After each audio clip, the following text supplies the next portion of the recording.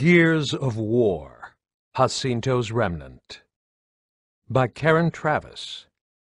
Narrated by David Colacci Copyright 2009 by Epic Games Incorporated This unabridged audiobook is published by arrangement with Del Rey, an imprint of the Random House Publishing Group, a division of Random House Incorporated, and was produced in the year 2010 by Tantor Media Incorporated, which holds the copyright thereto. Confidential. From Hoffman, Colonel Victor S., 26 RTI. 2. Surviving Representatives of the Coalition of Ordered Governments. Regarding Decision to Destroy Jacinto. Second Day of Frost, 14 AE. I write this in full knowledge that this record may not survive. But if it does, then I wish our command decisions to be understood by any future generations. At 1410 today, after the Locust began to mine tunnels beneath Jacinto to sink it, Chairman Richard Prescott authorized a preemptive plan to sink the city ourselves. This was designed not only to flood the Locust tunnels, but also to trap and destroy the Locust army that had infiltrated the center of Jacinto itself. A mass evacuation of citizens via land, air, and sea routes began an hour ago. We believe there was no alternative. The land-down assault, in which we engaged the enemy within their own tunnels, resulted in major losses and failed to stop the Locust advance. Members of Delta Squad, under the command of Sergeant M. Phoenix, E.S., located the Locust Queen, and were made aware that the enemy also planned to create a sinkhole to destroy Jacinto. With insufficient forces to prevent this, we took the view that sinking and flooding the city ourselves, to trap the enemy and drown them within their tunnels, was our only option, and justified the destruction of our last stronghold.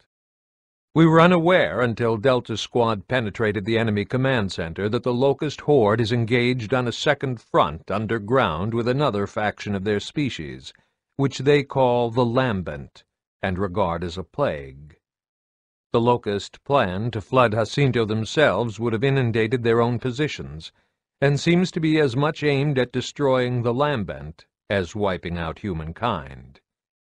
We do not yet fully understand the nature of that conflict and may never do so. We have been left with no option but to try to inflict maximum casualties on Locust forces, so that a remnant of humanity can be saved to reconstruct our world. We have some certainty that they will never recover from this blow. Not only do they appear to think flooding will be effective in defeating the Lambent, but records have been found to indicate that the late Professor Adam Phoenix believed that flooding would destroy the locust threat itself. At this stage, we do not know the extent of our own losses. Evacuation under these circumstances will inevitably result in high civilian casualties. But the alternative is the extinction of the human race. Chairman Richard Prescott and I are no strangers to this magnitude of decision.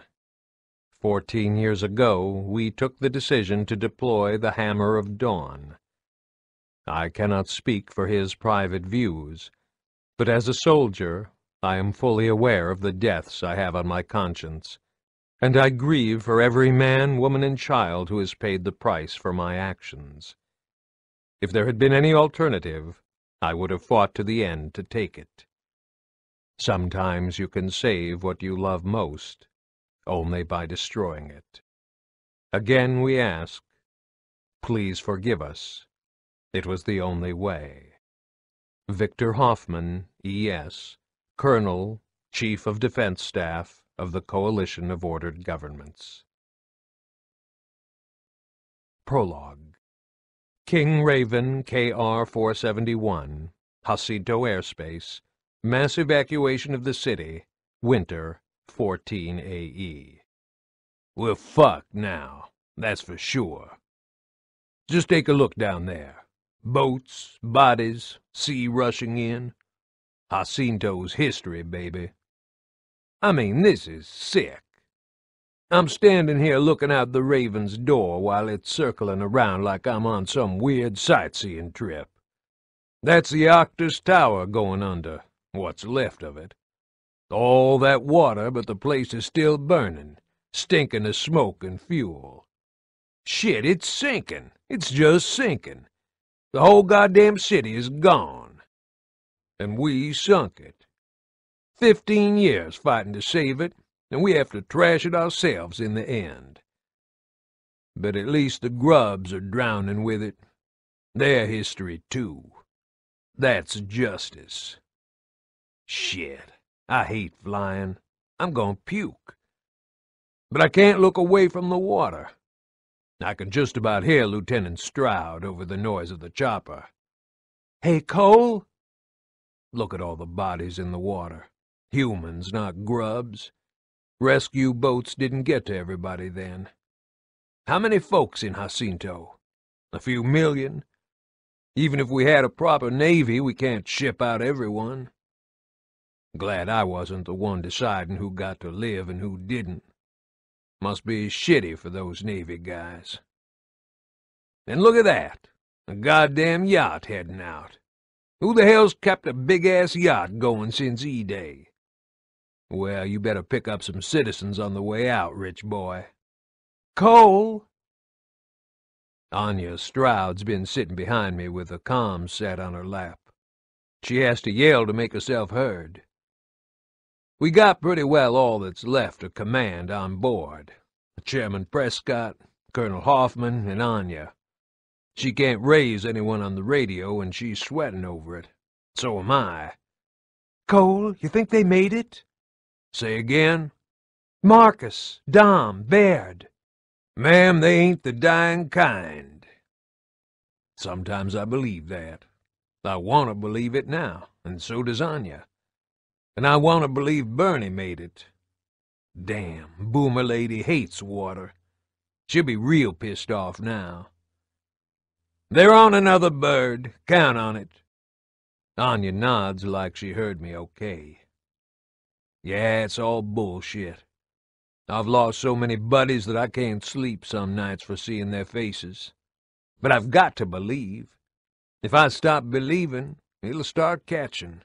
Soon everyone else stops believing, too. Team morale, that's what counts. Same in war as in thrashball. They'll make it, Lieutenant, Colonel Hoffman yells. He looks like he's searching for someone, leaning from the safety rail, watching the city go down the crapper. They'll make it. Prescott's sitting in one of the transverse bulkhead seats, head bent like he's praying. Too late for that, man. He looks like he hasn't got a clue how to get us out of this shit, and Hoffman's looking at him like he knows he don't know. Anya's still going on about Marcus. I don't catch everything she says. Ravens are real noisy bastards. I didn't even chance talk about with Sergeant Phoenix, she says, all formal like I haven't guessed about him and her. Not properly. I can fill in the gaps. Hell, what does it matter now if you say it? Most of the world's dead. Whoever's left is hurting and mourning. And you and Marcus been edging round each other for sixteen, seventeen years. Is that what sane folks do? Okay, make a list of all the things you gonna tell 'em, ma'am, I shout. 'Cause you gonna forget again. Say again? Make a list. She forces a smile and nods. I can't stand staring at the shit below me any more so I look up instead.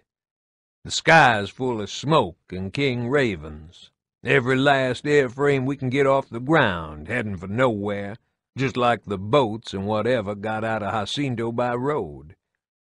Funny, it almost looks like we still got an air force when you cram all them ravens into the same patch of sky. But this is all we got left. The whole fucking coalition. The pilot's in a hurry. We're cutting through the other ravens, and I'm looking into every open bay that we pass, searching. And you know what? I swear this believing shit works. Most gear's got the sense to wear a helmet, except crazies like Delta and me, of course. And man, you can see Baird's blond hair a long way off. There he is. He's seen us. We draw level.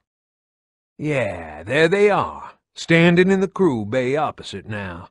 Baird, Dom, Marcus. Baird's got a dumb-ass smirk on his face. Closest he's ever come to looking pleased to see me, so I tap my chest plate in respect, 'cause he can't hear me. Marcus and Dom, though, they nod back at me, but they ain't smiling. They look like shit.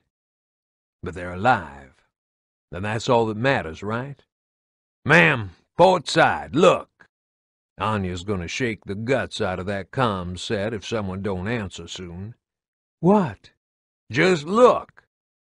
She gets up and stands next to me, and suddenly she looks like she don't know what to do next. But she does a little wave at Marcus, like she's embarrassed, and hangs on, staring across at him until the chopper banks away. And he stares back until he's just a distant blur. Okay, she says to herself, sort of smiling without looking happy. I can lip read it this time. See you in Port Farrell. Then she sits down and begins cycling through the comms frequencies again. We'll be at the RV point in maybe thirty minutes. Hoffman's still looking down at Prescott like he's a big steaming pile of something really nasty. You never know what goes on between those two, but it ain't brotherly love, that's for sure. Hoffman looks like he's still mad as hell about not being told shit. I catch a few words. Any other classified information? Share, sir? Hoffman's got his fuck you voice on. I can tell from his face, even if I can't hear it all. Because right now, any surprises.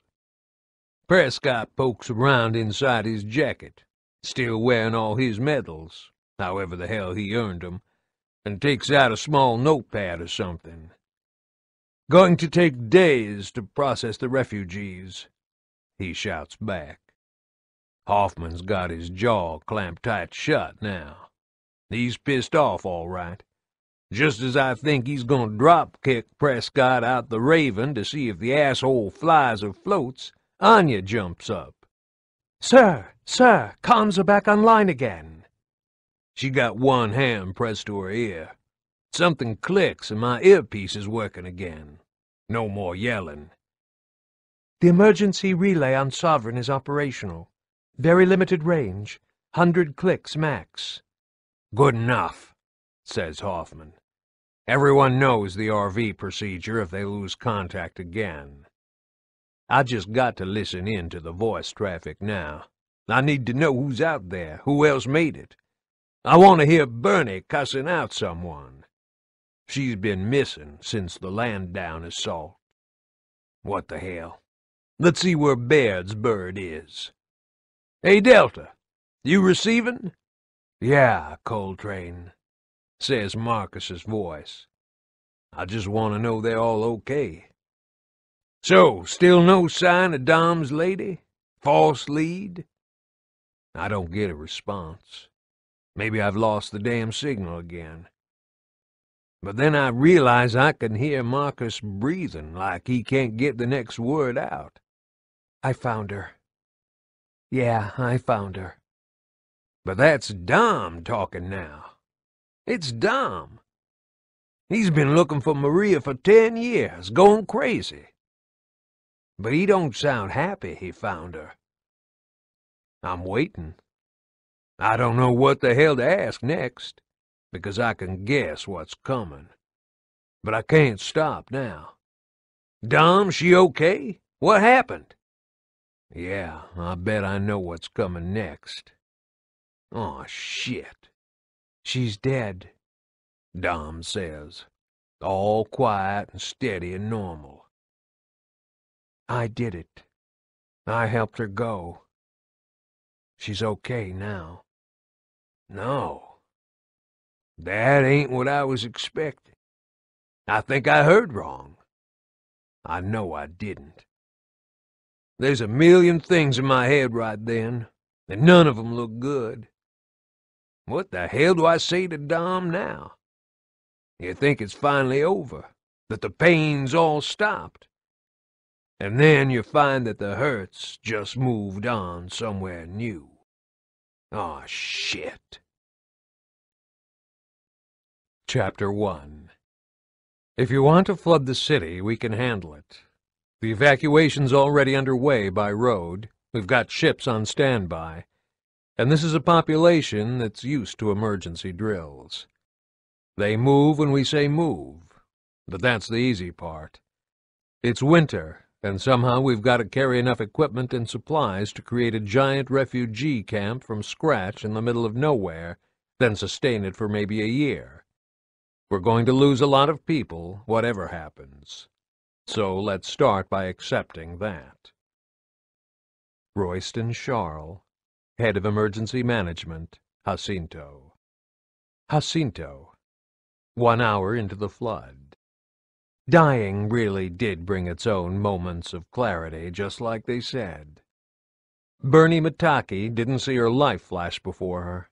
Instead, she found herself weirdly detached, reflecting on the shitty irony of sailing halfway around the world, only to drown in Jacinto. Water. I bloody hate it. No bastard should have to drown in the middle of a city.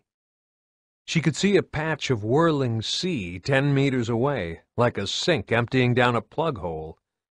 Debris rushed toward it. Chunks of wood, vegetation, plastic, and even a dead dog. A little brown terrier thing with a red collar raced past her on the surface to vanish into the maelstrom. A chunk of metal pipe bobbed along in its wake clanging against her shoulder plate and nearly taking her eye out before it spun away with the rest of the flotsam. I'm next. Sink, get it over with. Nowhere to swim to. Drown here now or there later. Now, screw that. I'm a survival specialist, aren't I? Get a grip. Do something. I'm not dead yet. Sorens! Sorens! All she could see was columns of black smoke and the occasional flash of sunlight on a distant rotor blade.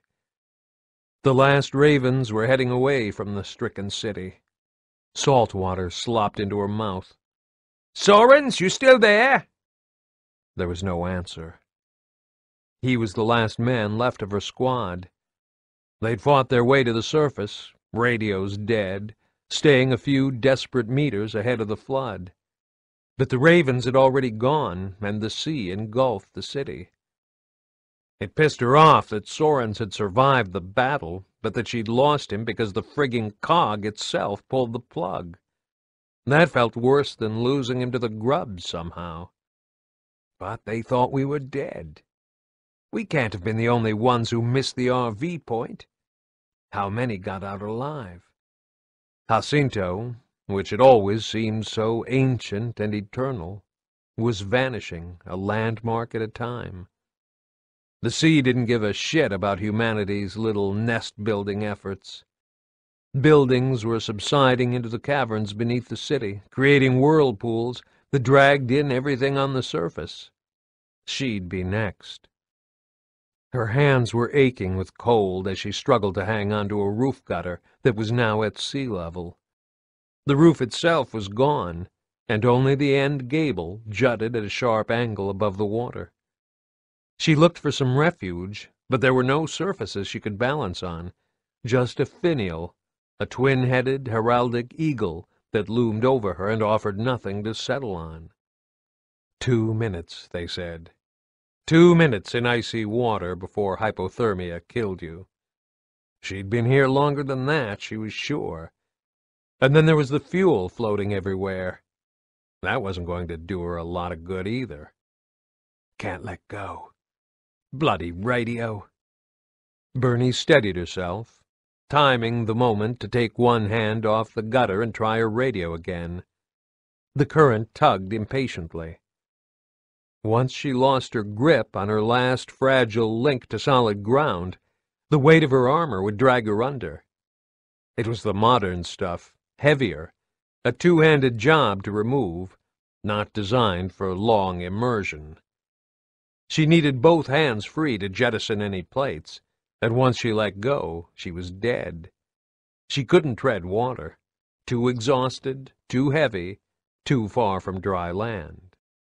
All she could hear was the roar and crash of the sea filling the sunken city, creaks of buckling metal that sounded like screams, and a fading chaka-chaka-chaka as the last ravens shrank to dots on the amber horizon.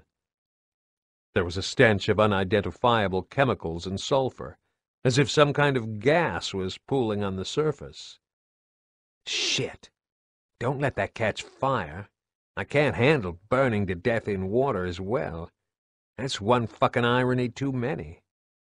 She had to get on with it. One, two, three. Bernie took one hand off the gutter and waved her arm. But it was a waste of time, and she knew it. The choppers were too far away. Even the ships and small vessels were out of range. She was just one more tiny speck in a chaotic soup of debris. But now that her hand was free, and she hadn't been snatched from her refuge by the force of the water, she risked turning around, trying to scan the choppy surface for signs of other survivors. There were bodies. She could see how fast the current was running by the speed at which they shot past her. Did they get left behind? Or did they decide to die here rather than keep running? People did the damnedest things in disasters. Wanting to stay put was common. Bernie always prided herself on getting the hell out. She pressed her finger hard against her earpiece, rocking it slightly to make sure the switch made contact. There was an encouraging hiss of static. It was still working, despite being soaked. Sierra One to control. This is Mataki. Time. She just didn't have time. Even if anyone heard her, could they loop back and find her before she went under? There were no bloody miracles on the way, that she knew. If she was going to survive, she'd have to perform her own. Sierra One to control, this is Mataki. Are you receiving? There was just the empty, random hiss of background interference. Maybe they could hear her, though. Maybe they couldn't respond. She needed to give them a location, just in case, and tried to work out where she was in this suddenly unfamiliar landscape. But it was hard to orient herself when only her head was above water. She racked her brain for where she'd seen the eagle finial before, trying to visualize Jacinto as it had been only hours ago. Sierra One, this is Sergeant Bernadette Mataki. I need extraction, urgently. Repeat, urgent extraction. My position is... White One... Shit, where the hell am I? What's that dome over there? Suddenly it came to her. All Father's Library, south side of the roof. I'm facing the Ginnett Mausoleum. Request immediate extraction. Over. This was the point where it suddenly got harder and demanded decisions. How long did she wait before she decided they were never coming? Bernie found herself scanning the horizon to the east, looking to see if any of the small islands around the harbor had survived the seismic activity. If she could shed at least some of her plates, maybe grab the next chunk of debris that passed as a flotation device, then she might make it to dry ground. She could see only the outer harbor wall now, a stump of granite that had once held a lighthouse. It was a very long swim, even under the best circumstances. Control! I'll hang on as long as I can, she said at last. Request immediate extraction. Repeat, immediate extraction. Bernie decided that if anyone had heard, then she'd given them long enough to triangulate on her signal. She shut down the radio to conserve power. All she could do now was to stay put and try to avoid being hit by the flood of rushing debris. How long before it gets dark? She had two or three hours light left. Maybe getting up on that gable end was feasible after all, if it didn't crash down on her or sink with everything else. If she moved around to the other side, a little further along the gutter, the sloping gable would be facing away from her. She could edge her way up it. For a moment she felt inexplicably pleased with herself, and realized that it was because of the water. Her worst nightmare, the thing she dreaded, and yet she was in control. It hadn't beaten her. If she could deal with this, anything was possible. Screw you, she said aloud to nobody in particular, and felt carefully beneath the water for her belt. If she took it slowly, she could find a length of line, even with fingers so cold they felt like they were being crushed between rollers. Don't drop it. No, don't open the pouch. Lift it so the stuff doesn't float out. Bernie shook out the line and almost lost it. Now the challenge was to form a loop to anchor it to something solid. Tying a bowline one-handed when someone threw you a line was a basic survival skill, but with nothing to secure it to, she had to slide the line under her other hand, the one gripping the gutter. It seemed to take ages. Eventually, gathering the line with slow care, she managed to form a noose and clamped the end between her teeth to avoid losing the thing if she dropped it. Pirate time. Shit, I must look like a complete dickhead. Then she made her way, hand over hand, along the gutter until she was looking at the inside of the gable end. They took every scrap of strength she had left, but she dragged herself over the gutter, taking her weight on her chest, then swung one leg as if mounting a horse. The sea had now overtopped the wall. She straddled the brickwork for a moment, struggling to balance properly because her thigh plate had caught on something she couldn't see, and slowly lifted the line in both hands to try to lasso the finial. Shit! She missed twice. She missed a third time. Either the polymer rope was too light or she didn't have the strength now to heave it. Again. As long as she was trying, she was alive, and the effort was warming her up. And again. The loop of rope caught around the neck of the eagle with a wet slap, and she pulled the line tight. It held.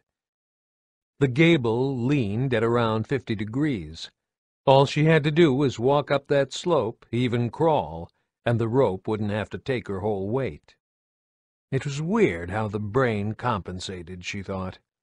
Something that was plainly as dangerous as staying put had now become a sensible option. She found out just how dangerous when she tried to work out how to stand up. The wall, of course, wasn't level. It was at the same canted angle as the gable, because the whole building had tilted. It was just the fact that it was broken, split vertically, that gave her hands and backside the illusion of being level.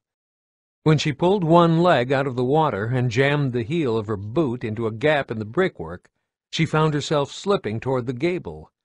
Standing up took a massive effort that was more like an explosive squat. Her face smacked into the bricks, and she found herself spread-eagled on the inner surface of the gable, one boot on the wall and the other dangling in the sea that had filled the building. But she had the rope in one fist, and she was mostly out of the water. It left her feeling heavy and oddly warm. Now all she had to do was climb. Easy. Really, it is. Bernie had to believe that. Then she had to think no further than the next step. That was how you kept going, one hurdle at a time, then the next, and the next, until the huge task had been chipped away. Now she was halfway up the slope. When she got close to the top, she'd work out how to secure herself with the rope, free both hands so she could assess any injuries, check that her lancer still worked, and see what kit she still had in her belt pouches. And time to call in again. Shit, they can't have lost all comms, can they? She lay flat and listened for a moment. The city still groaned and screamed as the weight of water crushed it, but that was a little further away.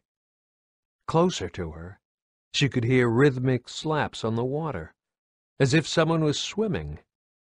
I'm not alone. God, I'm not alone. It's Sorens. He made it. Bernie took a few breaths and gathered her strength to sit up as best she could and take a look. Before she did, she tried calling Control again. Control, this is Mataki, requesting immediate extraction. My position is the All-Father's Library roof. She could hear the splashing. It was getting closer. Control, come in! The splashing stopped. Bernie raised her head and looked down at the sea. Now that she was facing away from Jacinto's death throes, the seascape simply looked stormy, the drifting smoke more like dark clouds than the end of urban society. She couldn't see anyone in the water. Nobody alive, anyway. Sorens? She couldn't ignore what she'd heard. She tugged on the line to make sure it was secure, then tied the other end around her waist like a safety line. She was losing body heat, she reminded herself, and there was a cold night ahead, so any survivors would stand a better chance if they huddled together. Breaking her slide with her heels, she edged down to the top of the wall again, wondering how she'd haul him inboard. The sea looked almost solid, like churning oily lumps rather than water. She strained to see a head bobbing between the waves. Nothing. Then the water erupted. A body burst through the surface like a porpoise breaching. She sucked in a breath, jerking back, because it wasn't Sorens, and it took her a second in her exhausted state to register that fact. She was face to face with a locust drone, a big gray bastard of a grub. It could swim. It should have been dead. It wasn't. It scrambled for the wall, her wall, her safe haven. Shit, she said, and reached for the knife in her boot. King Raven KR-239, en route to Port Farrell. The comms link crackled in Dominic Santiago's earpiece. KR-2239 to Control. Are you receiving that signal? Oh, shit, oh, shit, oh, shit. Did I do it? Oh, God, I did it. I killed her. I killed her. Dom could hear the chatter between the two Raven pilots, but it was just noise, words, sounds without meaning. His body was carrying on without him. He felt like he was coming around from an anesthetic. Whatever instinct had held him together during the mission was now wearing off, leaving behind it a paralyzing horror that drove out everything else except the sheer, choking pain from that last look into her eyes. I killed Maria.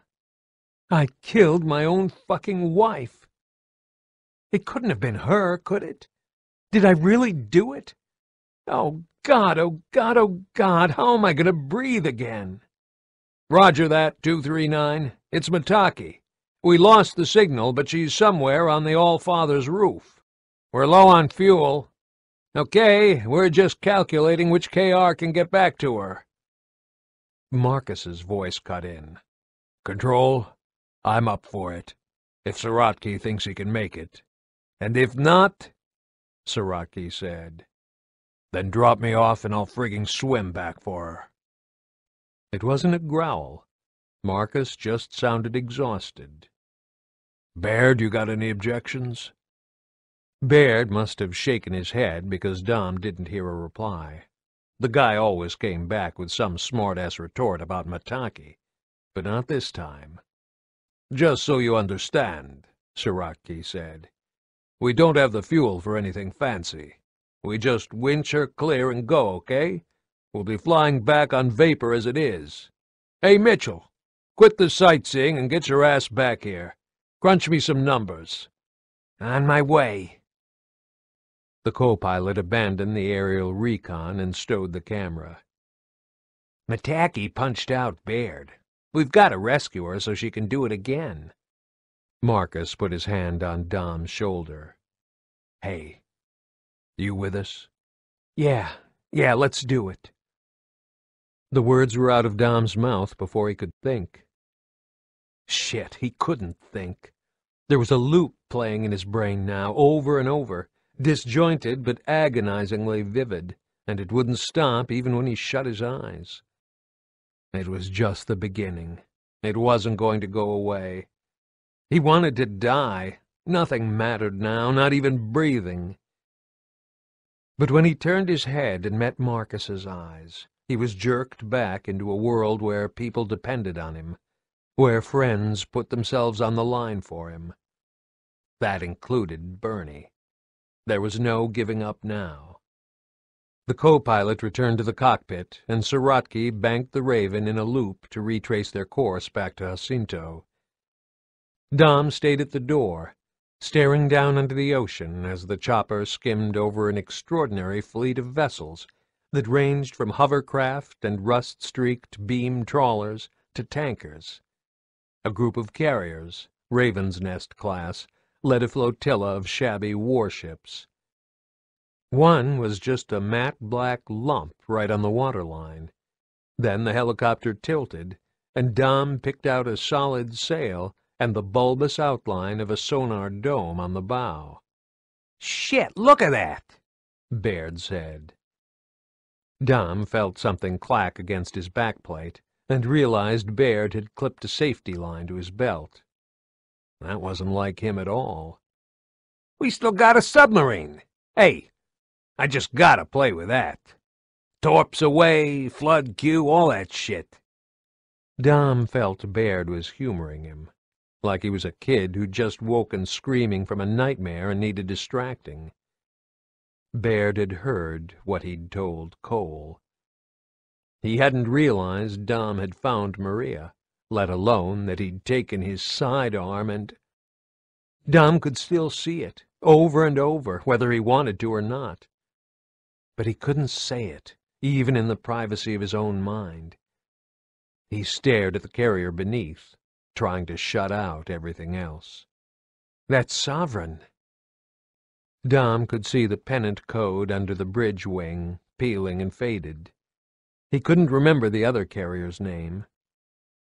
They were overdue for the scrapyard even before E-Day. It was the sheer volume of small civilian craft that surprised Dom. Tiny clinker-built dinghies, rigid inflatables, grimy white motor cruisers with wheelhouses covered in nets and wicker fenders. He'd never known this navy in waiting existed. All these shabby hulls must have been carefully laid up on blocks in garages or derelict buildings for years, waiting for the worst to happen. People still ventured out to fish in the estuary after E-Day to supplement their meager diet, and everyone knew there were distant islands out there, for those willing to risk the journey anyway. Like Bernie. Island hopping from the other side of Sera. Crazy woman. Dom had experienced the sheer terror of the sea in his commando days, and the idea of spending months afloat in a boat that size almost made him shit himself. Pretty impressive that they can hold a convoy formation, Baird said. We haven't had a fighting navy since E-Day let alone exercising with civilian vessels. Discipline, man. Dom tried to imagine how many people could cram into a carrier. We got an orderly, well-drilled bunch of... She's gone. And I killed her. Dom ground to a halt mid-sentence. For a few moments he'd thought about something other than Maria, but now it had all come crashing back again. His free hand shook. He grabbed the adjacent rail just to keep it steady. All he wanted was oblivion.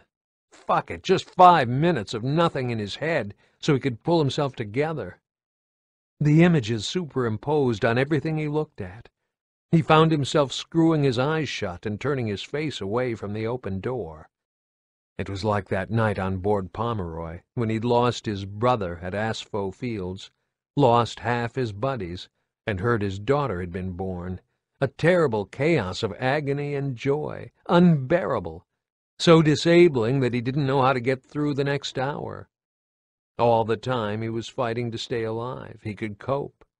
Once the pressure was off, the tidal wave flooded back. The locusts were finally gone. The world could start over. But Maria was gone, too.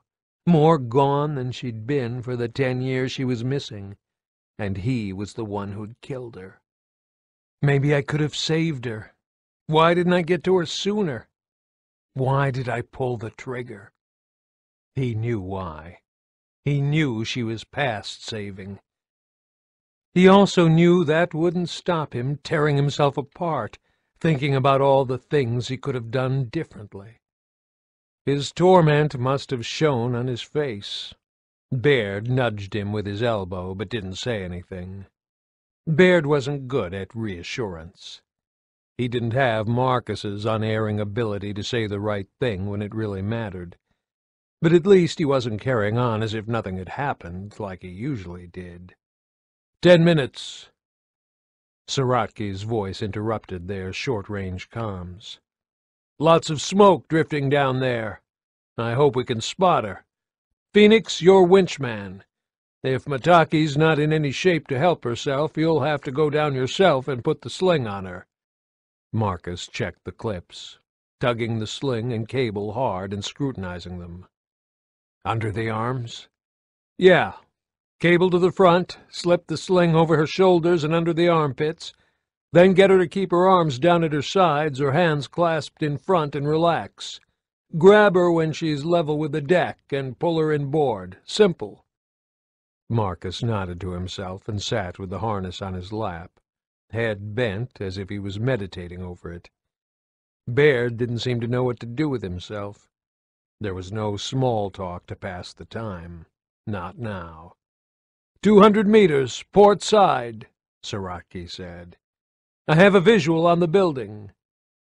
Dom moved across the bay deck to the other door and stared out. Jacinto looked just like someone had thrown a pile of broken dollhouses into a bucket of water. The scale was somehow distorted. The landmarks were all in the wrong place. Or at least it seemed that way, because some of the ornate towers and domes were missing. Even when the Raven dropped to twenty meters above the sea, the city didn't look life-sized any longer. "Oh, shit!" said Sorotki. Marcus leaned out of the door, hanging on by one hand. Dom was blinded by the mass of rolling smoke, but the pilot could detect something they couldn't. Baird put his goggles on and peered out as well. "What's up?" he asked. "Can't you see her?" "I see her all right. Which of you is the best shot?" It was the worst thing Sorotki could have said. Dom felt his guts knot. His mind raced ahead to fill in the gaps. No, Sorotki didn't mean that at all. "She is," Marcus said calmly, still gripping the sling. She's a sniper. What's the problem? She's got company. They're not the let's keep our spirits up kind.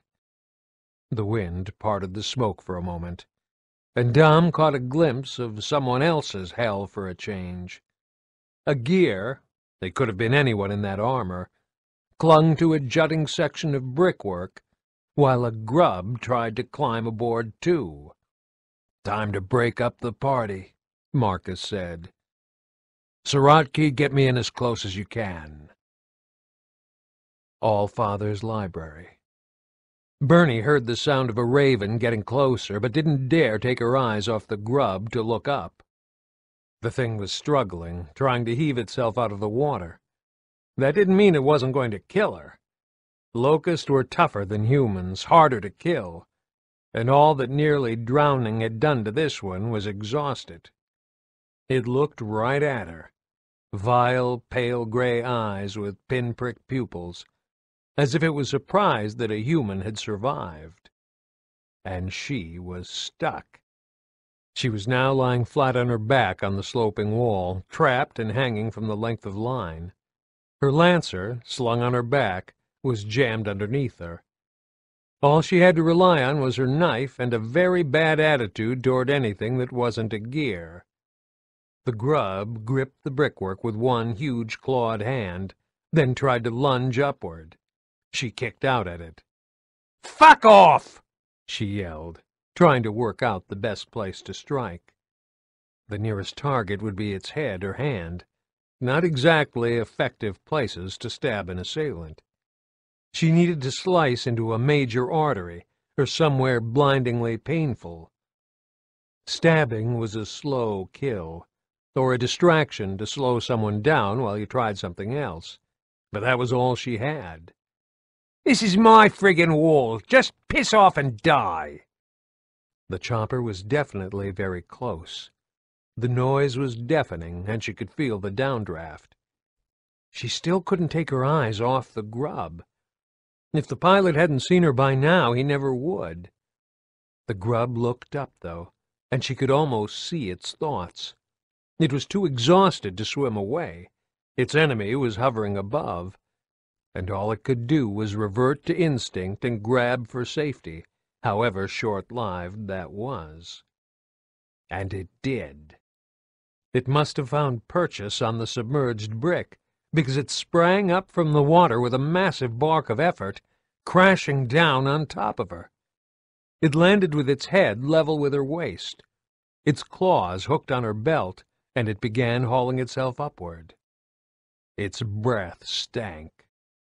This was just a frozen second, but the smell and the sheer weight of the frigging thing on top of her triggered a memory in Bernie that she still tried hard to bury. Helpless, pinned down, unable to fight back. She wanted to kill. It was all she could see, think, feel, taste. Kill it! She rammed the knife into the first place she could reach, its shoulder, but it was like trying to stab concrete. It bellowed. Had she even scratched the thing? It still clung to her, crushing the breath out of her. She drew back her cold, numbed arm to stab blindly again and again and again, until the blade didn't pull clear, and she didn't know if she'd finally pierced its thick hide or snagged the knife in something. She struggled to pull it out. All she was aware of was a fierce downward wind sandblasting grit onto her face, a wall of screaming noise that made her head hurt, and a frenzied rage that closed her throat as tight as a stranglehold. Yes, there was a raven right above. She thought she caught a glimpse of someone aiming a rifle at her. But the grub was still clinging to her, one hand on her belt and the other hooked into her chest plate, and it had to die. She pulled the knife back one more time, looked down into the grub's nightmarish face, mouth open, venting meaningless noises and terrible rotting smells, and rammed the slim blade as hard as she could into its ear canal. Now that worked. The grub screamed, a long gurgling noise, and hung from her belt by one fist as it flailed helplessly at the knife. It was going to drag her down with it, and she wanted her knife back. A fight was never cold logic, and all kinds of insane shit went through her mind at times like this. But right now her knife mattered more than anything, and she yanked it clear. Then she dug the point hard into the back of the grub's massive hand and ground the point around like a screwdriver. The grub was still screaming. Her belt broke. The creature thrashed for a second as it fell back into the water below, and then it was gone. Now she could look up. The downdraft from the Raven almost blinded her. The chopper backed off a little, and she could see someone with a black do-rag squatting on the open deck, gesturing with a bright orange rescue sling. Marcus. Bernie couldn't hear him above the noise, but she knew what to do. She just didn't know if she had the strength to do it. The line hit her in the face, not that she could feel much now, and she grabbed it one-handed. But that was as far as she got. She couldn't get the loop under her arms because her backplate and rifle kept snagging it, and she didn't have the energy or strength to struggle with it. The harness slid out of her grip and vanished back into the raven. Shit, were they giving up or trying again? It was Delta. They wouldn't leave her here. She shut her eyes for a moment to get her second wind. Then something heavy crashed down next to her. If that grub had come back, she was going to have to bite out the bastard's windpipe this time. But when she looked, Marcus was standing on the steep slope of the gable, hanging onto the winch cable. "'Brace your feet against my boot!' he yelled over the noise. "'Sit up! Come on, up!' She reached above her head and cut the line that now tethered her to the sinking building. Whether she sat up on her own or Marcus hauled her, she wasn't sure, but the sling was around her, and she crunched hard against Marcus as the cable went taut again and her boots left the brickwork. Shit, am I glad to see you! She was so cold that she had trouble making her mouth work.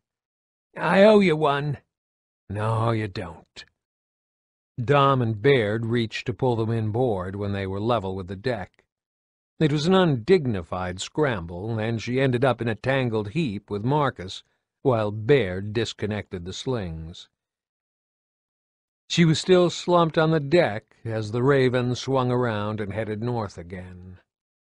Dom closed the doors on both sides of the Raven's bay. The noise level dropped instantly. It's damn cold, he said. You need to get your body temperature up again. Thanks, Dom. She propped herself up but could only reach his leg, so she patted that. He nodded, then slipped through the gunner's compartment as if he wanted to leave them to it. And you, Blondie, thank you. No sign of Niall Sorens. He was right behind me. Baird helped her to the aft bulkhead seat and draped a blanket around her. That was so unlike him that she really wasn't sure what to say. She wondered if she was in worse shape than she thought. Nobody else, Granny, he said. Well, at least a bit of the normal me-me Baird was functioning. Creative knife work, by the way. Very entertaining. I'd do it to every last friggin' one of 'em she said, carefully reburying all the memories that the fight had dredged up. She was shaking uncontrollably, from cold, fatigue, ebbing adrenaline, and she didn't want to look weak in front of Baird. But we finally finished the bastards, didn't we? Except the stragglers. Just send them my way. I got scores to settle. Yeah, Granny said Baird, still unnaturally civil. The jibe didn't even feel offensive any more. Next grub we find is all yours. She craned her neck to see what Dom was doing. Through the narrow hatch, she could see him manning the gun position, staring out into the growing dusk. He looked wrong somehow. So did Marcus. Even Baird didn't have his usual perma-sneer in place. Bad news was imminent. She could feel it. And there was someone missing. Someone she expected to see with Delta Squad. Cole? Her gut somersaulted. Cole was a force of nature, an endearing blend of raucous humor and solid wisdom, and she had a soft spot for him. He was not replaceable. Where's Cole? No, not Cole. I couldn't. Don't worry, he got out on Hoffman's flight, Baird said. With Anya. No jokes, no sarcasm, even from Blondie. Shit. What's coming? Bernie was running out of names to play Guess Who Didn't Make It. Marcus braced one hand on the bulkhead above her, leaning over with a look in his eyes that said he was working up to telling her something that even he couldn't quite handle. And that was starting to scare her. She'd known him, and Dom, when they were young gears in the Royal Tyran Infantry, before anyone had ever heard of the Locust. Even in a world where everyone had suffered and grieved, though, Marcus looked especially ravaged by loss. And it wasn't just those facial scars. Just tell me, she said.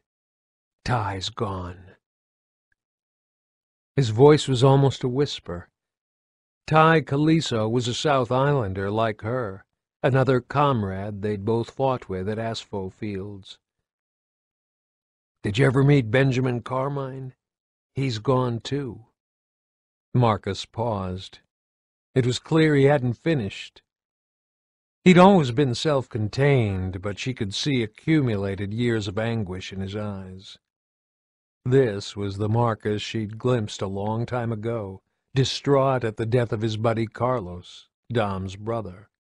Marcus, she said, just tell me, sweetheart. She could call him that. She was twenty-odd years older, so she could play the veteran sergeant with him. Whatever it is. It's Dom, he said at last. She couldn't hear him now. She had to read his lips. He found Maria. He had to stop her suffering. Shit, Bernie, he had to shoot her. She was just this skeleton, this brain-damaged skeleton. I told him it was okay. Bernie had steeled herself not to react. But it was so far from what she was expecting to hear that she actually felt her mouth open in shock. Her immediate instinct was to go to Dom as if he was still that teenage kid she first knew, give him a hug, tell him he'd get through it, that everyone would help him. But it was complete bollocks. She knew because she'd been seconds from putting Carlos Santiago out of his misery at Aspho Fields. And she knew that if she'd pulled the trigger, then she would have found that bloody hard to get out of her head every night every time she tried to fall asleep, every unguarded moment. She didn't ask for details. There'd be a proper time for that. She caught Baird's eye as he watched her and Marcus, but he looked away first. Does everyone else know? she asked. No. Marcus straightened up. His eyes looked distinctly glassy and I want to make it as easy as I can for him. Want me to warn people off? Every gear who knew Dom would ask him if he'd found his wife yet. Every stranded, too, if they'd survived. The man had spent ten years showing a photograph of Maria in front of everyone he met, asking if they'd seen her. It'll save a lot of painful questions. Sounds like a plan. No detail, just that he found a body, so they'll shut up about it. Thanks, Bernie. Marcus patted her shoulder, distracted. He'll know we've got his back. Bernie rested her head in her hands and let the airframe's vibration lull her into something approaching sleep. Shit. What a letdown. She'd always thought that defeating the Locust would be a cause for celebration, but if there was one thing she'd learned about wars, it was that their endings were just temporary lulls. Rebuilding human society was going to be hard, slow, and generations long. The entire human species, the tiny remnant that remained, was bereaved, and it no longer had an external threat to hold it together. It didn't have something to live for yet, just the shared instinct that said stay alive. Survival's an ugly thing. Seen it, done it. Bernie found it was a lot easier to forget her own traumatic memories when she thought of Dom. Poor little bastard. What a shitty way to begin the first peace we've ever known. She looked up and started to rise from her seat, planning to make her way to the gun bay and just sit with Dom to let him know everyone was there for him. But when she glanced through the opening, Marcus was already there, just standing over him with one hand on his shoulder, staring out into the dusk. If anything was going to build humanity, it was comradeship. Gears had that in shitloads. Bernie knew exactly what kind of society she wanted to see emerge from the ruins. Chapter 2 The first thing you do is split the team into two shifts, because this is going to go on for a lot longer than you think, and by the time you realize you're too tired to think straight, you won't have anyone ready to take over. Staff Sergeant Leonard Perry, COG Logistics Corps, briefing civilians co-opted for emergency construction duties. Port Farrell Evacuation Assembly Area, North Tyrone Coast, three hours after first flooding. Anya Stroud couldn't tell if she was looking at 50,000 people or half a million. She stood on the armadillo's open ramp with her jacket wrapped tightly around her, hands thrust in pockets, watching a slow-flowing river of refugees streaming past, many clinging to junkers that didn't look capable of carrying so many people. The icy sleet had now turned to snow. It was the worst possible time to evacuate. And it was the first time in fifteen years that Anya had absolutely nothing to do for the time being except worry. About Marcus, about whatever the hell Dom had meant about Maria, about the next twenty-six hours, about whatever tomorrow meant now. Their Raven had landed safely, she knew that much. She didn't dare hog overloaded comms channels for a personal chit-chat. Behind her, in the rear of the APC, Lieutenant Matheson was manning comms, keeping a tally of gears and tasking them as they reported in. He was diverting some to security duty, others to rest periods. It was a well-rehearsed plan. How many civilians did we lose? How many gears? How long is it going to take to check everyone on the list? Anya, you should get some sleep. Matheson turned in his seat. He'd lost both legs in combat and hadn't taken enforced desk duties well. You're back on watch in seven hours. I'm okay, she said. If I sleep now, I'll feel like hell when I wake up. Suit yourself. Matheson turned back to the comms console again. Anya went on scanning the scene around her, to her right, she could see the abandoned city of Port Farrell through the line of parked trucks and Centaur tanks. The nearest buildings were backlit by APC lights as gears moved in to secure the area before the EM teams and sappers moved in. Nobody was under any illusion that the locust threat was entirely over. There'd be pockets of stragglers, and they'd be just as dangerous.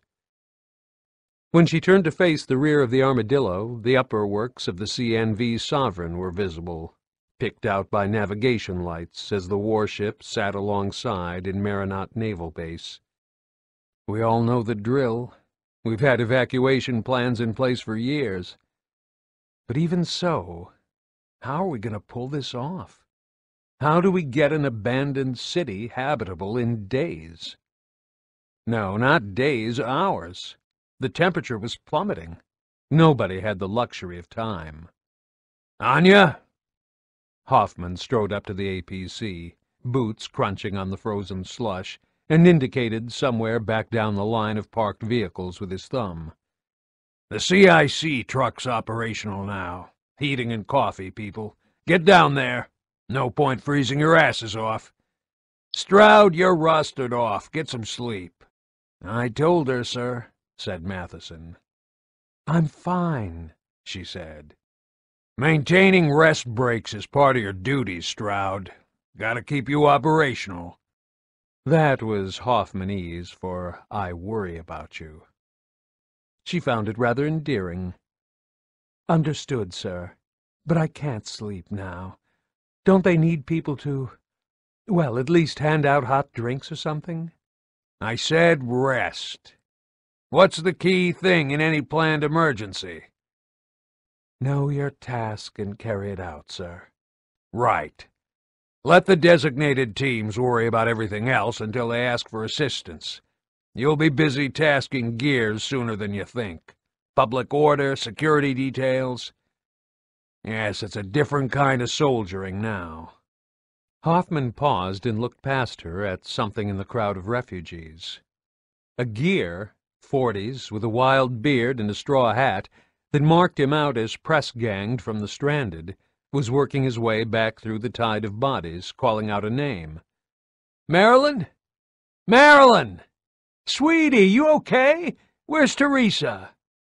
A teenage girl struggled through the press of bodies and flung her arms around his neck. People parted to avoid them, and Anya watched a tearful reunion. Then another girl, just like her, no, exactly like her, a twin, appeared in the crowd and elbowed her way through, yelling, Daddy! Daddy! Well, someone's happy, Hoffman muttered. Grind lift driver. Glad he found his kids. Anya had a hard time distinguishing stranded from citizens now. Many refugees were so ragged and scruffy that they could have been either. And while that gear had found his family, others were still searching the human chaos for faces they recognized. A man stood to one side of the stream of people, calling out, Anyone seen my son? Tyler Morley, fourteen, brown hair, skinny. Anyone? He repeated it over and over, like someone standing on a street corner selling newspapers. Anya knew there'd be many more desperate searches like that in the days to come. The satisfaction at evacuating most of Jacinto was now giving way to the guilt and dismay of realizing how many had been lost. That's the hard stuff, Hoffman said. I'm thankful that the emergency guys can handle all that. Fighting grubs was the easy bit. He paused. When Santiago reports in, ask him to see me. Will do, sir. Hoffman looked as if he was going to say something else, but he just turned around and walked back toward the EM truck. Anya wiped her face with the back of her hand. Her skin was starting to sting with the steady barrage of snow. Better get moving, she said. She shut the hatches and started the engine. I want to check out the medical tent. I'll drop you off at CIC. What's all that about Dom? Matheson asked. Anya went into protective mode. Dom had defended her from intrusive interest when her mother was killed, and now it was her turn to watch his back. I didn't think you knew him, she said. Everyone knows Dom. Won the Embry Star at Aspho. Screwed his career defending Phoenix at the court-martial. Hoffman's favorite. Spends all his free time looking for his missus. Yes, that's Dom. Anya steered the dill out of the line, keeping to the vehicle lane marked in the grass by reflective cones. She kept a wary eye out for stray pedestrians. Like you said, Hoffman's favorite. It was as good an explanation as any. She'd get to Dom before the gossip started. So far, the only people who knew weren't the gossiping kind. Delta Squad, Hoffman, and herself. It was nobody else's business. When she reached the CIC truck, she jumped out of the Dill's cab to find herself ankle-deep in slush and regretting not changing into combat boots and fatigues. Matheson swung himself out on prosthetic legs that were the best that the cog could manage to make, and that wasn't very good at all. Anya made a note to sweet-talk Baird into seeing what modifications might be possible. Baird wasn't exactly the most big-hearted gear, but he couldn't resist a mechanical challenge. And humanity was now facing a future with even less technology at its disposal. Although that was obvious, and everyone knew that abandoning Jacinto meant leaving behind almost all the trappings of modern society, the full realization hadn't hit Anya until then.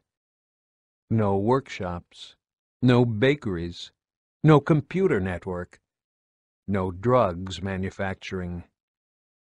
We didn't have much in Jacinto, but now we've even lost most of that. The CIC truck's interior looked like any small office, minus windows. It smelled of damp wool, fuel, coffee, and sweat, packed with weary and stressed people trying to grab a hot drink to keep them going, while they worked out humanity's chances of survival on the back of a used and reused notepad.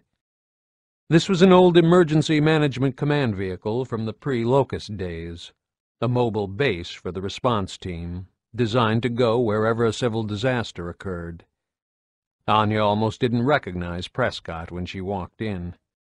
He was sitting on one of the desks, in a thick pullover and ordinary pants like the rest of the civilian team. No smart tunic, no medals, no gold braid. It might have been common sense. Civilian rig was warmer than his uniform. But it looked like a subtle message that he was in it with the common people, suffering what they suffered. Design or accident, it certainly seemed to have had the right effect. The EM team looked energized. Even Dr. Hayman looked more relaxed. After what they'd all been through, that was some impressive inspiration in action. No, you're not just any old bureaucrat, are you, sir? Okay. Prescott was part way through some agenda item. So, we'll leave people on board ships for the time being, except for those in open vessels who need immediate shelter. Can the larger vessels take any of them? Stuffed to the gunnels already, sir. Royston Sharle had drawn the shortest straw of all as the EM chief. He'd served in the Cog Navy, and it showed to Anya in all the right ways. Disease is going to be an issue if we push that. You know, confined spaces, overloaded waste discharge. We've rigged tents with heaters for the time being, and for tonight we just have to get as many under cover as we can. Those in vehicles, they're better off staying put until we can move into the buildings. Latrines and water in place, and soup wagons will be operational within the hour. Good job, Charles. Prescott rubbed his forehead, looking down at his sheaf of notes in his hand. If it was an act, it was beautifully performed. Thank you. Fuel? Sovereign sent a Marine recon team into Merrenat, and there's still emulsion in at least half the tanks that Stranded couldn't get at. And there's no telling what else is still stored in that complex. It was built to withstand a full Indie attack in the last war.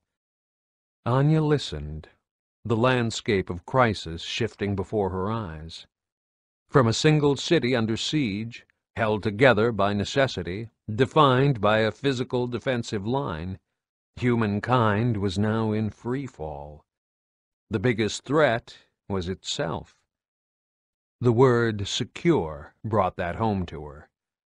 Citizens had probably stolen, feuded, and connived throughout the war, but the locust threat was right on their doorstep, easy to focus upon, familiar, oddly unifying. Now the locusts were gone. Simply staying alive was suddenly even harder. Anya could sense a communal fear of the truly unknown. This is the end of the CD. The audiobook continues on the next CD. Prescott glanced up at her and looked relieved. He even managed a quick smile. Maybe that was his political psyops at work again. The sobering thing was that she felt herself respond to it like everyone else did. She was willing to work until she dropped.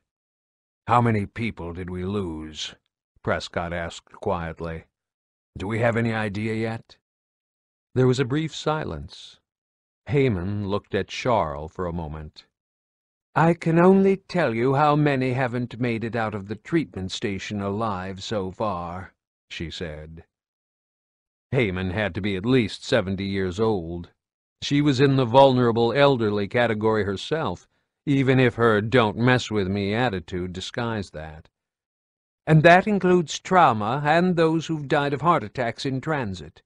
But if you're asking for an estimate overall, we're thinking in terms of 30% losses. But we said we'd evacuated most of the city. I said it. Anya tried to come to terms with what most meant. Is that the best we could do? Yes, seventy percent was a good majority, achieved under attack and with the city literally vanishing under them. It still didn't make 30% acceptable. And it didn't include any stranded, because the COG had no real idea of how many people lived in wretched shanty towns outside the protection of Jacinto. There could have been more than a million dead now. A drop in the ocean after so many over the years, but... Now, Anya couldn't take it in. She just let it register on her brain as a statistic, allowing the shock do what it was designed to do, to numb the pain temporarily, so that you could concentrate on surviving.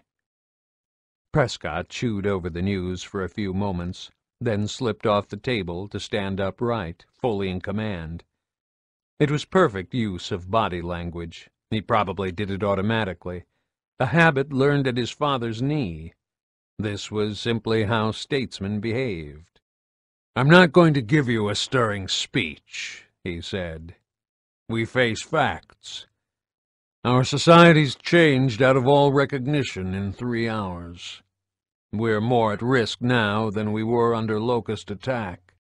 We've lost even the most basic comforts we had in Jacinto. People will die of cold and hunger. People will become angry and scared very, very fast. And that's the point at which we face collapse. It's going to get a lot worse before it gets better. And it's going to put enormous pressure not only on you, but on our gears. We're taking them out of a terrible war and plunging them straight into policing their own people, keeping order, because order will break down if we don't impose it. Some gears will find it impossible, and so might some of us. But the only other choice is to degenerate into savagery, and then the Locust will have won because we handed them the victory. Prescott stopped and looked around at the assembled team. Anya had been so transfixed by the pep talk that she hadn't noticed Hoffman behind her. She had no idea where he'd been, but he was here now, coffee in one hand, freshly shaven, smelling of soap. That was his substitute for sleep. Coffee and a shower.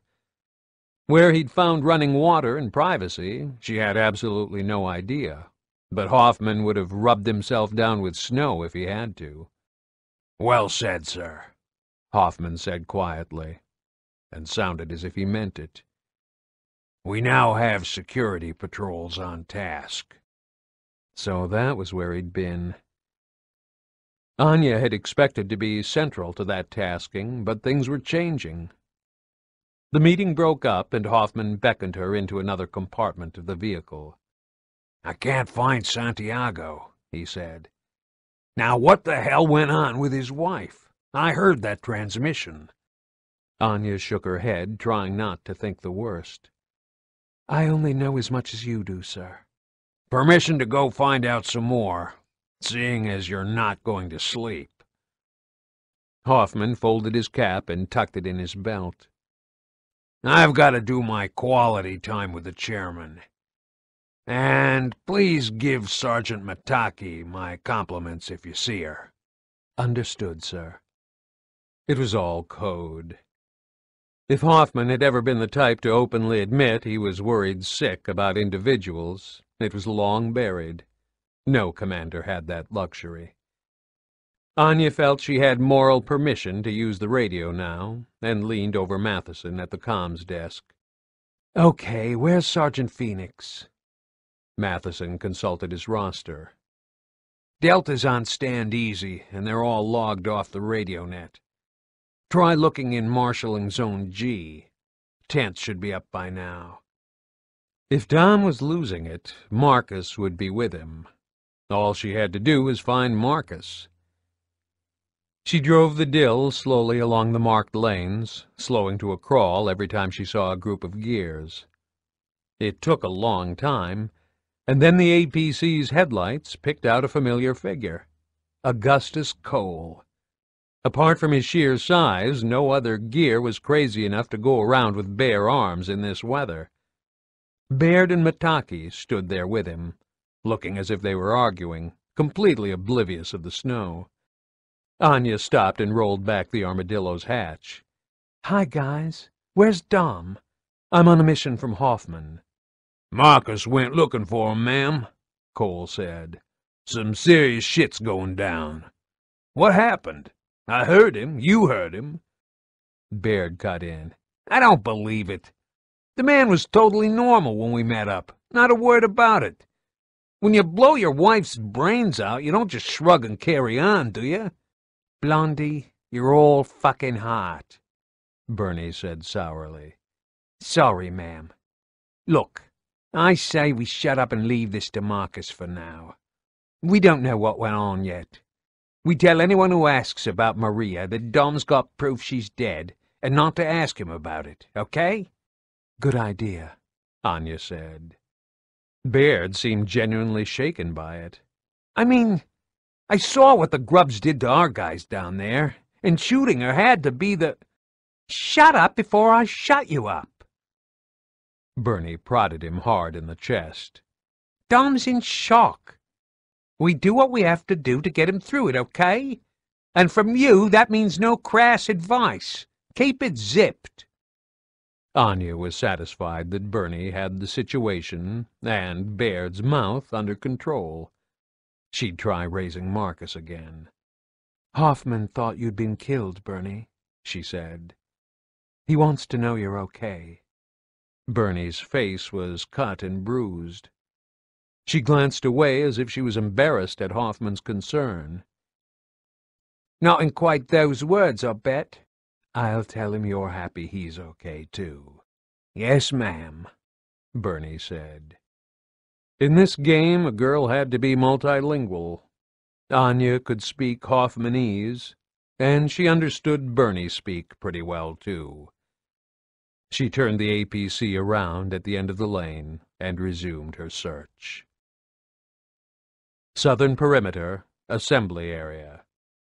There was just enough light from his armor's power status indicators for Dom to see the detail on the photograph. He squatted in the lee of a boulder, bent over so that his body shielded the picture from the falling snow, and went through the sequence that was now pure reflex after so many years. He studied Maria's face, her cheek pressed to his as they posed for the camera, and recalled where they'd been when the picture was taken, then turned the print over to read what she'd written on the back. He'd done the same thing a dozen times a day for ten years. The photo was cracked and creased. Maria's handwriting was gradually fading, the lines more smeared each time he took it from the pocket under his armor.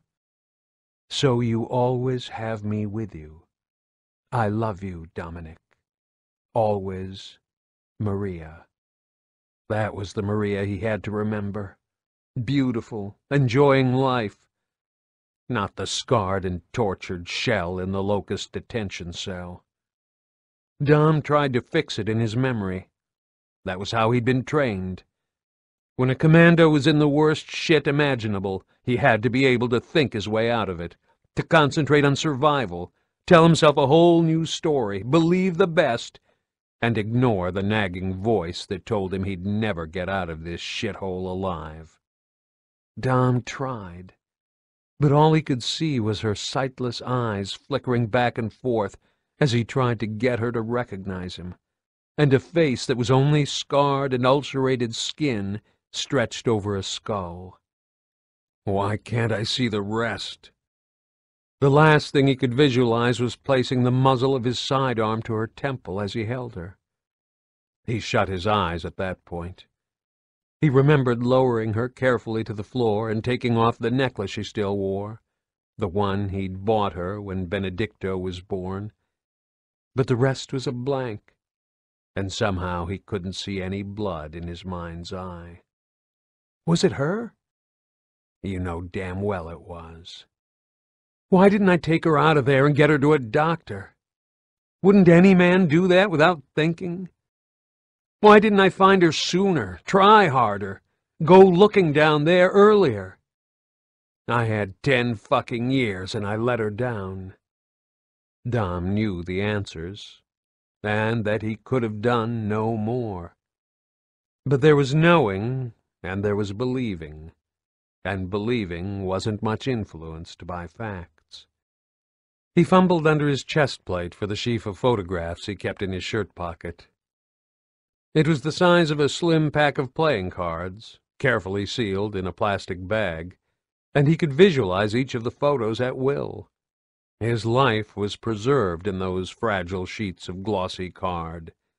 His brother Carlos, his parents, his son and daughter, Malcolm Benjafield and Georg Timiou from his commando unit.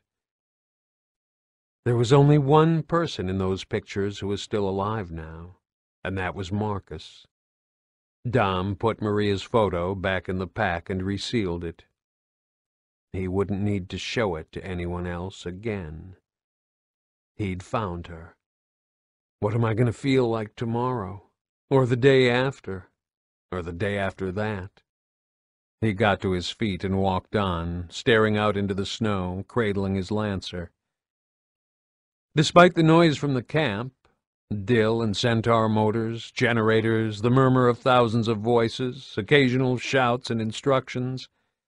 It was quieter here than anywhere he'd been in years. He could hear boots crunching in the snow, gradually getting closer. He didn't need to turn and look.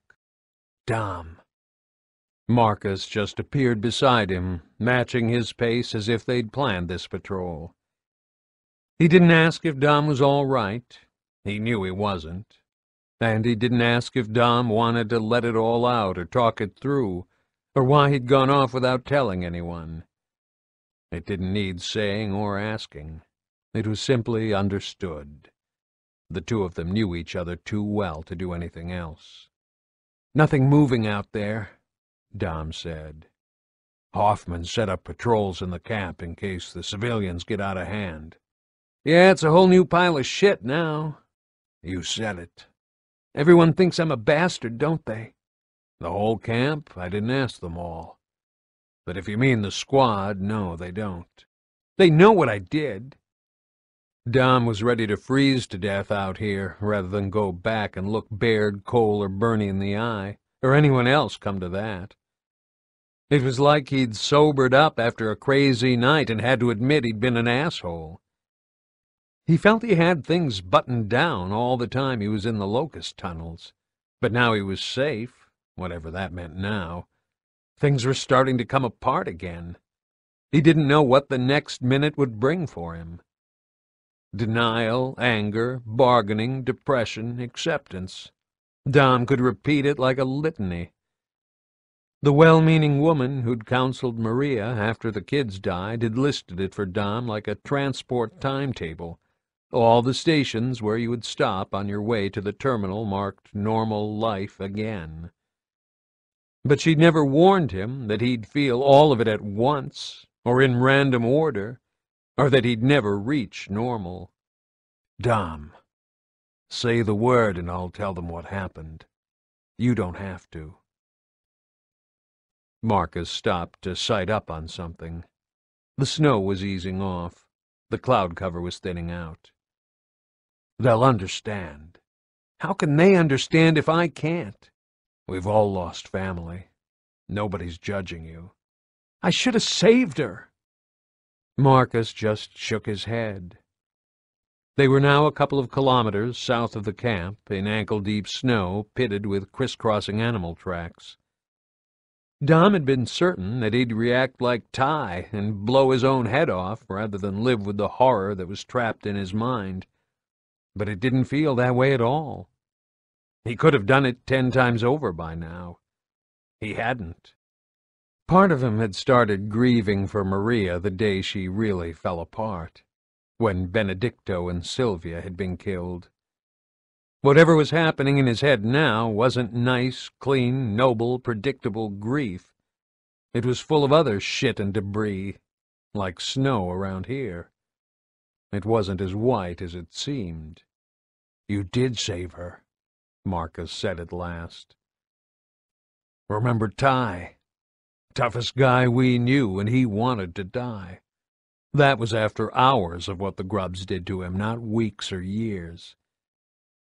If anything like that happened to me, I'd want you to cap me right away, because I'd sure as shit do it for you. Dom didn't know if Marcus could do it, because he hadn't slotted Carlos when he'd begged him to. Marcus had still tried to save him. But that didn't matter now. We better report in, Dom said. Yeah. You spoken to Anya yet? No. You thought she hadn't made it. Don't kid me that you don't need her. Marcus made the usual noncommittal rumbling sound at the back of his throat. Yeah. They turned back to camp, following a wide arc. Dom tried to imagine how he'd have felt if Anya had been the one to die and it had been Maria on that raven. He was damn sure he'd have rushed to Maria's side and never let her out of his sight again. But Marcus had been raised in a big cold house full of silence, where emotions were kept on a leash, so he probably didn't even know where to start. The temperature was falling fast now. The snow was turning rock hard, and the sounds it made had changed slightly. Dom strained to listen. Shit! Marcus held up his hand to halt him. They covered each other's backs automatically. Hear that? Dom had to hold his breath to hear it. Whatever it was sounded a long way off, like something moving erratically through the belt of forest to their south, breaking branches as it went. It could have been an animal. There were enough varieties of hoof and paw prints on the ground to fill a zoo. But some sounds were deeply embedded in memory, and Dom wanted it to be just his tormented mind misreading everything and trying to fit it into familiar patterns. Corpser? Dom said. Corpsers were too big to manage a stealthy approach, and they had too many legs, great for excavating the grub's tunnels and ferrying drones around, but piss poor at surprise attacks on open ground. Something was crashing in this direction at high speed. I hope his mother knows he's out late. Marcus pressed his radio earpiece. Phoenix to control. Enemy contact, two clicks southwest of camp. Possible corpser approaching. We're engaging. Roger that, Phoenix. Matheson said.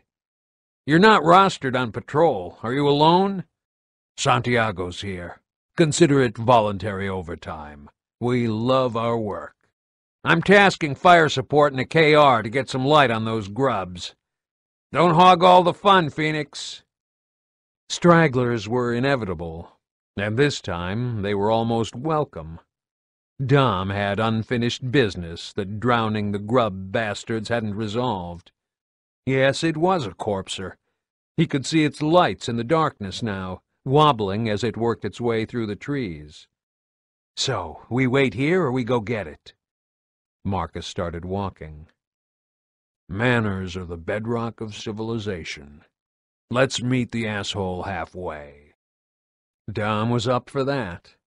A switch flipped somewhere inside, and he wanted destruction, vengeance, some vent for the pressure building within. He was jogging some way ahead of Marcus when he heard the Raven approaching. It swooped low overhead, and the brilliant blue-white searchlights lit the field up like moonlight. Dom saw movement behind the corpser.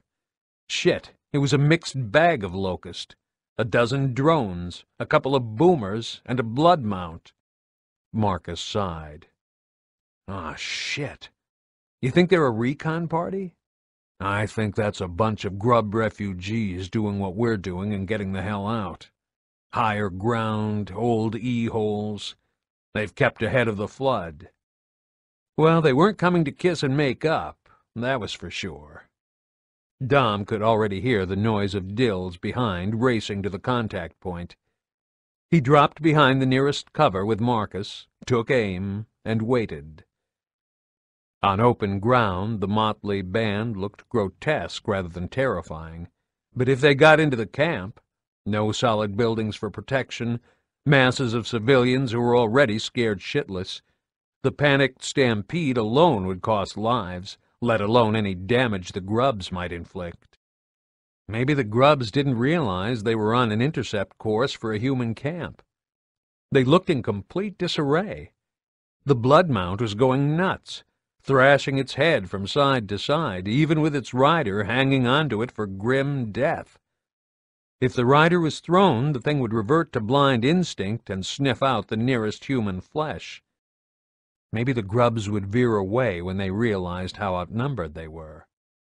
No, bring it on. Come to me. Come and die. As far as Dom was concerned, one grub was too many. Prescott was right. It was a genocidal war. The locusts started it. But now humans had to finish it, and grub stragglers weren't just a hazard. They were potential breeding stock. They all had to die. This is why I'm still alive. This is what I'm meant to do. I get it now. Dom could now see headlights playing on the hummocks in the snow from behind him as the APCs raced to their position. There was no way the grubs could miss that, not in complete darkness on open land. Dom bet on them feeling just like he did then, that they wanted to make someone pay for what had happened to their buddies and their shitty little bit of Sera, and they didn't much care if they died doing it. Want to take a bet on how many locusts were down there? Marcus said. No idea. Thousands, hundreds of thousands, millions. I think we've got about fifty or sixty heading this way. Maybe some of the Lambent made it out too, and that's who they're running from. Like we're the softer option? Dom centered his sights on a boomer. They got that wrong, then, he said, and opened fire. Armadillo Personnel Carrier PA-776, responding. Cole, let me in! Anya Stroud hammered her fist on the Dill's hull as it revved up. Cole! Anya was only a little slip of a thing by Cole's scale of reckoning, but she was close to putting a dent in the metal. Bernie leaned across the crew cab and went to hit the hatch control. Baird snapped his goggles into place with a loud thwack of the strap. It's ladies' night, Cole. Anya ain't front line. Cole would have driven off, but he couldn't see exactly where Anya was standing, and he was afraid of flattening her. She's going to have to sit this one out. Bollocks! Her mother was my CO, and she's coming with us, Bernie said. She hit the switch. Mount up, ma'am. Cole wasn't sure that answer made sense, but he didn't have time to argue, and Bernie had her killing face on. She was still mad as hell about her squad, or something. There was plenty to be mad about. Anya scrambled into the cab. Okay, ma'am. Just be careful, that's all. Cole understood that rush of blood that made a gear want to get stuck into a bunch of grubs. It was only natural but not in his skirt and high heels. That was asking for trouble. He sent the dill racing down the perimeter lane. If I bring you back with holes in you, Hoffman's going to yell bad words at me. Baird rummaged in a locker. Cole caught a glimpse of a Lancer being handed over as he focused on the driver's periscope. Okay, ma'am, Baird said. Tell me which end makes the big noise. I still have to requalify with this weapon every year, Baird. Anya checked the safety in the ammo clip, then powered up. The short burst of chainsaw noise in the confined space made Cole wince. Think of this as saving me from skills fade. We only got a few grubs, and there's a whole army of gears heading their way, so form a line, Cole said. Just in case, then. Maybe she felt she still had something to prove, what with having a kick-ass mother like Helena Stroud and everything. Shit, that was some serious lady to live up to. Bernie had told Cole some hairy stories about the Major, and he believed every word. He glanced at Anya for a moment to check whether her expression said scared shitless or red mist, but it looked more like she was trying to recite some drill under her breath. She had a point, though. Front line meant squat now. Nobody was going to get the luxury of sitting at a fancy desk all day, even if the cog still had any of those, which it didn't. Whoa, they started without us, Baird said. finger pressed to one ear as they listened to the comms chatter. There was a weird mood going around, that crazy state between finding everything funny and wanting to cry for days. People did dumb shit when they felt like that. That it was sinking in that the grubs were busted and humans were back on top again, even if that was the top of a pile of nothing. You had to make allowances. Hey, Cole! See all the muzzle flash? It's a mixed grill. A little of everything on the locust menu. Shit. It'll all be over by the time we dismount. Bernie didn't sound like she was joking. But they won't be the last. I promised I'd save a live one for you, Granny. That's my boy. I'll remember you in my will. Not fair, Cole said. You promised to leave the kitty fur boots to me, boomer lady. You get the country estate. You're my favorite. Bernie's voice wasn't right. Her mind was on something else. Is it true what they did to Tai? Cole didn't want to think about it yet. It wasn't the right time to lose it. Maybe later. Depends what you heard. But he's out of it now, so... I told her, Baird said. Everyone stopped yapping. Anya laid the lancer on her lap. Baird hadn't told Anya, and now Cole could tell she was imagining the worst. Maybe she couldn't imagine anything that bad. No, she was a CIC dispatcher. The bot's cameras had shown her the war in close-up for years. It'd take a lot to shock her. But then maybe Tai was one mutilated body too many. Now, where am I gonna park? The dill bounced over the rough ground. This was close enough. Cole brought it to a halt next to three other APCs, none of which had their full armor plating to provide extra cover. End of the line, ladies. Check you got all your luggage with you. Another squad was already laying down fire to the right, and when Cole followed their aim, he could see that the corpser had broken away and was trying to circle around the defenses. Shit, get a centaur down here and pop this bitch with a few shells. They were now in a meadow due south of the camp, running parallel with the road to Jacinto. More refugees were still streaming in, and they'd heard that the grubs were back in town, judging by the screaming. Shit. The last thing anyone needed now was some kind of stampede and civilians rushing every damn where. They had nowhere to hide. But there was no point telling them to leave the cleanup to the gears and carry on into camp like nothing was happening. They knew the grubs were around, and grubs meant ending up dead. Ma'am, get up in the dill's hatch and give us fire cover. Bernie gestured to Anya. Because you're not fully mobile in what you're wearing. We'll put that right later, okay? Who's herding the civilians? Cole asked. Someone ought to be keeping a line between them and the grubs in case they bolt the wrong way. Anya vanished, and the top hatch flew open. She had a vantage point now, and she could see stuff Cole couldn't. She rested her lancer on the hatch combing while she activated her radio. We need some crowd control down here, Matheson. Tell them to put some armor between us and the refugees, Baird said. We're overmanned down here. Just keep the civvies out of our way and stop 'em going shitless. Control's blind, man.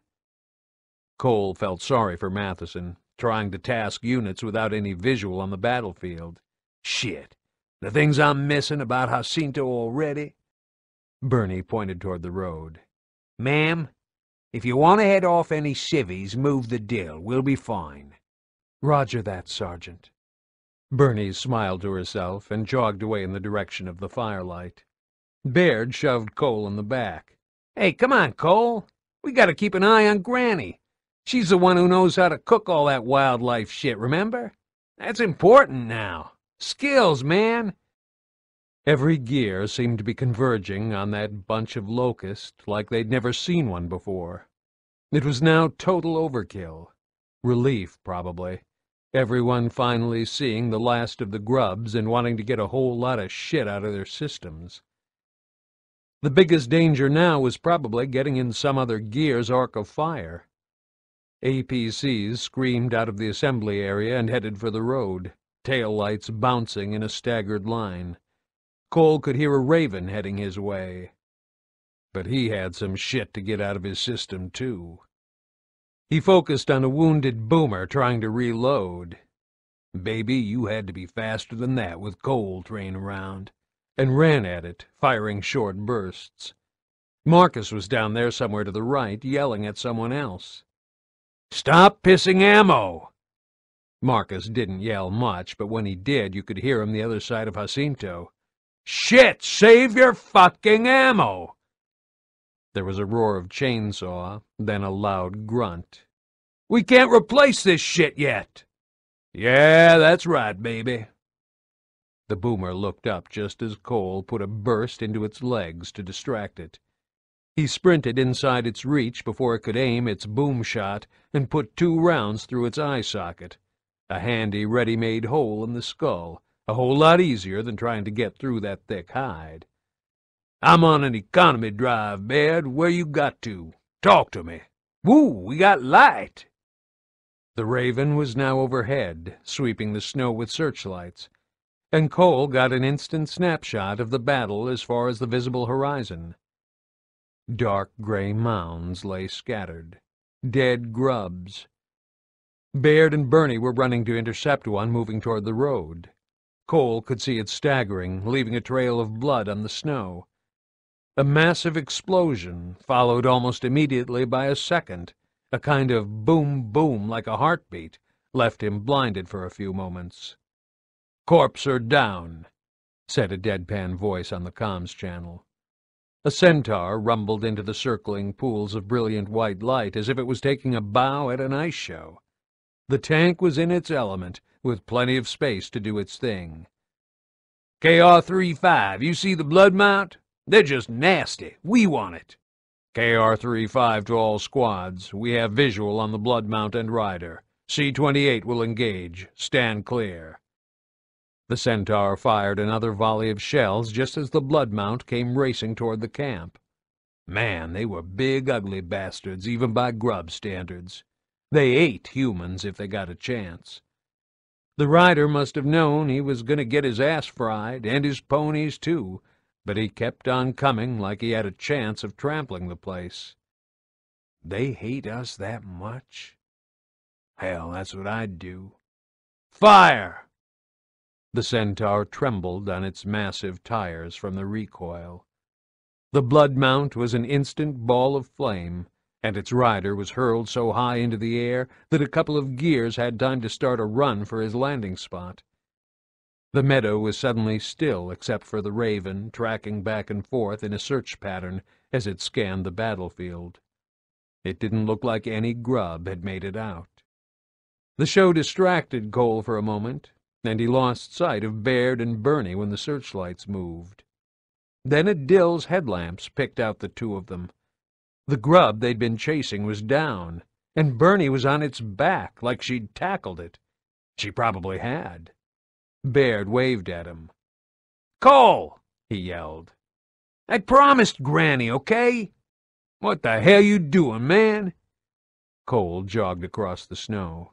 Another dill rolled in, lights angled down like it was illuminating the area for him. Give her a hand. She gonna get hurt. You out of ammo or something? The grub was badly wounded, all blood and frayed flesh, but that didn't mean it still wasn't dangerous. Cole didn't want to see Bernie survive the war, hell, two wars, and whatever shit she did in between, just to end up creamed because she couldn't resist settling one last score with grub kind. But she had the thing in a headlock, pinned it to the ground. That was a sight to behold in itself. She was no kid, and she still wasn't carrying enough weight to brawl like that. But she didn't seem to care. She drew her knife and shoved the tip under its jawline. Shit, why didn't Baird shoot the thing? Baird looked at Cole and shrugged. We got a live one. Hey, ladies first. Damon, baby, just kill it so we can go. I ain't had my dinner yet. Why? We never took one alive before. It's interesting. Cole suddenly realized what Bernie was up to. Her teeth were clenched, and she didn't look like the Bernie he knew. And it wasn't just the sharp angles that the headlights threw up on her face. You know what I'm going to do with this, Tosser? Her face was right in the grubs, close enough to get it bitten off if the thing had the strength left to go for her. I'm going to do to you what you did to my mate Tai. Yeah. You like that idea? And I'm old, so I'm going to be a bit slow about it, understand? The grub struggled weakly. Baird moved around and put one boot on its back to pin it down. Cole thought it was to stop the thing from throwing Bernie off it, if it got its second wind, but some of the gears who were watching took it as an invitation to join in. Cole didn't mind chainsawing any number of grubs, but this wasn't right. Bernie, and she was a kind woman, she really was, had kicked up a notch into something he hadn't seen before. Anderson's squad cheered. Nobody seemed to have any doubts. They all knew now what grubs did to human prisoners, and that was without the grievance about a few billion dead since E-Day. Bernie, just shoot the thing. Cole debated whether to end the show himself. Baird wasn't exactly helping calm things down. Damon, that ain't nice. Don't get Boomer Lady all fired up when she's had a shitty day. Baird shouldered his lancer. Why haven't we taken any of these things prisoner before? Maybe this is a chance to learn something. He lifted his boot and moved around to the grub's head, kneeling down to look it in the eye. It just kept bellowing. It might have been crying for its mother, or cursing them all to hell. Nobody knew. Baird was just about the only guy who stood a chance of working it out. He was smart when it came to grubs. Hey, asshole, look at me. I know you get a kick out of this shit, but why pick on us? Your war was with your own buddies. Not our problem. And seeing as how we're chatting, where the hell did you all come from? The locust just went on bellowing, and Bernie dragged the tip of her blade down its neck, looking like she was putting all her weight into it. Grubs had thick hides. She wasn't joking when she said that slicing it up would take some time. Cole was starting to feel really uncomfortable now, wondering if he'd have sawed up so many grubs if he'd had the chance to take his time over it. Something told him he wouldn't have. But that didn't help him work out why one felt okay and the other didn't. It didn't make the grub any happier either way. I never lost any sleep over 'em, just over my folks and my buddies. This ain't the time to start judging Bernie, maybe. I got plenty of time, grub, Bernie said. Blondie, you think you'd understand an answer if he gave you one?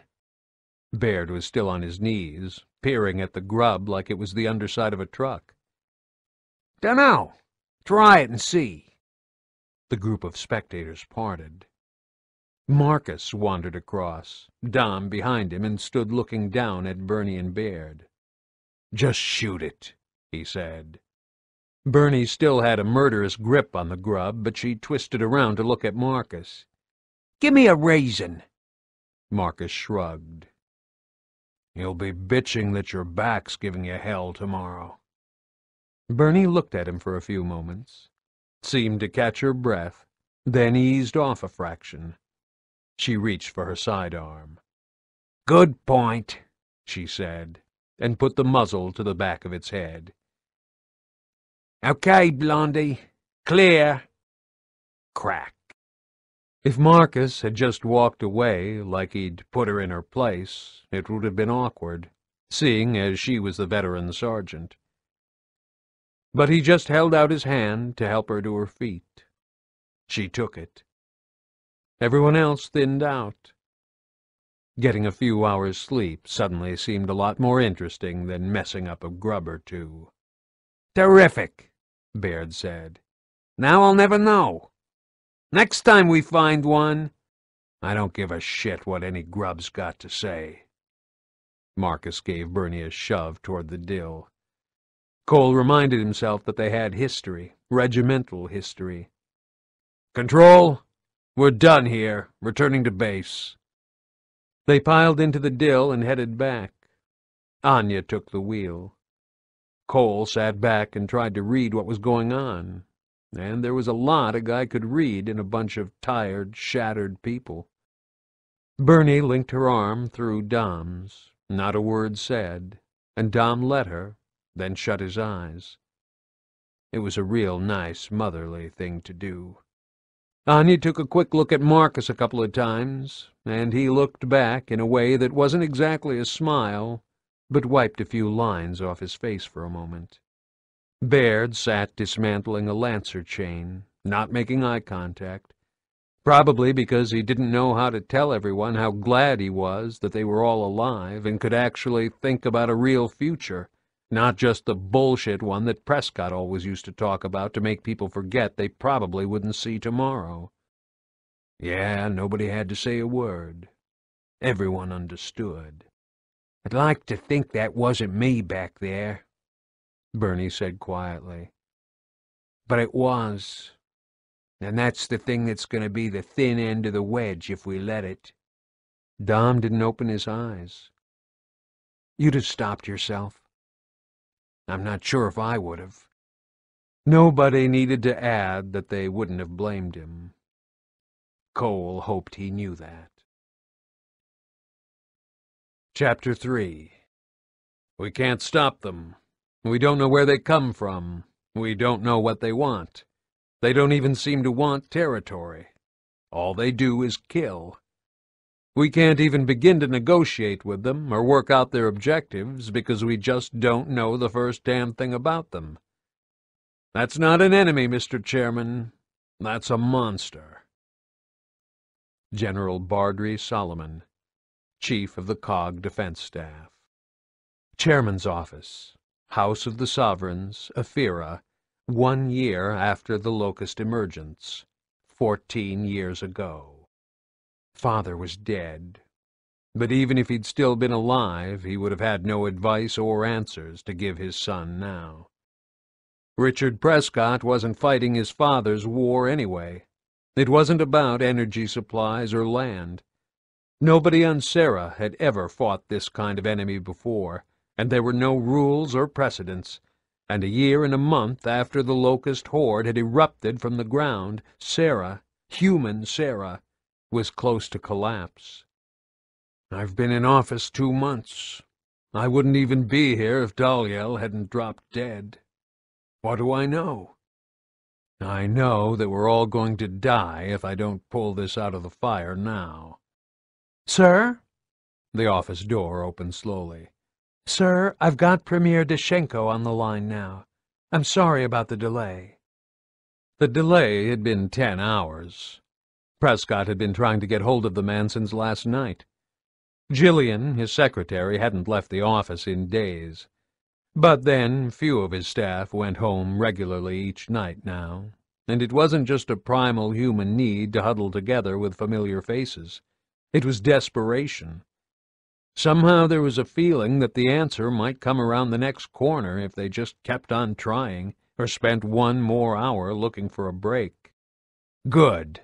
Prescott said. Put him through. He pressed the phone to his ear and shut his eyes. It was easier to concentrate that way. He needed to hear every nuance in Dashenko's voice, because he was going to ask the impossible, and he had to know if he was actually going to get it. Yori, how are you? I've just had to order the retreat from Ostri. Dashenko sounded hoarse and exhausted. I mean the whole country. I've lost nearly twenty brigades since E-Day, and now I need the few troops I have left to defend Pels. Prescott hadn't expected good news anyway, but that wasn't what he was seeking. You know what I'm going to ask. Richard, I can't send troops to Tyrus or anywhere else. I have millions of refugees pouring over the border. and the best I can do is try to hold the north. You still have chemical weapons. Dashenko fell silent. The coalition of ordered governments was a strange beast to control. Prescott was its chairman, and its heart was, and always had been, in Ephyra, in Tyrus. But the operational reality was very different.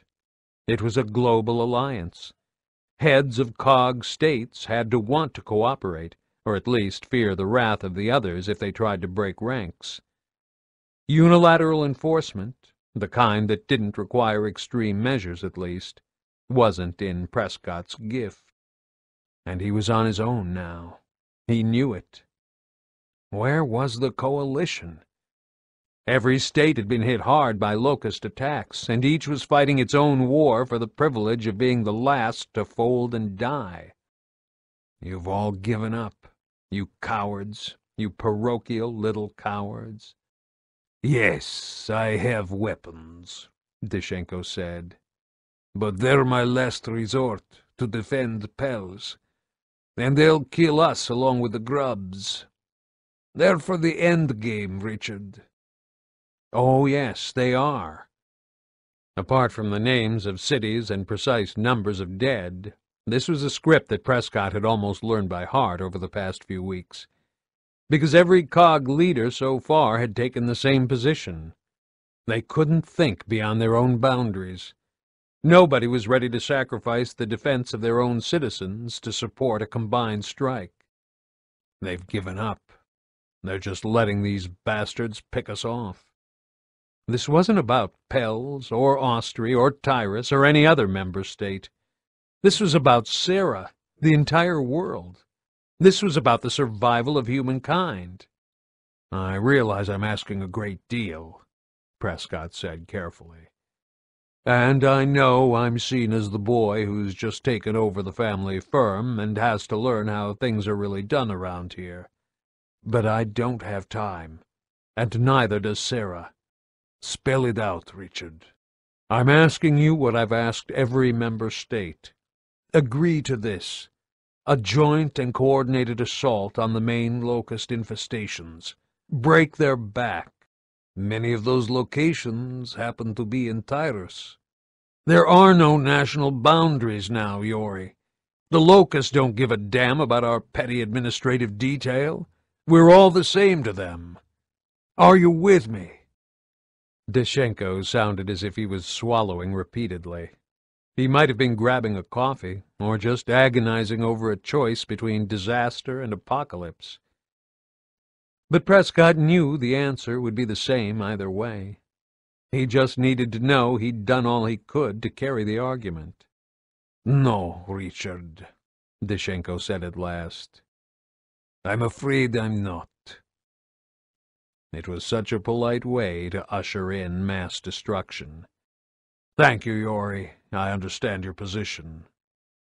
Prescott paused, almost automatically wishing the man well, or luck, or some other banal blessing that would never come to pass. But it felt like a lie. He hadn't yet learned to lie that easily. Goodbye. Prescott stood staring out the window for a few minutes, aware of the TV screens on the walls on both sides of him, sound muted, spewing news bulletins that never seemed to change, but focused instead on the physical world he could see with his own eyes. Helicopters tracked across the sky. It was a beautiful sunny day, at odds with the ugly work that had to be done. If he switched off those TV sets, he could almost believe that life was going on as normal. He didn't. He walked to the other window, the one that overlooked the rest of Ephyra, and stared at a view that stretched for twenty miles. Palls of smoke were visible, and old skyline landmarks had vanished. The locusts were almost at the gates. One more try? They've all turned me down, except the South Islands, and they've got nothing to contribute except gears. This is going to take more than manpower. Jillian, he held his finger on the intercom. Get me the Attorney General, please. Not on the phone. Ask him to come here as soon as he can. Yes, sir. You know his brother's still missing, don't you? Everyone was grieving. I do. Prescott sat down to wait and turned up the sound on the monitors to watch the latest headlines. It astonished him that camera crews were still willing to go out and film the destruction. But what else could they do? In crisis, humans reverted to doing what they knew, part reflex, part comfort. He was doing the same. He sat wondering why the final refusal from Dashenko, the confirmation that he had no control, that he'd failed to convince the rest of the COG that drastic action was all that was left, hadn't crushed him. He felt cleansed by it. A burden had lifted. God help me. Do I actually want to do this? No, he wasn't a monster. He was sure of that. He knew what monsters looked like now. They were gray, and they came in many hideous forms, and they delighted in the suffering of humans. And they had to die, or all of humanity would be wiped out. What have we done? We should never have let it get this far. It has to stop right now, any way we can. He pressed the intercom again. Jillian, it's time you went home. I'm fine, sir. Do you have family anywhere else? Outside Jacinto, I mean? Only my sister, sir. She's in Tollen. You might want to ask her to come and stay with you. Ephyra's going to be the only part of Tyrus that's safe from Locust. In fact, make it soon. The grubs are getting closer every day.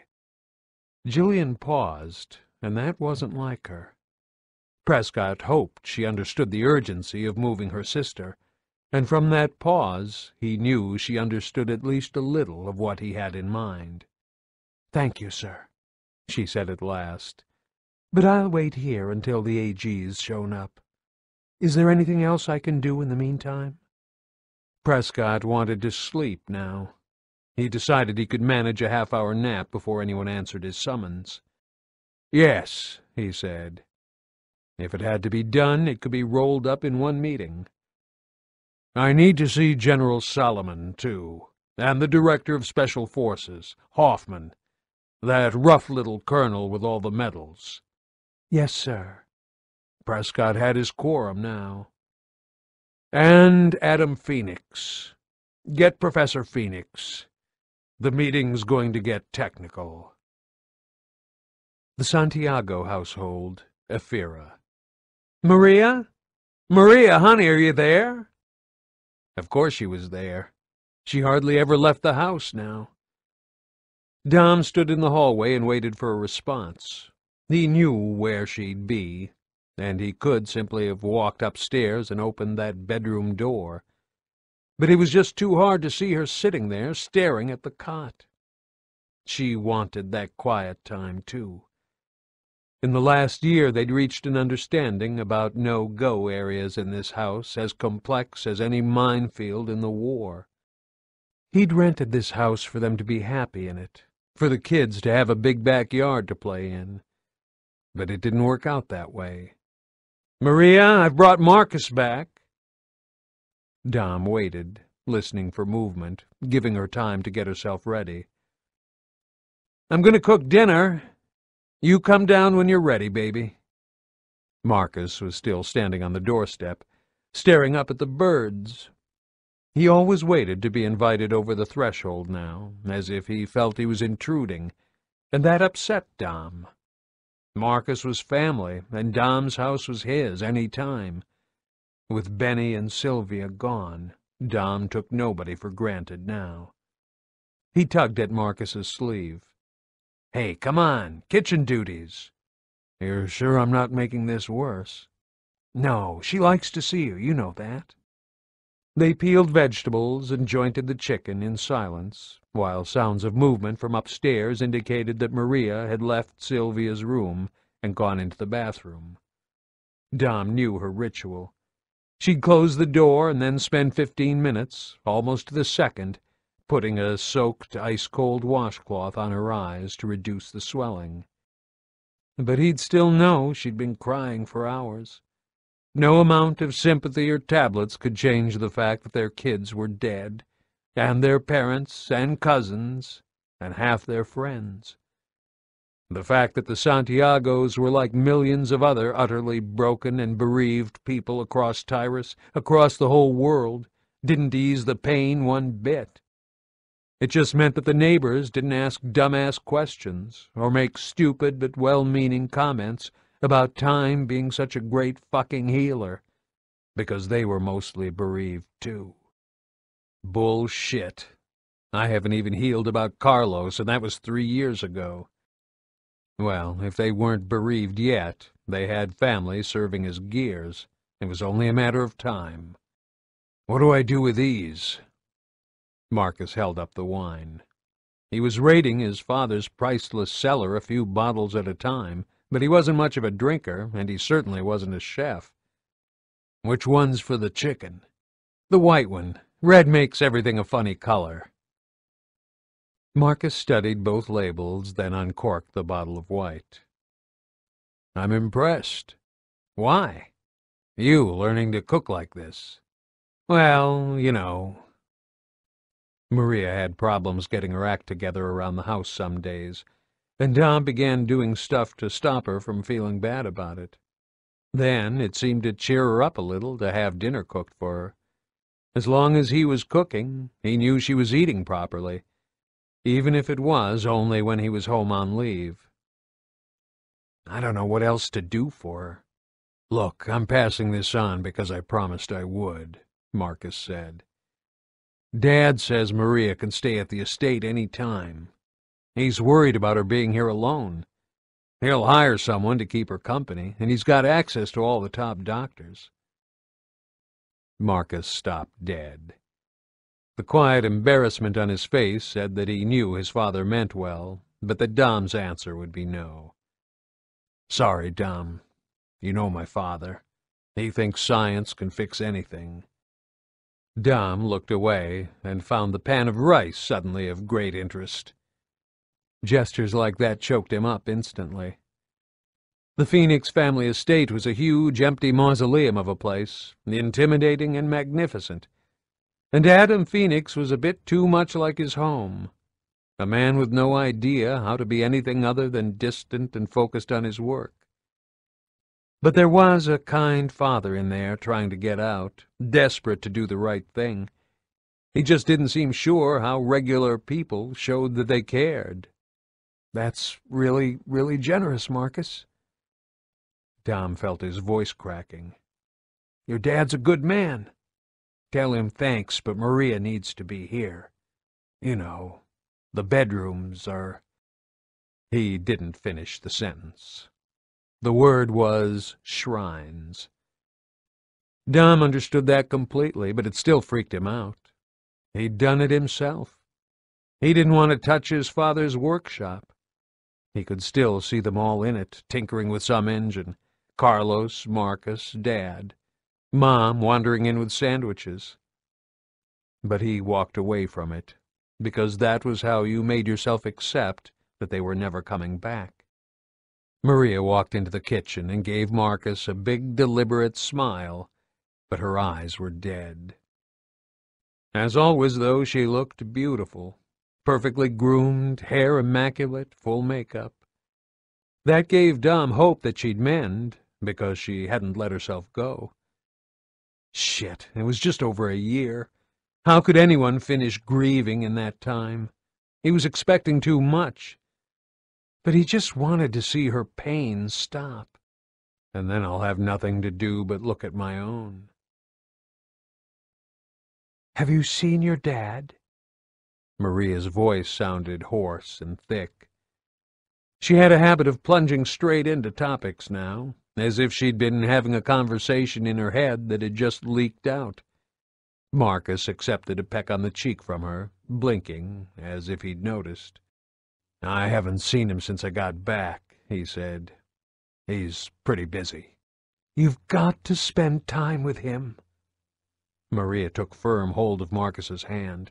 Promise me. I'll see him. Marcus nodded, looking embarrassed. I promise. Come on, sit down, both of you, Dom said, shepherding them toward the living room. It had to be her medication. She seemed much more spacey today. Let's have a drink while dinner's cooking. It was good wine. Dom didn't know much about vintages, but the Phoenix family was rich, seriously rich, and this stuff was 26 years old, older than him. Whatever it was, it had cost a fortune. The chicken was swimming in something that had probably cost a week's wages. But with rationing, money was ceasing to mean much. The chicken was a rare treat, not because he couldn't afford it on a gear's pay. Shit, they were getting paid on time even now. But because the locust had trashed farms and food factories, disrupted freight traffic, all the little invisible things that put food on the table of a big capital city. Animals, Dom said, holding the glass up to the light while he racked his brains for another neutral topic of conversation. The wine looked more brick red than ruby. Marcus always said that showed it had bottle age. Animals are smarter than us. We get a power outage or some factory gets blown up, and we fall apart. We need so much stuff. Animals, they just get up in the morning, find food, and carry on. No piped water supply. We drown in our own sewage, but animals just stay clean. If they've got white fur, it stays white. Imagine the state we'd be in if we had white fur. Marcus looked as if he was going to say something, but just did a slow blink and nodded. He'd stopped himself at the last moment. Whatever it was he'd been planning to say, it probably had the word death or kill in it, and he never used either in front of Maria. It was one of those little silent clues that told Dom what really went on in Marcus's head. That's what shaving's for, Marcus said at last. You okay, honey? Dom topped up Maria's glass. She was looking distinctly distant now. You didn't get much sleep last night. I remembered to take my pills. The doctor had prescribed antidepressants. I've got to go out later. Just a nap, and then I'll go out. I go out every day when you're not here. I have to. Dom didn't have a clue what she was talking about, and he hoped it was the medication talking. He wasn't sure she felt hemmed in by this house and its memories and needed a break from the four walls, or if she just went for a walk to stretch her legs. Yeah, you're too sleepy to go out now. He stroked her hair. Maybe the doc needs to look at your dose again. Have a nap if you feel like it, Marcus said. You don't have to entertain me. We'll wake you up when dinner's ready. Maria leaned back in the chair and fell asleep in minutes. Dom crept over to her to check, listening to her breathing. Yes, she was definitely out of it. Marcus got up slowly and gestured to the kitchen. It's just a year, Dom said, closing the door behind him. I'm pushing her too fast. Anything I can do, just say. Yeah. And stop blaming yourself. She's the one with the blame problem. She's still saying that if she hadn't sent the kids to her folks for the day, they'd be alive now. She thinks she let the grubs get them. Shit, Dom. It wasn't as if Marcus hadn't heard it before, but it always seemed to upset him to be reminded of it, and he looked as if he was about to offer some insight. Ah, forget it. Explaining to someone why they're not to blame doesn't actually help. They have to work it out for themselves. Dom assumed it was all about Marcus's mother.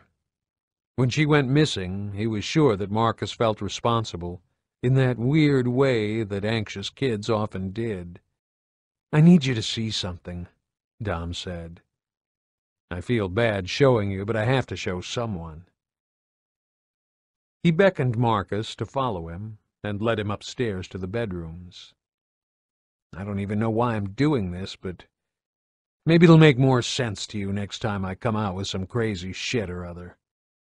Dom opened the door of Sylvia's room. Marcus just peered inside, going no further than the doorway. So it hits him that way, too.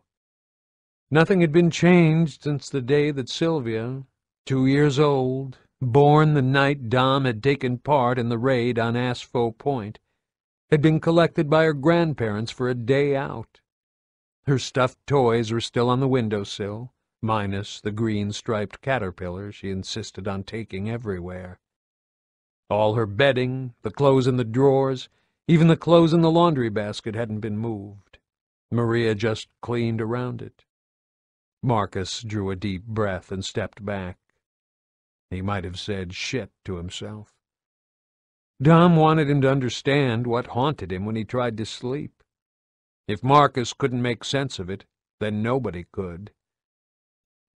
Dom shut the door, and then opened Benedicto's room.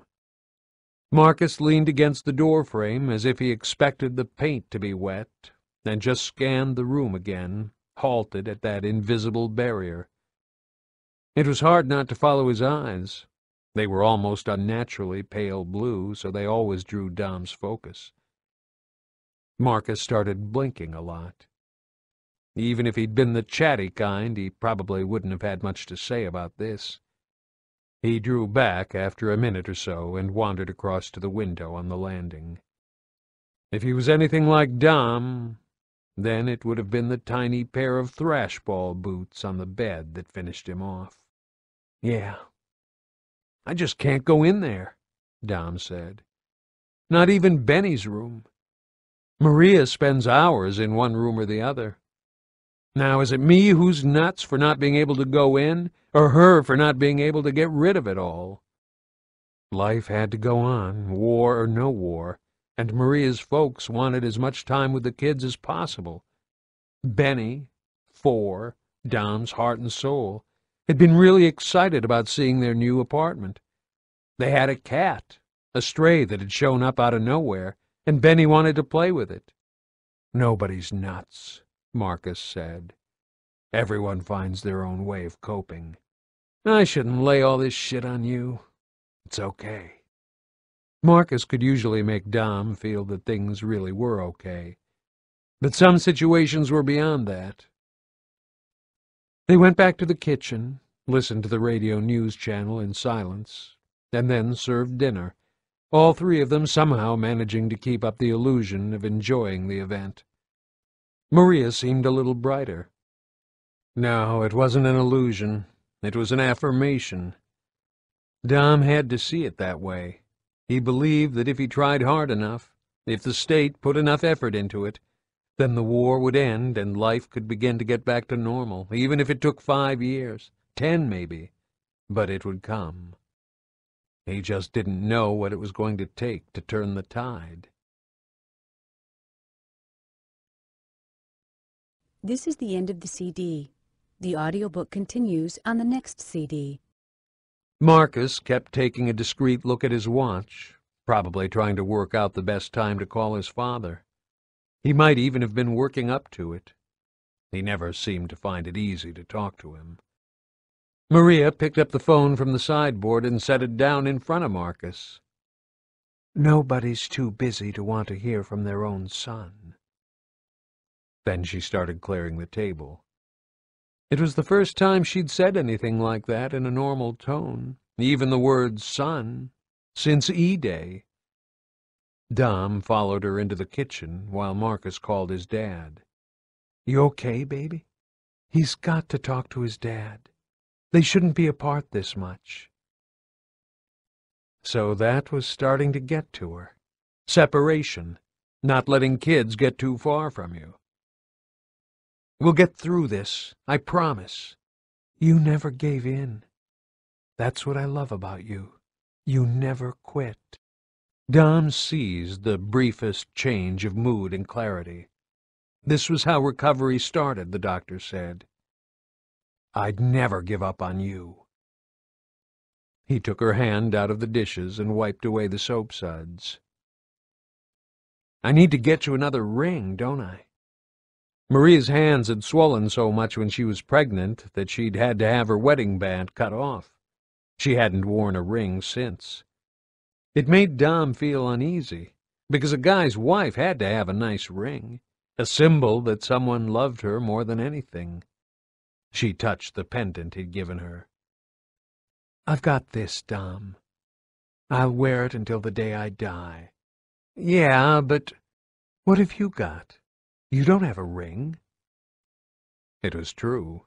The rings snagged inside his gloves, and they were a real hazard when handling cables and machinery. You've got to have something. I've never given you something to keep with you. We've got to have something so that we're together. She wiped her hands and started looking through the kitchen drawers where most of the household paperwork ended up. Eventually, she pulled out a photograph and grabbed a pen. Here. She wrote something on the back of the photo and handed it to him. Remember this? It was a picture that Carlos had taken of them in a bar off Embry Square, just before Dom began commando training. Dom turned over the photo to read what she'd written. So you'll always have me with you, she said. Don't let me go. Keep it in your pocket, please. You know I will. When he put his arms around her these days, he felt as if she was clinging to him for safety. There was nothing harder than picking up his hold all and leaving her behind. He was determined to cherish every minute of the leave he had left, even if it meant stopping her from sitting in those dead, frozen bedrooms. He's busy. Marcus's voice made Dom jump. Your dad? He got a call to see the man. Marcus shrugged. He'd put his I don't really care face on. His secretary at the uni said she didn't know when he'd be back. Can't say no to Prescott. Sorry, Marcus. Hey, gotta go. I'll pick you up when it's time to ship out, Dom. Take care of yourself, Maria. And Marcus was gone, just like that. No hugs, no gradually edging toward the door. Just a clear signal that he was going, and he never looked back. He wasn't keen on goodbyes. Was anybody these days? Goodbyes had a habit of being permanent. The worst thing, Dom decided, was that he could remember none of his. Chairman's Office, House of the Sovereigns. All politicians were assholes, but at least Prescott cut the crap and said what was on his mind. Hoffman could find something in that to admire. How long would it last, though? The idealistic and the outspoken all got ground flat in the end. Not that some of them had far to go. Adam Phoenix was supposed to be here. And Prescott wants me here because... The last time Hoffman had been summoned to this level of meeting with Phoenix present, he'd been tasked with sabotaging a weapon of mass destruction. The damn grubs must have come up with a new toy.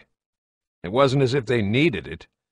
Maybe they were just getting bored with having to gut every human by hand, and they wanted the planet to themselves sooner rather than later. Attorney General, Prescott said, what are my options under the Fortification Act? The AG, Mylan Audley, was past retirement age and looked like he'd seen it all before. You may use it to declare martial law in part or all of the COG territories. Normally, the vote is carried even if... No voting. Prescott faced them across a table not lounging behind his desk or staring out the window as if they were incidental to his plans. I have the authority to declare martial law without consulting the Assembly, haven't I? Hoffman had the kind of peripheral vision honed by years of trying to keep an eye on superior officers about to drop him in the shit. Solomon didn't seem to be bothered. Martial law was just turning up the volume on what was happening now, after all. Prescott obviously wanted to keep his fledgling administration looking clean, doing everything by the book. Maybe he wanted to go down in history as the last and only moral leader. You do, Audley said. But it's ill-advised, because you won't be able to enforce it outside Tyran borders without effectively declaring war on every other COG state. You don't want to do that, do you, sir? All I want to know is whether it's legal, whether it's constitutional. Audley was on the spot, and it was clear that even his lawyer's shark brain couldn't work out Prescott's angle. Hoffman knew that look, the quick lick of the lips, a flicker of the eyes, the moment any adviser dreaded, when a yes or no to an apparently straight question would become something with a frightening life of its own, something that would come back to bite you hard on the ass. Hoffman had been there. It's legal, Chairman, but it's not a good move, Audley said at last. Bets were hedged. Asses were covered. I'd advise discussion with the Secretary for Interstate Relations. I've passed that stage, Mylan. I just need to know that I wouldn't be acting illegally. I do have a pragmatic reason.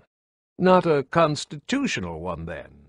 I'm going to restore the Fortification Act and declare martial law throughout the COG. Prescott looked away toward the door as it opened and Adam Phoenix walked in. Good evening, Professor. Take a seat. Apologies, Chairman. Roadblocks. Just so that we're all up to speed. The Attorney General has advised me that I'm within my rights to use the Fortification Act to declare martial law. Hoffman had decided some years ago that whatever was admirable in Adam Phoenix's son had come from the maternal side of the gene pool. Phoenix put a folder of papers on the desk in front of him, but didn't open it, almost as if he wasn't sure he was in the right meeting and might have to up sticks and go find the right room. Would you like to give me some context, Chairman? he said. Prescott meshed his fingers and leaned his elbows on the table.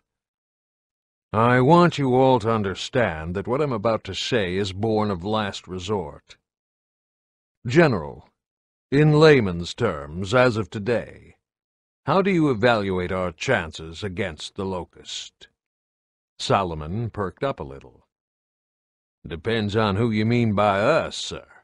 I think I mean Tyrus. I've seen enough in the last few weeks to know that some states are closer to collapse than others, whatever they say.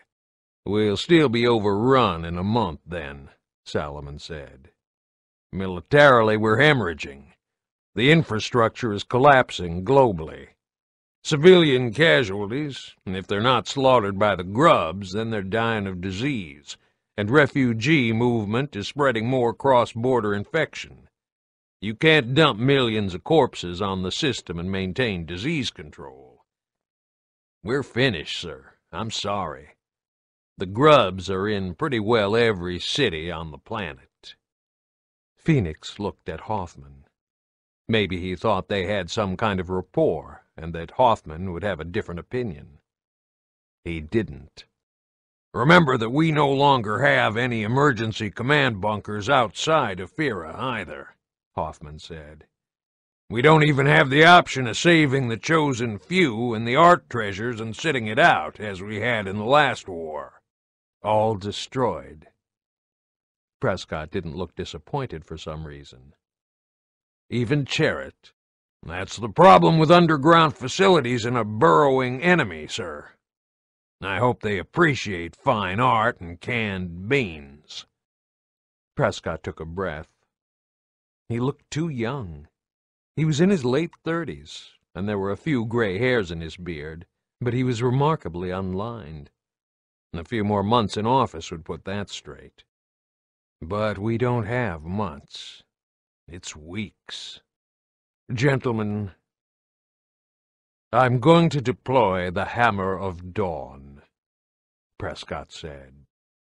It wasn't the first time that Hoffman had been caught totally off guard by a COG chairman, nor the first when the realization hit him that Adam Phoenix was here to do the dirty science work.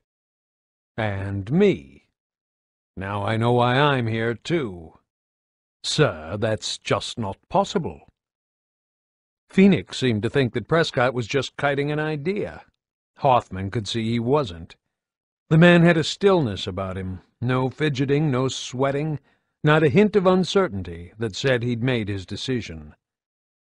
It's not a tactical weapon. It's strategic. You can't deploy it in urban areas, and that's the kind of war we're fighting. Losing, Prescott said quietly. Right now we're losing the war, and that will not happen on my watch. This is where it ends. Hoffman glanced at Solomon, and they both knew this was now about how it would be carried out, not if. Audley simply bowed his head and said nothing. Phoenix was still staring at Prescott, demanding an answer with raised eyebrows. Hoffman wondered if he ever yelled or lost his temper. You do know how the hammer works, Chairman, Phoenix said. Not the physics, but I do grasp the fact that the satellite platforms cover the entire planet, which is what I require. What are you going to target? Is that what you need me for? To advise on blast coverage? Salomon cut in. Grubs don't take over cities, sir. They clear them. They'll only be in areas where there are humans to kill and resources to plunder. They strip a city and move on. I know that, General, Prescott said. I know that very well. They're using our own equipment and supplies against us. They adapt our own technology to kill us. We're feeding their war effort. So we stop them. We destroy everything in their path. And a lot of grubs will die, too. Not all. But this is about asset denial. I know where this is going now. God help us. Hoffman found himself wanting to call Margaret. Not to warn her, but just to hear her voice and he hadn't felt that way about her for years. It was as close as he'd come in his adult life to panic. Fear. He'd lived with it for so long that he wasn't sure if he could perform well without it. But this was different. There was no border across which life would go on after surrender or a victory. Okay, sir, Solomon said. Have you thought about what we'll have left to fight the grubs who survive? The only major center of population that they don't appear to be able to penetrate far is Ephyra, Jacinto in particular, Prescott said. He stood up and unfurled the global map on his wall. Largest unbroken area of granite on Sera, and that's where we'll regroup. I want the entire Hammer network deployed. Salomon, I need a priority list, because we're going to have to do this in stages, Am I right, Professor? Prescott turned around, one finger still on the black type that said Ephyra. We feed in the coordinates for the first batch of targets, activate the lasers, then feed in the next batch, move the orbital platforms, and so on. We don't have enough orbital devices to sweep Sera in one simultaneous attack, do we? Shit. Shit. This is planet denial, not asset denial. What the hell do you propose to do with the people in those cities, Chairman? Phoenix sat back in his chair as if he'd been winded. This is going to incinerate millions of our own people. Do you understand me? This is wholesale slaughter. I don't want to hear this. I know what the options are going to be and I helped the COG grab the hammer technology. Prescott waited a few beats, looking at Phoenix as if he was the difficult kid in the class who just didn't get the math and needed a bit of prompting. For a moment, Audley looked as if he was going to intervene, but he just shifted position and looked as if he'd given up. He wouldn't be alone. Everyone else except Prescott had. I'm ordering an evacuation to Ephyra, Prescott said. We'll give refuge to anyone who can make their way here. Three days after the announcement, we deploy the hammer. We can't move millions of people in three days. Phoenix slammed his fist on the table to emphasize every word. Phoenix, Mr. Stiff Upper Lip, the man who never reacted, had finally lost it. Hoffman didn't want to watch this disintegration. There was no satisfaction in it. It just confirmed that he was right to feel that he should be shitting himself right now. They'll die. They'll all die. Prescott looked to Salomon and nodded for a response. Once we announce the recall, we have to assume the grubs will know, Salomon said. And when people start moving in numbers, they'll just home in on them. So it has to be fast, or it has to be covert. What, we don't tell people we're going to fry the goddamn planet? Hoffman said. So we just spare Tyrus? And who gets told it's time to run? There's a balance to be struck between giving people adequate time to evacuate without giving the enemy time to react, Prescott said. I have to tell the people what the stakes are, but we want to catch the locust on the wrong foot, too. That's always an ethical dilemma in war. How many of our own people did we allow to die in the pendulum wars because alerting them to attacks would reveal too much about our latest intelligence? Phoenix spread his hands. Ethical? Good God, this is about a weapon of mass destruction, not a single conventional attack. Don't start on the old ethics shit again, Phoenix, Hoffman snapped. You made the hammer technology operational, so don't tell me we can't use it when we need it most. My men died to get it for you. It's your fucking bomb. What did you think we'd use it for? A toaster? And just how bad do you think things would have to get before we'd need to use it? It was intended as a deterrent. Oh, I'm sorry. You didn't realize it was loaded. It was just there to scare burglars. This is precisely the kind of extreme scenario we envisaged using the hammer for, Prescott said, ignoring the spat. If you can think of a more extreme one, Professor, do say. This means destroying most of our civilization to save a fraction of it, if we save any of it at all. Phoenix started fiddling with his pen, turning it over between his fingers like he was tightening a bolt. And what will we be left with? That level of destruction has two phases. What it kills immediately, and what it kills for months or years afterward by debris thrown into the atmosphere, by chemicals released by combustion into water tables, and... Professor, do you have an alternative? That's not rhetorical. You've been a gear. Do you disagree with the military assessment? Not substantially. Then is there anything we can do differently other than wait to be picked off? If you have anything at all to suggest, any avenue we haven't explored, then I urge you to say so now. The argument took Hoffman back three years to when he'd clashed with Phoenix over who needed to die to seize the hammer technology from the Union of Independent Republics. Phoenix couldn't stomach the need to kill enemy weapon scientists. He was great at saying what was wrong, what was immoral, but he was shit at making the hard call between ugly and uglier. And those were usually the only choices in war. Prescott was still waiting. Phoenix looked as if he was going to say something, then shook his head. It took a few more moments for him to answer. Prescott didn't hurry him. I can't think of anything else that will stop them in the time we have, Phoenix said eventually. The incursions have gone too far. If we'd had more time, there could have been other ways we might have stopped them. Let me be clear. There might be alternatives. Can you develop those in the weeks we have left? No, Phoenix looked defocused again for a moment, anguished, probably crunching numbers in his head and unable to make them add up. No, we've run out of time. It's all too late. Prescott's gaze flickered for a moment. Thank you, Professor. But we can't accommodate everyone who wants to evacuate, even if they can reach Ephyra in time.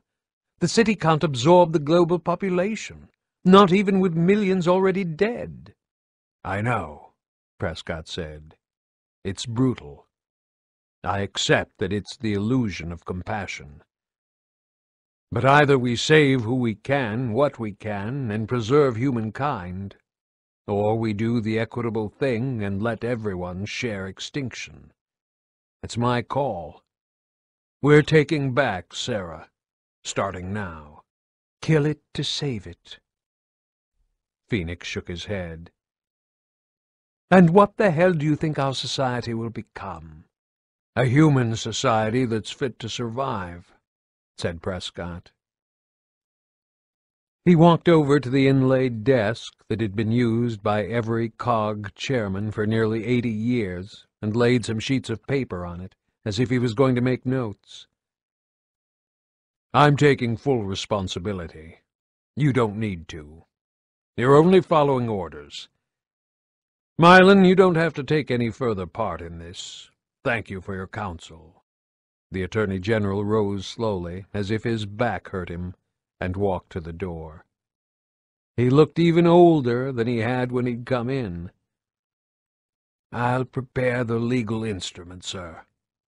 After all, what you're doing is constitutional, and I have no grounds to refuse.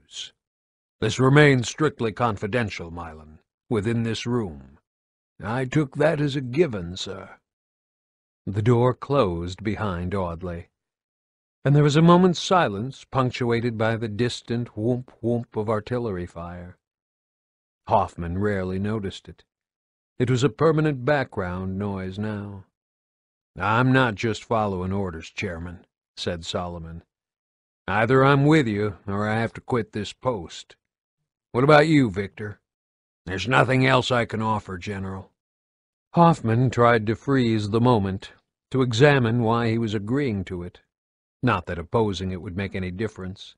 It was lawful, and he had agreed to involvement. Was he being selfish? Ephyra first, we're all right, screw the rest of you? Maybe he was just resigned to the inevitable. Maybe we should have thought about concentrating on asset denial earlier, before the grubs got a foothold, and when we had more time to evacuate people. Hindsight was a wonderful thing. Phoenix stared at him as if he was a pile of shit. We'd still have been killing people, Phoenix said quietly.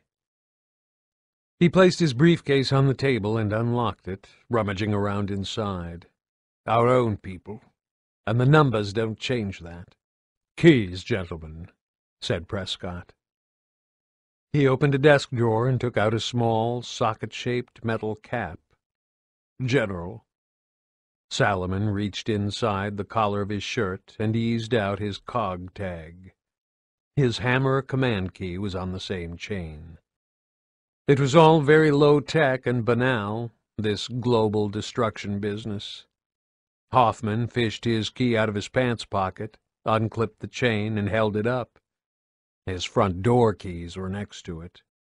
I never knew, Phoenix said, staring at Hoffman's hand.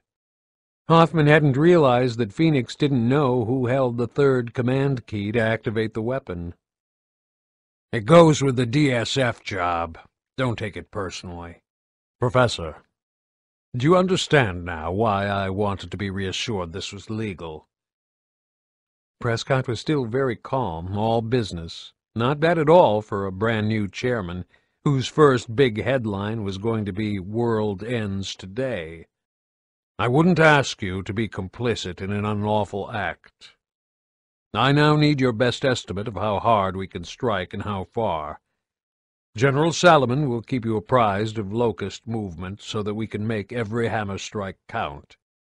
Within the next three weeks, I want a window of three to four days when we have the hammer ready to deploy, and when I can announce the recall to Ephyra. Of course, if you object, I'll have to co-opt one of your staff. The hammer is my responsibility, Phoenix said. I wouldn't pass the buck to anyone else. Prescott sat down at his desk and began writing. Thank you, gentlemen.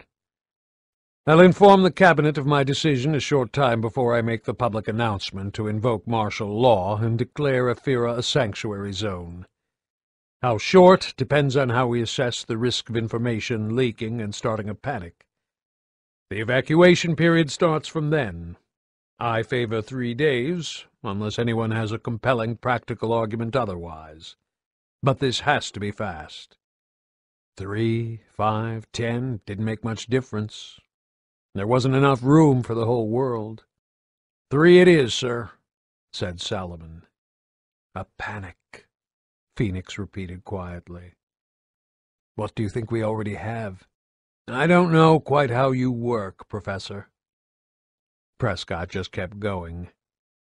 Can you keep this under wraps at your end, or will you have staff who need to be briefed? Phoenix's shoulders sagged. I can do it on my own. Like I said, this is my responsibility. Phoenix grabbed his briefcase and walked out. Hoffman headed for the side exit with Salomon and found that his hands were shaking. Shit, Salomon said. I'm going to grab a drink. I miss my NCO days, said Hoffman. See you in the morning. Hoffman walked back to the apartment, rehearsing how and when he would tell Margaret that he'd just put his name to the destruction of almost every city on Sera, and most of its citizens. Yes, he missed being a sergeant. Chapter 4 We only achieve unity through order. Nassar Embry, All-Father Prime, founder of the Coalition of Ordered Governments. Port Farrall, Tyrus, one week after the flooding of Jacinto, 14 A.E. Your vehicle camo sucks, Baird said, puffing clouds into the freezing air. Saw you coming way off. Bernie brought the battered dill to a halt at the outer checkpoint. Aren't you going to ask me how I got them on the roof?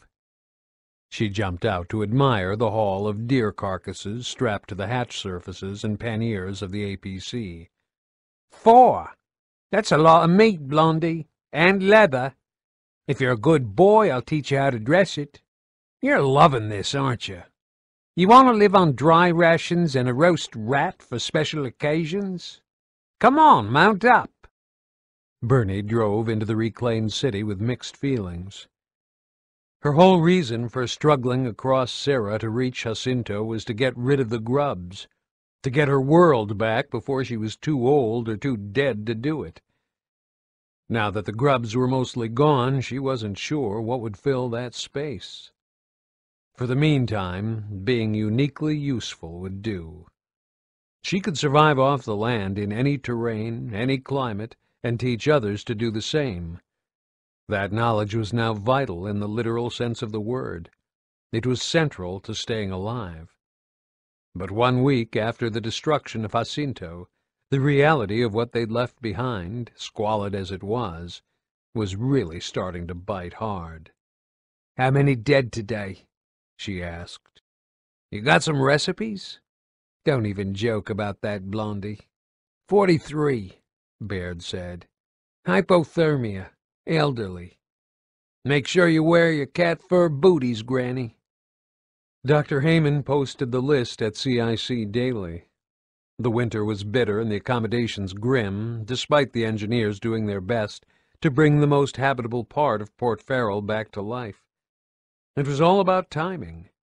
A different season, and this would have been a little easier. They could have grown crops. But at this time of year, all they had was the emergency rations shipped out with the convoy and whatever they could forage. As Bernie drove slowly through the streets, she spotted four civilians carrying a plastic sheet between them like a battlefield litter. Another dead body? No. Whatever was in it was throwing reflections onto the walls. When the dill passed, she could see it was bulging with fish, so brilliantly silver that they sparkled in the sun. The boom and bust cycle of nature, she said. You islanders talk some mystic shit. Not mystic, Blondie. Humans die off, so other animal populations boom, especially marine life. Handy in a pie, lovely. At least there'd be a reliable source of fat and protein around, even if the diet got monotonous. You know, I'd rather be on the ships. Got to be warmer and more comfortable. Put me down for that yacht Cole-spotted. Gears patrolled the streets. Civilians were combing the place, looking for missing friends and relatives. They'd reached the stage where the shock of displacement was beginning to wear off, and they were working out just how wrecked their lives were.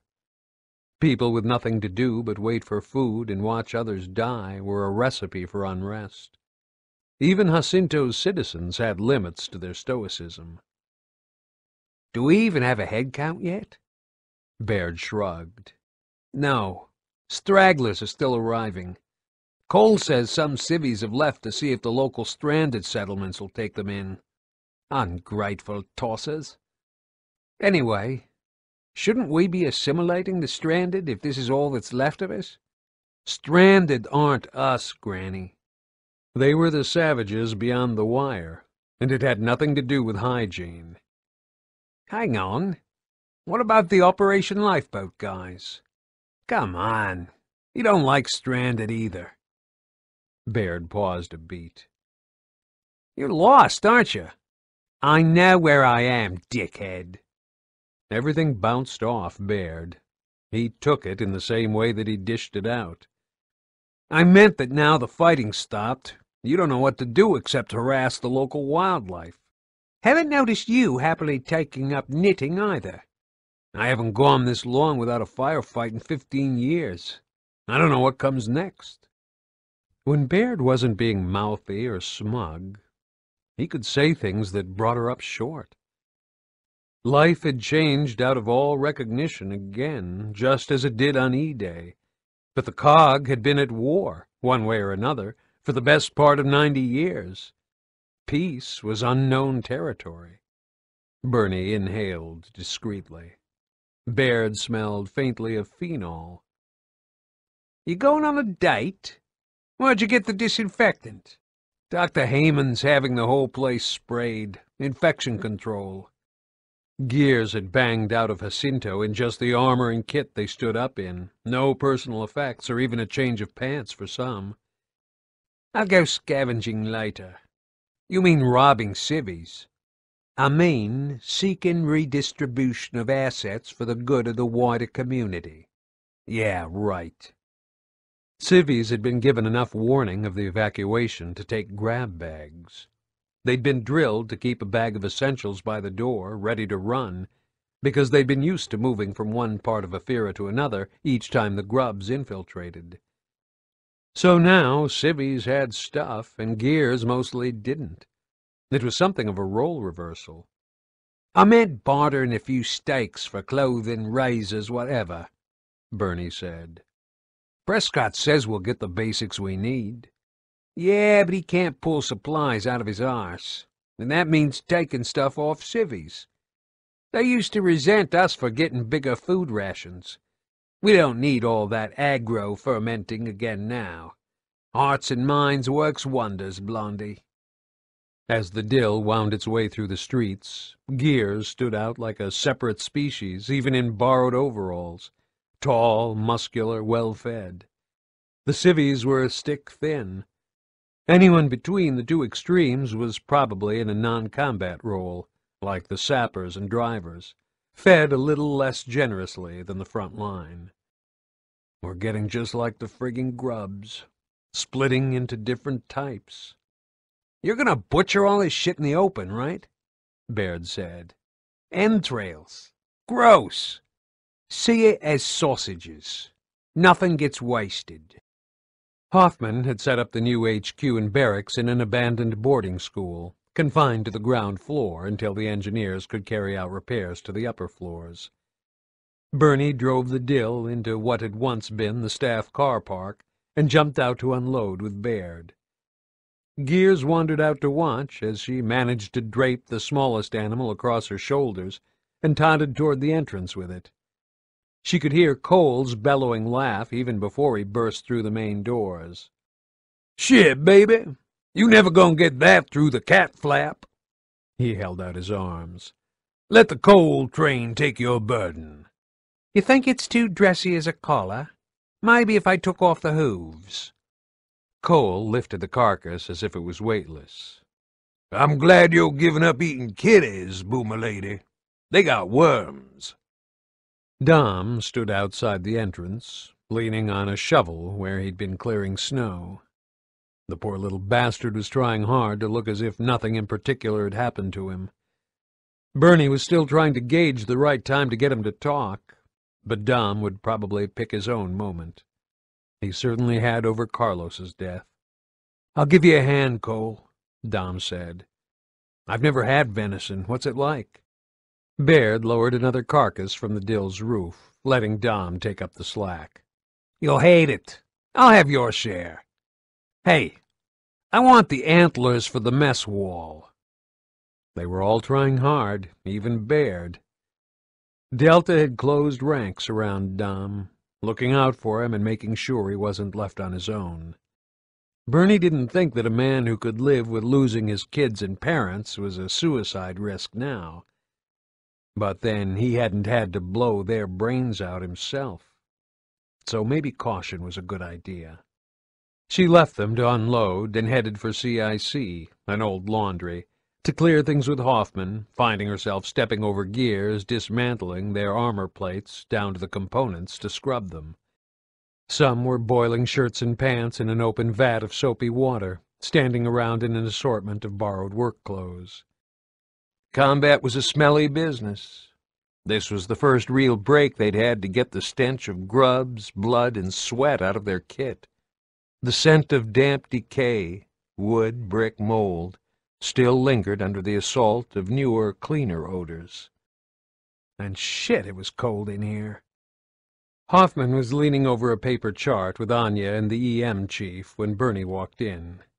They seemed to be checking routes between the docks and the inhabited part of the city. Nobody had debarked from the larger vessels in the evacuation fleet yet. Bernie wasn't the only one who thought they were a better place to be. Mataki, Hoffman said, glancing up for a moment. I want you to set up daily bushcraft classes for the civvies. Is there anything practical they can do in the field? Berries and traps, sir. I don't recommend the river. Civvies and thin ice don't mix. And see Perry about supply recon teams. One of his men says there's a lot of recoverables on the south side of the city. Machinery, raw materials. And the stranded didn't sniff it out? Another secure COG facility that we kept to ourselves. Ouch. Hoffman was still livid that Prescott had hung on to classified information right up to the final battle. Maybe he'd beaten the rest of it out of him. Good for you, Vic. Anya, now wearing sensible working rig and flat boots, gave her a quick flash of the eyebrows. Fights had been had, evidently. Will do, sir. Permission to barter some venison with the civvies? He leaned over the chart again, both hands flat on the table. Go ahead. I'll file it under public relations. I found some cattle tracks, too. Farm livestock got loose and bred, probably. Might be well worth a foray for steak and milk in the weeks to come. Oh, and signs of feral dog packs. If they come near the camp, it's shoot on sight. Hoffman managed a smile. You're a damn useful woman, Mataki. See what you can do about the feral cats, too. Great. I'm catering in pest control. Still, nobody needs a sniper for much else now. He didn't ask if she'd save some venison for him. He probably knew she would. When she walked back outside, the carcasses had a small audience, so it seemed a good time for a spot of skills transfer. They were mostly city boys who'd known nothing except hunting locust. They probably hadn't seen a deer this close, if at all. Right, you lot.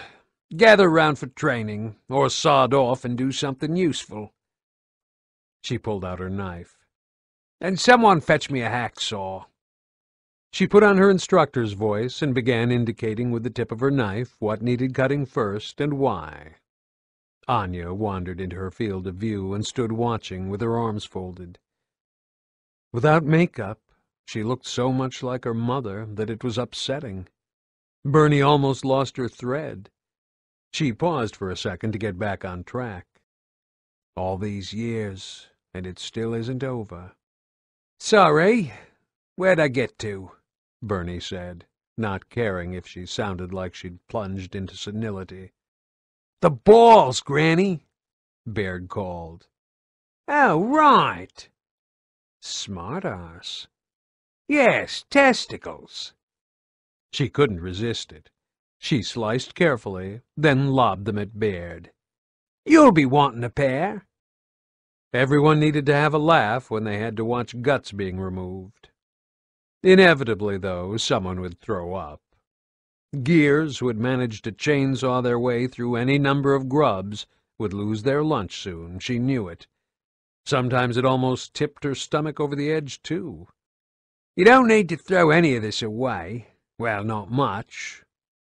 The carcass still felt comfortingly warm, but her hands would stink for a week, no matter how many times she scrubbed them. Lungs, heart, chop those up, and you can make a nourishing filling for... Her voice was drowned out by the rumble of a vehicle coming through the entrance gates. A huge grind lift rig squeezed between the pillars. Dom turned around, stared, and then jogged over to it, as if he'd never seen one before. It was only when the driver scrambled down from the cab and the backslapping started that she realized this was a reunion and decided to call it a day on the lesson. She dropped the offal back in the deer's body cavity for safekeeping and wiped her hands as best she could on its coat. Bernie, this is Dizzy Wallen, Dom said. He saved my ass, and Marcus's. He took on that grub bastard Skorge so we could get clear in the grind lift. Bernie could smell stale alcohol. The man stuck out his hand and she shook it. He's building me up, Sergeant. Tai was the one who stopped that weird streak of piss, not me. He saved my ass. Where is he? I got some extra smooth moonshine I want to share with him. Tai Kaliso's name stopped the conversation dead. Dizzy looked into Dom's face, read what was there, and screwed his eyes shut for a moment. Shit, he said. Sorry, Dizzy. He didn't make it. What happened? Last I saw, he was giving that grub bastard hell with a chainsaw and yelling at me to get away. Dom caught Bernie's eye, and she wondered if he was hesitating to spell out what had happened to Tai because of her or for Dizzy's sake. Maybe he'd just had enough of reliving nightmares. The grubs took him, he said. He was... Ah, shit. They just carved him up, man. They really made a mess of him. Dom looked down at the ground for a few moments. Dizzy looked at Bernie, and she just shook her head. The detail could wait, if it had to be told at all. A movement caught her eye, and she looked up at the cab of the rig to see two teenage girls staring down at them. My girls, Dizzy said. I'm going to be able to look after them now, like I oughta. He gripped Dom's shoulder. Let's all meet up later and sample that moonshine for Tai. We'll do that, Bernie said. Nice to meet you, Dizzy. She walked away to get on with butchering the deer, but she'd only gone a few steps when the alarm sounded. Cole jogged past her to the gate with his hand pressed to his earpiece, followed by Baird. Grubs? she asked. I'm in the right mood for them. Civvies shaping up for a riot, Cole said. Hey, Marcus, you down there already? One of the Ravens was now airborne, circling over the area, so whatever had triggered the incident, CIC was making a show of cracking down on it. Bernie collected her rifle and put in her earpiece. Human civilization was a fragile thing. She knew that all too well, not only because she'd seen what replaced it in far too many places, but also because she straddled that line between reason and savagery herself. Her own grasp on civilization was as fragile as anyone's. Yeah, making that grub suffer would have been a dangerous release for her anger. She'd find another way to do right by Tai. Food Distribution Center, Port Farrall. So much for cold weather keeping trouble at home.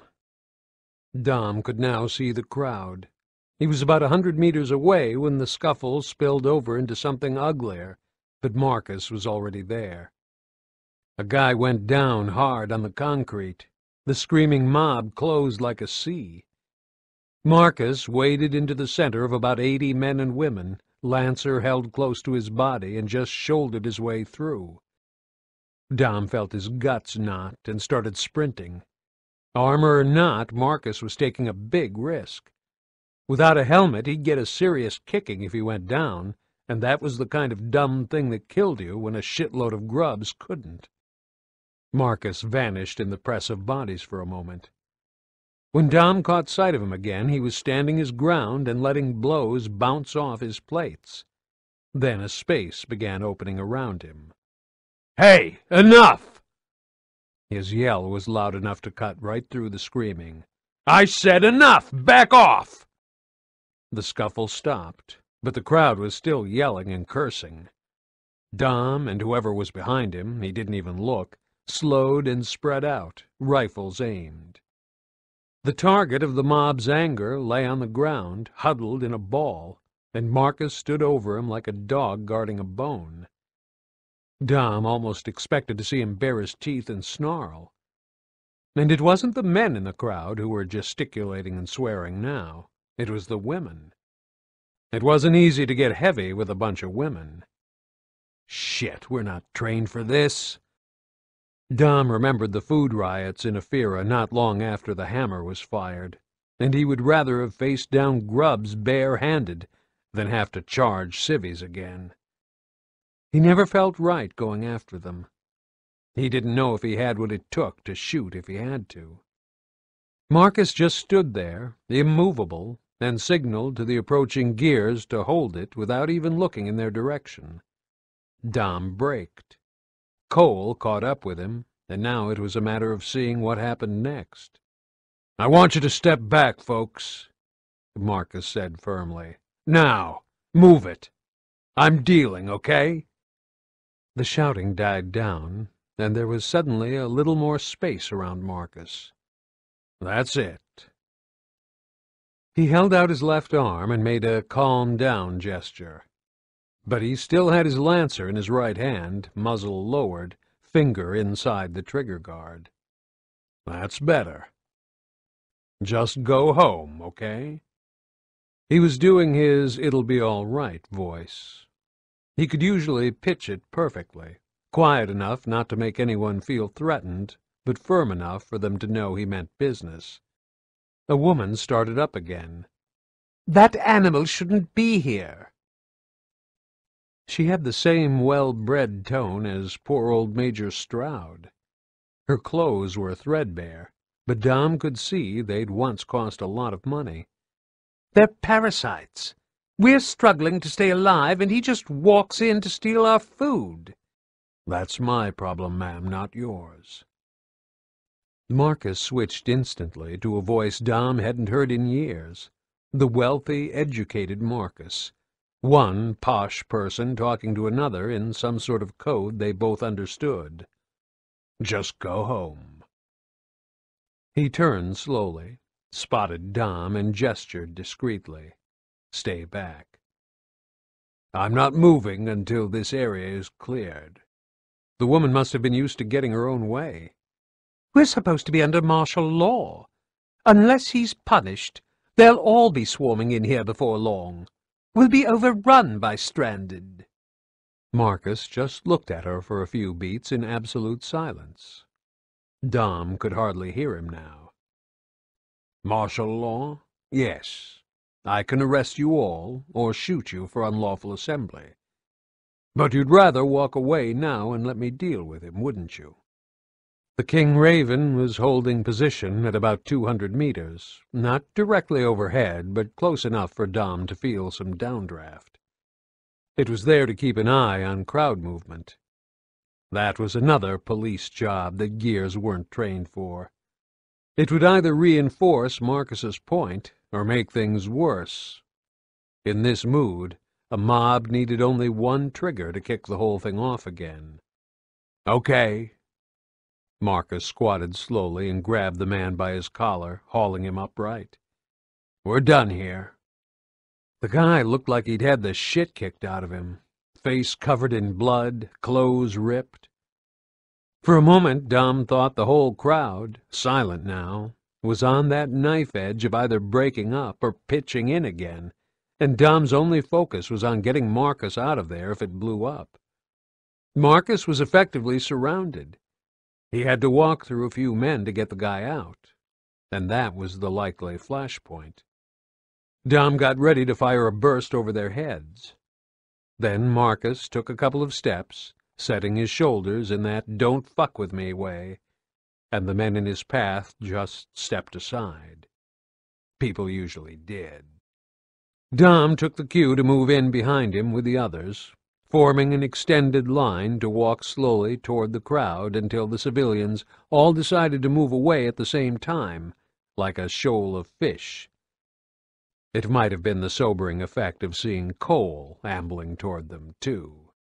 We don't take much pushing to go over the edge as a species, do we? Cole said. He waited with Dom until the street emptied. Shit. We all behaved ourselves when the grubs were around. We're too used to having an enemy. Dom looked up to watch the raven bank away. Come on. Let's see what the bum has to say for himself. Marcus took the stranded guy around the nearest corner and checked him over, while Dom and Cole watched. The man was scared shitless. He seemed to be expecting another good kicking. And I'm supposed to be trusting the frigging animal? Blood trickled from his scalp and nostrils in bright, shiny trails, and he kept wiping his split lip with the back of his hand. Despite the crap he was giving Marcus, he was still shaking. Shit, you COG fascists never change. Marcus ignored him, tilting the guy's head with both hands to look at his scalp. The doc should check you out. Skull fractures. Delayed onset of symptoms. What are you going to do with me? Kick your ass out of here if you don't want the doc. Why'd you save me then? Why didn't you let him kill me? Marcus leaned over him. Because if I let them do it once, they'll do it again, and again, and then we've got anarchy. It's not for your sake, it's for ours. Gee, thanks, asshole. You're welcome. Come in or stay outside. But inside, it's our rules. The bum didn't respond. Cole gestured to him to get up. Come on, fella. Let me escort you out the restaurant. You ain't wearing a tie. We're kind of formal. Cole strolled off with the bum, heading for the checkpoint. But Dom saw him reach into his belt and hand the guy a small ration pack. They disappeared around the corner. One week, Dom said. Shit. Yeah. Better work out a way to stop them from getting in and upsetting the more sensitive citizens. Not exactly a secured perimeter. That was pretty impressive crowd handling, by the way. Yeah, I'm great with housewives. Marcus shrugged and walked out into the main street again, looking uncomfortable. Anyway, I didn't like the odds. Let's dump this on Hoffman and get the food supply sorted. Without any discussion or briefing, every gear who'd responded to the call was now patrolling a little differently. Dom could see the sudden change. They weren't keeping an eye on buildings or potential emergence holes any longer. They were watching the civilians around them. It was weird how something could shift the balance so fast. Grubs were easy to see, obviously a threat, but any one of the folks in Port Farrall could suddenly become the disgruntled hothead with a grudge now. At least they weren't armed, for the most part. This is what gets to me. I need a clear line between who's on my side and who isn't. Unity through order. Shit. I used to think that was just a slogan. Boots thudded behind him at a jog, and Cole caught up with him. Dom, baby, how you doing? I don't know how I'm doing. I'm existing, that's about it. So how far did you have to drop kick him? Oh, I just advised him to stay out the way of crazy women. Shit. Maybe we're gonna need Stranded now. Yeah, well, they know the membership rules. It's up to them. They're no use to us. How many times did I walk through their stinking slums looking for Maria? Ten years. All their networks and bush telegraph and shit. And they didn't know she was out there? Then some bastard finally thinks he recognizes her when it's too damn late. Fuck them. Dom knew, in a weird, distant way, that he'd split off the functioning parts of himself to get through the day. There was the terrified Dom who had nightmares and struggled to face each morning when he woke. Then there was the Dom who kept his body moving and going through the motions of being a gear. There was also the Dom who endlessly replayed those last few minutes with Maria, torturing himself with what he might have done differently, and, half ashamed, half enraged, even blaming others. But I did it. It's all down to me. Dom, we've been talking to Perry. Cole jogged his elbow to get his attention. His guys and the civvy builders are getting some of the small rooms habitable. You own a cabin to yourself? We've all got to put up with some discomfort. Sleeping quarters were no more than rows of camp beds and bare mattresses in derelict classrooms. Why would I want my own room? So you got some privacy, man, you know? No. Yes, Dom knew what he meant. You wake up. Every time you wake up, you go, oh God, and... Dom's face burned. Shit, I'm waking up the whole barracks when I have nightmares, is that it? I've got to move out? No, man, it ain't that at all. Everyone's got their nightmares. Nobody's sore at you, just offering. You want it, I'll make it happen. In some ways, Dom would have found it easier if everyone had told him to snap out of it. Nobody did. They just got kinder and tried harder. There was nothing they could do, though. Thanks, Cole Train. Shit, I'm gonna lose it. Dom blinked and tried to clear his eyes. Bernie was a little way ahead of him, a bloody handprint on the back side of her pants. When they walked through the school entrance, she made for her precious deer carcasses and seemed to be searching for something. Bastards! She snarled. Where's my friggin' liver gone? Dom joined her because it was something to do, anything to distract him. The deer's innards were scattered. Small, blood-tinted paw prints led into a culvert. Cats, Dom said. That's it. Time I got some fur gloves. She checked her Lancer's ammo clip, then her watch. They need putting down. Vermin. I've got a couple of hours. Coming? Being Bernie, she just wanted to be kind. Dom wasn't stupid. He knew the whole squad, his social squad, nothing defined by call signs, kept a constant watch on him. Putting down euthanizing, whatever fancy name you want. Oh, God, Maria! It tipped him over the edge. Just stop being nice to me, all right? The shout was out of his mouth before he could think. Everything in his peripheral vision vanished. It was just rage and shame and pain erupting, uncontrolled. Just frigging stop it, all of you! I couldn't save my own fucking wife. I couldn't find her in time. I couldn't save her. I had to shoot my own fucking wife because I couldn't save her, okay? Are we done now? Are we done with crazy Dom? Fuck you all!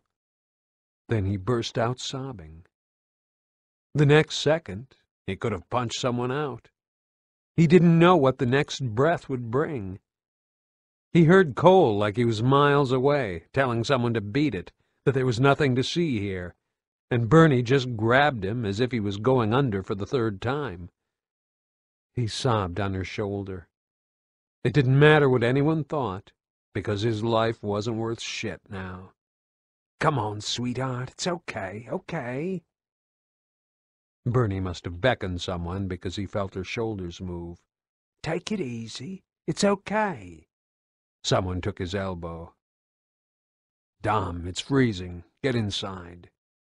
Marcus had promised Carlos that he'd always look after Dom, and he was always there. He'd just show up, like he showed up now.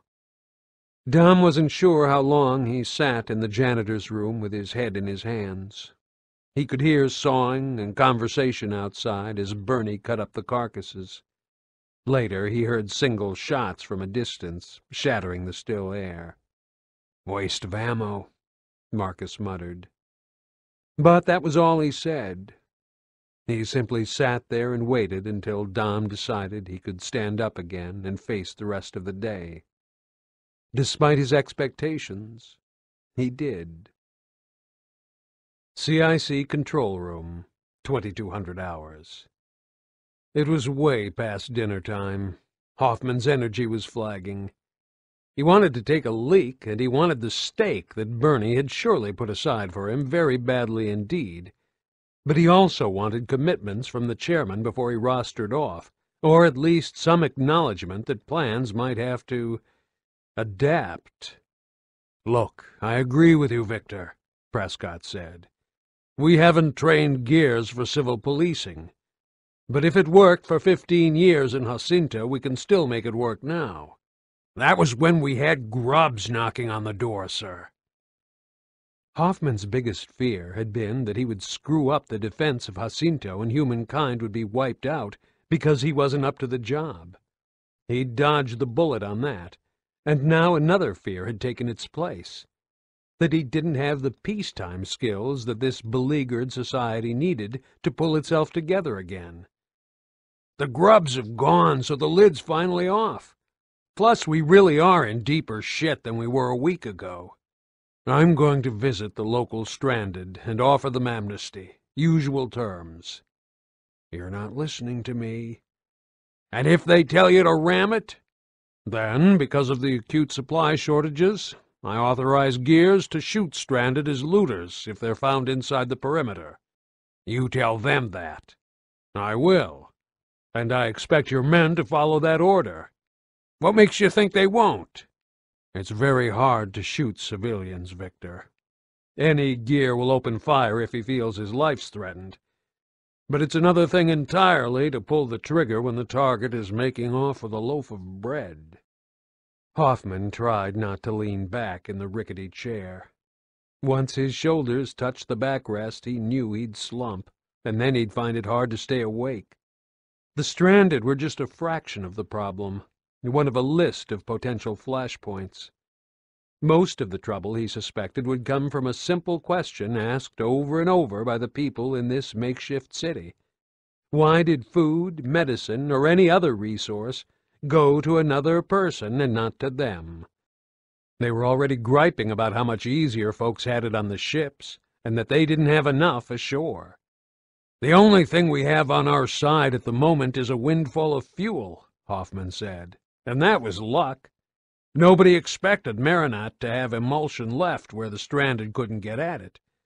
But we don't have the hardware yet to make decent use of it. Heating systems, buildings with roofs and doors and windows. Plumbing. People can only take so much, Chairman. We took them out of their last familiar haven, squalid as it was, and dumped them in a freezing hole. That's Charles' problem to address, and he is dealing with it. But he's using my engineers, and the security situation is my problem too, so I can't ignore the root causes. What are you asking, Victor? When will we decide that Port Farrall isn't viable? Because this was a last-minute panic choice. It's too far north, given the infrastructure we don't have. We don't have that option. This was a last resort, after all. Every city we considered as an evacuation center is going to be like this or worse. But we've got another three or four months of this weather, plus serious shortages. Ask Hayman how many will be left alive then. We've already got rust lung and some kind of dysentery. This is the end of the CD. The audiobook continues on the next CD. Out of uniform, Prescott sometimes looked like an art teacher on a day off. It was the pullover and the beard. Without that tunic and medals, he looked pretty ordinary. until he moved or opened his mouth, and then everything about him exuded a certainty that he was in charge, and that it was the natural order of things. Hoffman couldn't imagine him having a single moment of self-doubt. From the time he took over the COG and deployed the hammer, the man knew exactly what he wanted done. We're ultimately talking about restocking Sera with humans, Victor. If we lose vulnerable people, the older ones, we can still... Oh, I hate to use the word breed, but that's the reality. Hayman says you can keep humankind going just fine on a gene pool of 2,000 people. But do we want to run on empty if we have a choice? Otherwise, we might as well be the stranded. To make it worth leaving here, Prescott said, it would have to be more than hardship. I would need to be convinced that staying here would endanger the majority of survivors. I'll monitor that situation, Sharle or no Sharle. Where else would we go? Where is there the proverbial better hole? Islands, Hoffman said. There have to be plenty out there that never had a visit from the locust. Somewhere warmer. Would any of them be large enough, though? We lost a lot of people on evacuation. I think it's going to reach 50% losses. Prescott just looked past him in slight defocus, stroking his beard. Let's consider it he said eventually. Talk to Sharle. And it's going to put the naval contingent on a different footing. Meaning? We've let the Navy decline. It was always peripheral, even in the Pendulum Wars. And they didn't like that much. Hoffman had probably spent more time with amphibious ops than any other COG commander. You only have to look in the dockyard now to see that. Well, if we ever decide to re-establish the cog offshore, then we need more than a trawler navy, and not just for transport. When you're ready, let's assess their officers. I admit I've neglected the service badly. Someone knocked at the door, and Prescott looked around. Any other business before I turn in? Any other classified information you haven't shared with me, sir? Prescott gave him that look, the I hate apologizing to the hired help look. I'm sorry about that, Victor. Yes, I've told you about every facility in COG territory now. The trouble with politics is that not volunteering information becomes a default in the best of us. It's a mechanism we learn to stop ourselves from blurting out things at inopportune moments. That's not an answer, but you've told me what I need to know anyway, asshole. Thank you, sir, Hoffman said. Sleep well. He raised his voice. Come in! Prescott reached the door just as Bernie Mataki walked in. She held something balanced on a large sheet of metal, covered in a piece of camo fabric, and managed to salute the chairman without dropping it. Hoffman waited for Prescott's footsteps to fade. The man had a lair overlooking the sports field, with one of his priceless rugs on the floor, and for a man born to rule, he seemed oddly happy with that. Asshole, Hoffman said. It felt better to say it out loud. That's no way to talk to room service, Colonel. He smiled. One day you're going to have to peel me off his throat. Well, better keep your strength up then, sir. She laid the metal sheet on his desk and whipped off the cover like a waitress, to reveal a mess tin cradling a lump of brown meat and a few pale root vegetables that could have been anything. She'd even found some decent cutlery. It's as tough as old boots, but we didn't have time to hang it. Cole hammered it with a mallet for a while, though. Steak? Venison steak. You could have had liver pate, too, but some bastard cat got it. But I got the cat, so we're even. Bernie could always make him smile. He looked down at the tabby fur bootliners that had instantly cemented her reputation with Delta Squad. Anyone who could skin and eat cats earned a certain cautious respect. You're primal, Sergeant Mataki. Go on, eat. Don't go. I need company. Hoffman hadn't had a steak in nine, ten years, maybe longer. He certainly couldn't remember having game at all. He chewed, eyes closed, overwhelmed by the intensity of the flavor, and suddenly found tears running down his face. She sounded as if she'd sighed.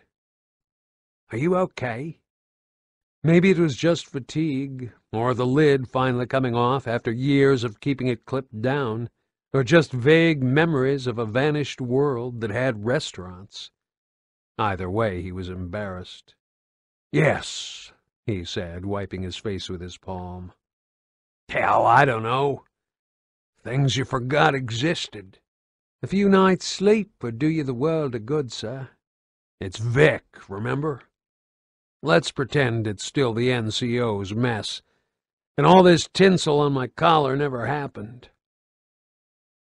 He opened the bag he kept under the desk, everything he owned, then took out the flask of brandy he'd been keeping for something special. He'd always imagined it would be one last toast to absent friends before he took a final stand, or used that one last round any sensible man saved for himself. Here, rinse that cup out. Drink with me, will you? Bernie considered him with her head cocked to one side, then chuckled. Yeah, Vic, I will. She took a metal object from her belt pouch that he first thought was a pocket watch, but she gave it a shake in her hand and it extended into a small cup. She placed it on the desk. Hoffman examined it, fascinated. It was made of concentric, tapering steel rings. That's very clever. Collapsible. I travel light. We're the last of our kind, Bernie. He poured a generous and gentlemanly measure for her. To the 26th Royal Tyran Infantry. 2-6 RTI, she said. The unvanquished. We beat the goddamn grubs anyway. And we're not the last. There's Phoenix in Santiago. I meant our generation. Then we're definitely the last. She stared into the cup, then raised it again. Absent friends. There were so many of those now. Hoffman used to be able to recite names, but the best he could do now was remember individuals sporadically. I heard about Tai Kaliso. Ah, the Baird Broadcasting Service. And Santiago. All of it? Maybe not. I haven't caught up with him yet. I keep meaning to. It's grim. He found his wife in some grub cell. Marcus said she was blind, couldn't speak, couldn't recognize Dom, looked like a corpse. He didn't know what the hell to do. She was too far gone. Bernie took a pull at the cup, then put her forefinger to her temple, thumb extended, then squeezed an imaginary trigger. Hoffman was about to take another mouthful of steak. He couldn't. Oh, God. Bloody hard. Doesn't matter if it's the kindest option or not. Been there. Or been close, anyway. Hoffman thought of Margaret more these days. It wasn't that he missed her, not like Dom Santiago would mourn his wife. He just felt worse about her each year. It wasn't even a tragic love story, just a mediocre mutual toleration, like so many marriages. But even if he hadn't pulled any trigger, he'd certainly killed Margaret. I'll talk to him, Hoffman said, and started eating again. I'm still his CO. Hell, I remember the night his daughter was born. Aspho won't go away, will it? Do you want it to? Not really.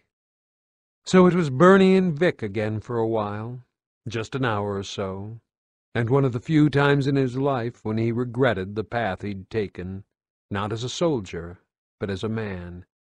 Is it ever too late in life to put things right? he said. If I thought it was, I wouldn't be here. Bernie probably meant that insane journey across Sera to rejoin the COG ranks after so many years. But maybe she didn't. He'd find out. Chapter 5 The coalition of ordered governments still exists, the rule of law still exists, and our social covenants still exist. We may no longer be in a state of war, but we still have a battle ahead to survive and rebuild. And in these difficult days there will be no tolerance of lawlessness and antisocial behavior. Unity defeated the locust, but disunity will be the certain end of us all. Chairman Richard Prescott, to the remnant of Jacinto's population, Port Farrall.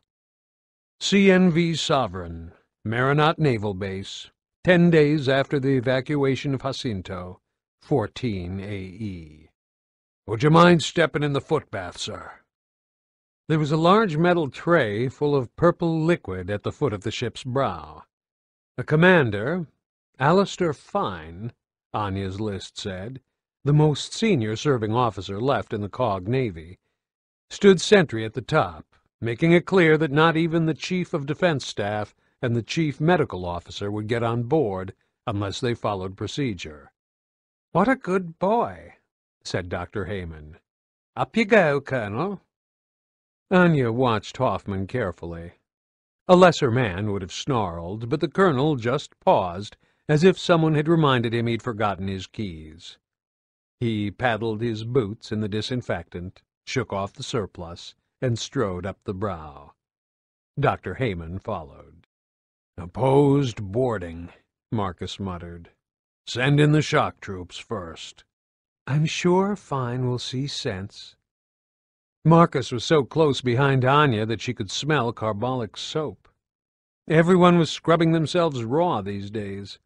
It wasn't just infection control. There was some psychological tick sweeping the ranks, like a need to wash off the past. At the top of the brow there was a bucket of soapy, strongly scented water. Hands, said Fine, please. I'm glad to see you're taking hygiene seriously.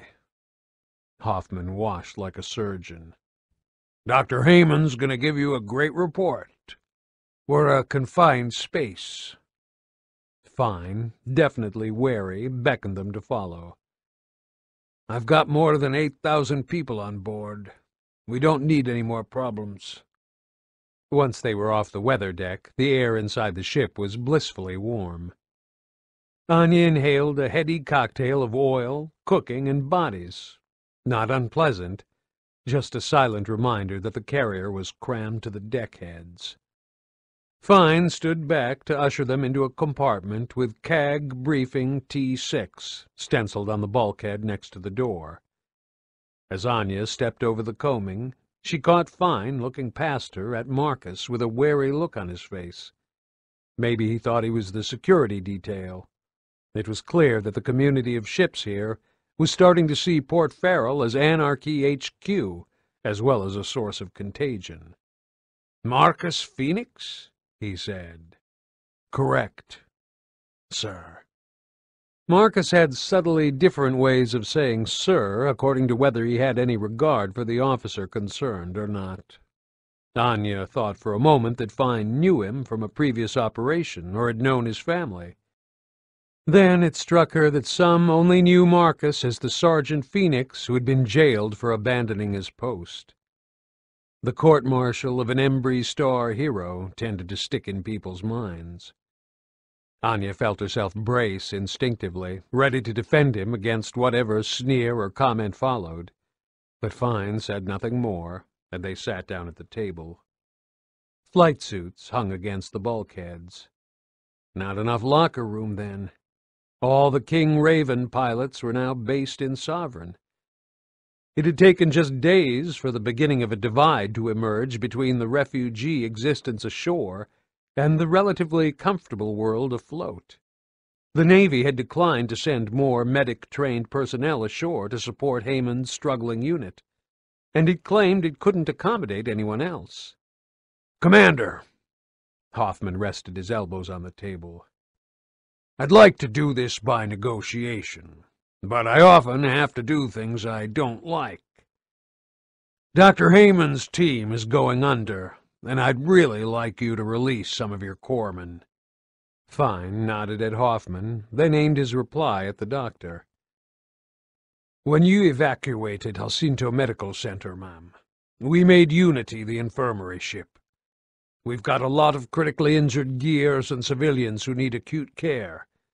I know what my job is, what my orders are, to preserve this crew, this ship, and this fleet. I'm not going to second-guess JMC's chief of medicine about who we can afford to let die. This was the game, Hoffman would growl, Hayman would indulge in some shroud-waving, and then Anya would suggest a compromise position. And if that didn't work, Marcus had orders to remove Fine from the ship. He hadn't been happy with that. Yes, it's not going to inspire anyone to pull together. Authority's fine, but when you impose it in a situation like this... I'm losing a long list of civvies every day, Sonny, Hayman said. Fine must have been in his forties. You can't do much about hypothermia, and we don't have that many surgical cases because they've conveniently died, the poor bastards. But you sure as hell can help with the medical ones. Respiratory cases, mainly. Rust lung and viruses. I'm aware of the disease issue. By the way, footbaths are terrific for controlling livestock diseases, but not the ones we're likely to develop. Five points for trying, though. Anya felt sorry for Fine. Hayman could emasculate any man with a razor-edged word. It was diplomacy time. How about pooling our resources? Anya said. Trade you a few surgical staff for nursing assistants. Or we can look at making Unity into the central COG medical facility and move all our cases on board. Anya learned the lines Hayman fed her. It was a threat. Hoffman could have forced anything on Fine, of course, or shot him for failing to jump when he said so. But there was a time to crack down and a time for restraint. It always surprised her that Hoffman, gruff to the core, not even a veneer, could navigate that psychological maze. Look, Fine said, let's start as we mean to go on. I'm a supply officer. I can't fight a war, although I'd die trying. For the last fifteen years, we've kept the skeleton fleet operational. Maintained ships, ferried supplies, managed stockpiles. The COG gave up pretending to have a navy on E-Day, but the navy kept going. Now, I'm not claiming we've been through the hell that land forces have, but we were tasked to keep a core navy afloat, just in case, and that's what we've done. You can understand my reluctance to compromise the people we've rescued. Anya felt bad for Fine. Yes, she'd have done the same. Hayman went to answer, but Hoffman cut in. You did good, son, he said. Here's the problem I've got, though. We're less than a month out of Jacinto, and we're already splitting into haves and have-nots along location lines. Now, I reckon your citizens put up with as much shit as the land-based ones, but the others won't see it that way. They're already asking for transfer. Hoffman took his cap off and passed his palm over his shaven scalp. And I'm saying no. I understand your position, and you have complete authority to do whatever you want with these ships. Okay, here's a plan. We help each other out on the medical side, and I'll divert more resources to fitting out one of the tankers as accommodation. Hayman gave the colonel a sharp look. It wasn't in the script. Anya stood by for a diversion in case the descent was visible. I'm very grateful, sir, Fine said. I owe the Navy. Hoffman put his cap back on, and his eyes met Anya's for a moment. She couldn't imagine this man giving an order for Marcus to be left to die in prison. Now, have you got any intel on this base? Old stuff, I mean. We've got plans going back to the last major construction here, but that's only seventy years. My men think there's a lot more underground storage here, like the emulsion tanks. Merrenat's been a dockyard since the era of silence. There must be a warren under the docks. Fine seemed fully on side now. The little stroking worked wonders. Only people who might know would be some of the retired men. The Navy retires? Only to run the merchant fleet. Trawlers and tankers. Not always. Counter-piracy patrol. You think all the stranded are on land? Try Quentin Michelson. Well, I'll be damned. Hoffman lit up. He was in an exceptionally good mood today. Some gears seemed lost without the routine of combat, but some were changing before Anya's eyes. Michelson! I thought he'd be dead by now. Old friend? We go back some. Thank you, Commander. Michelson was a name that also rang a bell for Anya, even though she couldn't quite place it. Fine guided them back to the brow through narrow passages and watertight doors. Hoffman strode away down the quay with a definite spring in his step. I like that guy, he said. Hayman struggled to keep up. She wasn't impressed. I don't know what kind of shit you're up to, Colonel, but you're at the age when you'll have prostate trouble, and that's no time to piss off your doctor. She gestured to the waiting Dill to collect her. Make sure Fine does what he said, or I'll get that tapeworm Prescott to make it happen. She stormed off. She hadn't gotten what she'd wanted and needed, which was control of the naval medical facilities. Anya allowed herself a brutally pragmatic thought that it was better to end up with 50% mortality than a 100%, and that she was glad that Fine was an isolationist. Hoffman was now striding ahead of Anya and Marcus, swinging his arms and leaving a trail of vapor as he exhaled. It made him look steam-powered. It was the first thing that had struck Anya as funny since the evacuation. Michelson must be special. The intense cold burned her face. The old man's not normally like that. Former CO, Pomeroy. Marcus always did have a prodigious memory. Amphib, Special Forces. Ah, yeah. Anya remembered now. Pomeroy was the support vessel for the assault on Aspho Point. She'd been duty control officer in Kelowna when her mother was killed. It wasn't a happy association for Marcus, either. I wouldn't recognize him. He was chummy with Hoffman. You seem to be on good terms with the colonel now, too. He's okay. For an asshole. Anya wanted to tell him that he didn't have to keep up this front with her, but she suspected it was too much a part of him now to let it go. These days she could hardly tell when he was in an approachable mood and when he wanted his space. Every painful event in his life left him less communicative. She wanted to reach up and touch the puckered scars that ran across his right cheek and through his lip, but thought better of it. That wasn't something she could ever do in public. She just gestured. He seemed to have collected more recent scars. So you got a few more in prison, then? Marcus closed his eyes, more a long blink than anything.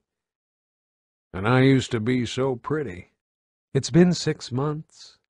If you're over it, then you'd mention it at least. It's as if it never happened. Maybe that's how I dealt with it. I wrote. Screw it. She finally had to get this out of her system, whether he liked it or not. He always seemed disturbed by open affection. It upset her to think that he might not have understood, even now, after all these years, that she still lost sleep over him. I got your message not to visit, but I wrote. Twice a week for four years. I'd have written daily if I hadn't thought you'd get pissed off with me. Marcus's jaw muscles tended to betray how tight a rein he had on himself at any moment. Dom said he wrote, too. Didn't get more than a couple of letters.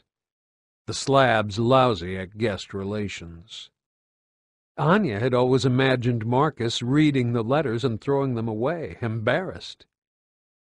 Now she could see some prison warder sharing them with his buddies, laughing at this stupid girl who was pining for a man who'd die in prison. Life expectancy for an inmate was less than a year once that door slammed shut. She'd actually started grieving.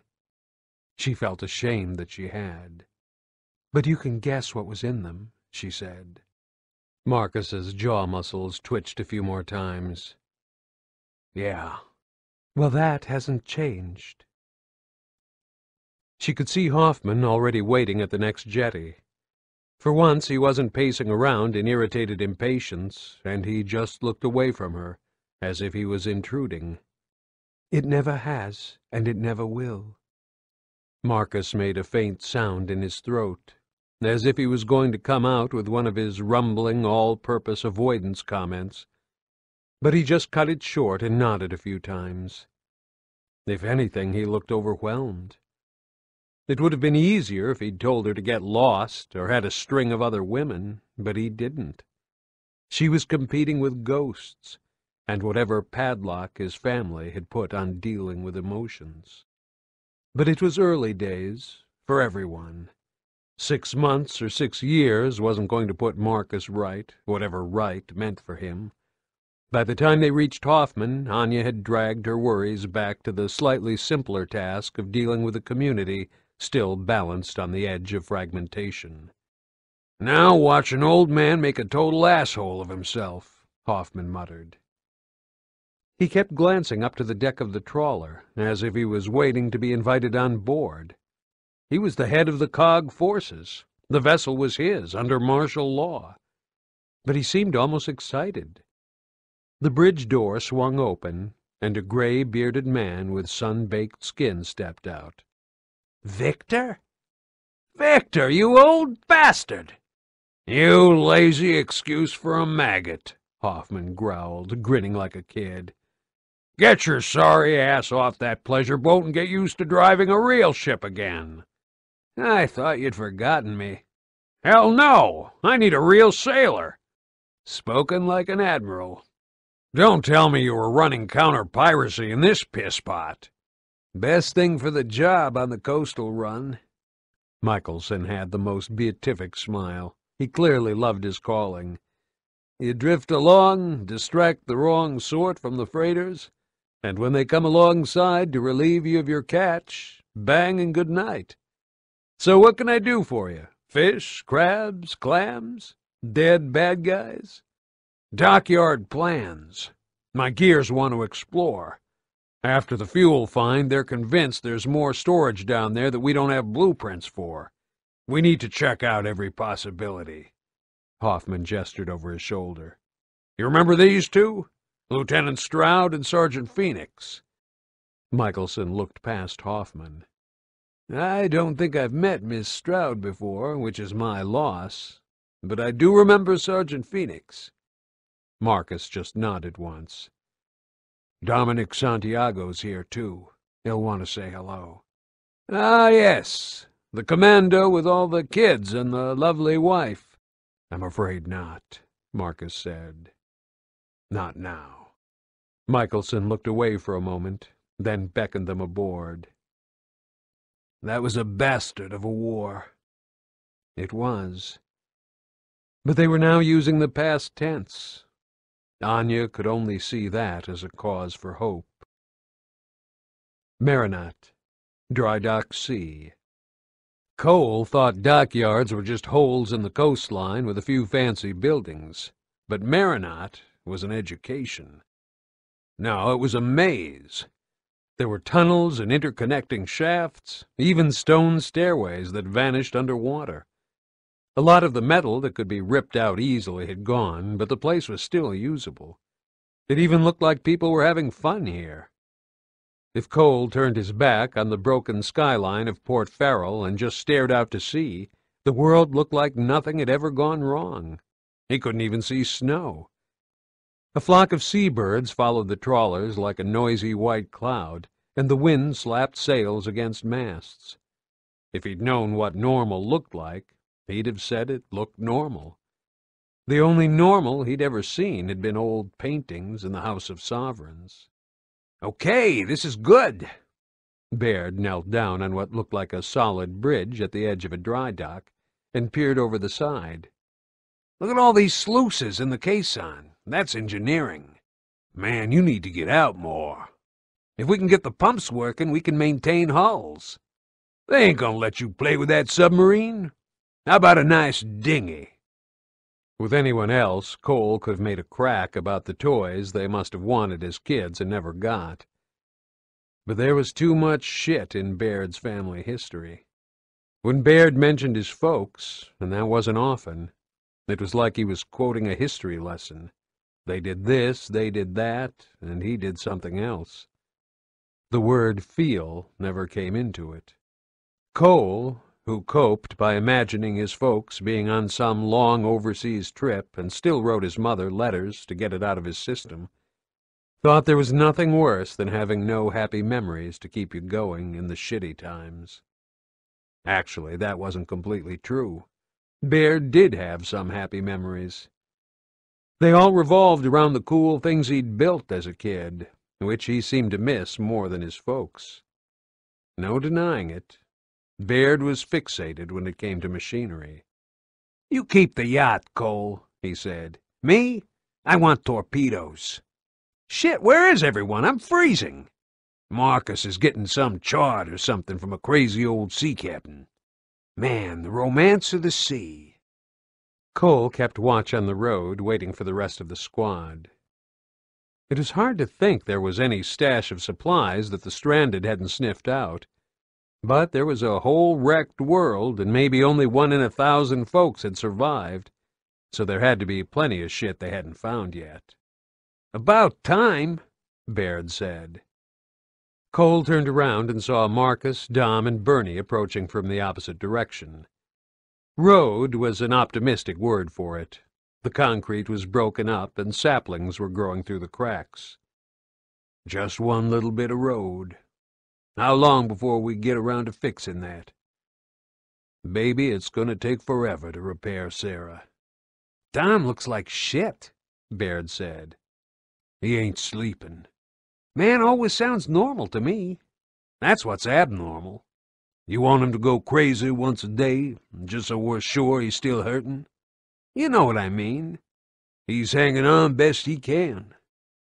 Cole was sure he'd have wanted Baird to cap him if the locust had messed him up that bad. Maybe it was better to tell folks that in advance. It saved them a lot of worrying afterward. But Dom's lady probably never thought she'd end up that way. You still gotta pull the trigger, though. Don't feel any better, even if you got permission in writing. Marcus walked up to Baird and Cole with a sheet of paper stuffed under his arm and some black cylindrical things dangling from straps in one hand. Okay, it took fifteen years.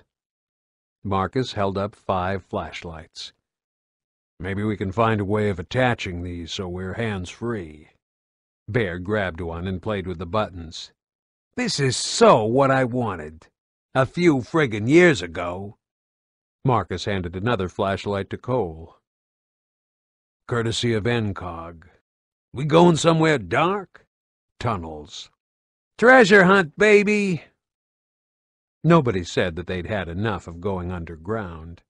Cole knew everyone felt the same way, but this was probably one of the last times they'd ever have to do that shit. And there was a chance there'd be something worth finding down there other than grubs and trouble. You got the map? Has it got a little picture of one of them brass-bound chests with loot spilling out of it? Marcus didn't smile, but at least the line of his mouth relaxed a bit. Michaelson says there was always talk of an old armory and magazine somewhere between here and the airstrip. He remembers a drain cover in line with the barracks entrance. Navy life must have been really boring, Baird said. He got busted as a cadet for getting drunk and going down there. Bernie scanned the derelict skyline. It's got to be another access. They'd have to be able to get supplies down there. Find the drain, Dom said, then work our way out. Let's hope it hasn't flooded. It took a damn long time. The barracks entrance was intact, but the grounds in between were overgrown, and it was hard to even find concrete in the rubble, trees, and undergrowth. Cole walked along an imaginary path from the front doors, just the stone frame, because the wood had already been ripped out, and kept his eyes down. The squad ended up doing a line search, like a bunch of cops at a crime scene. Eventually, Dom squatted down and started scraping away debris with his fingers. Here we go. He jammed his knife under the edge of the cover plate. Give me a hand. Mind your fingers. Who's going down first? Baird asked, peering into the hole. Thinnest? Bernie gave him her shark look. How about biggest tosser? Let's try the rock test first. Marcus looked around for a chunk of stone, then lobbed it into the shaft. There was a small thud almost right away. Sounds dry and shallow. Let's get a safety line down there. Hey, Control?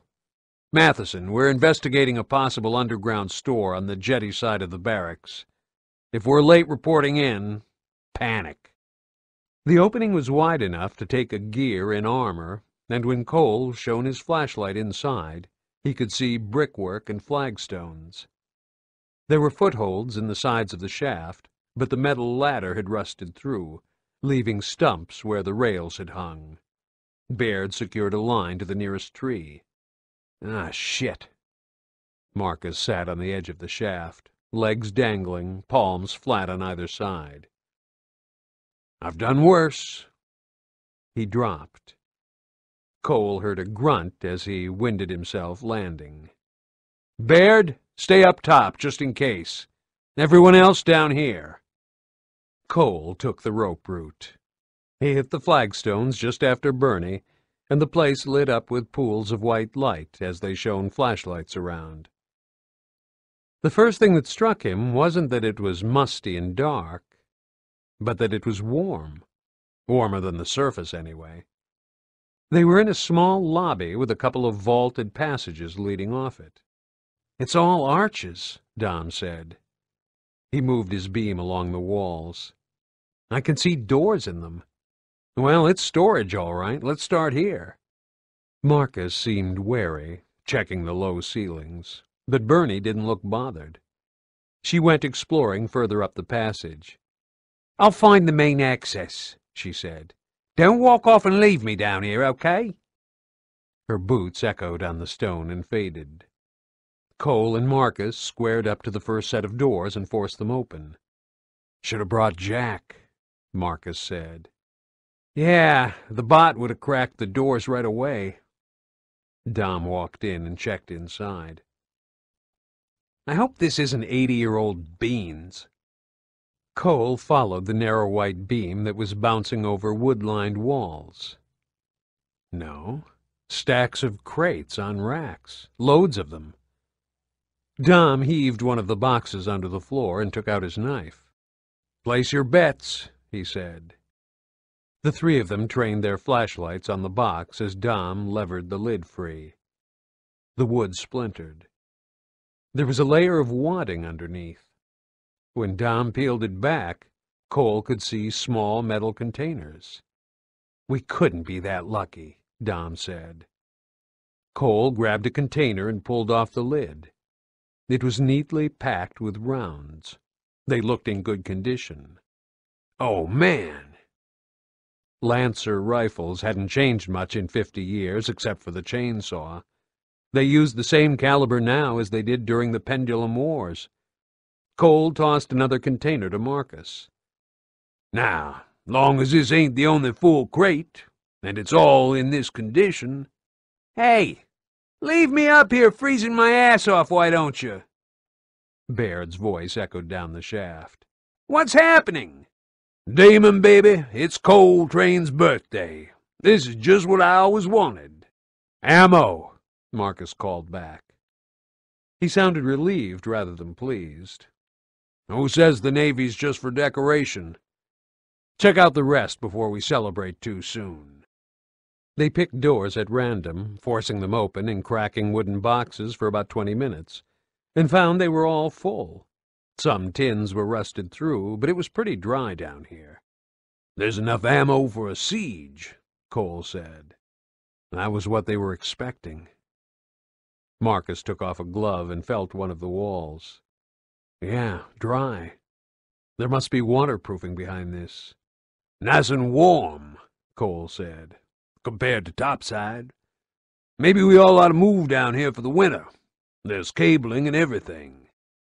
Marcus had a certain look that went beyond a frown, a kind of deliberate lack of expression that told Cole he really didn't want anyone to see he was rattled. He was doing it now.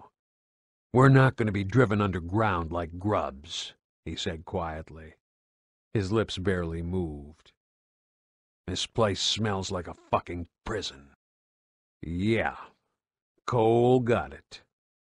The sooner Marcus was out of here, the better.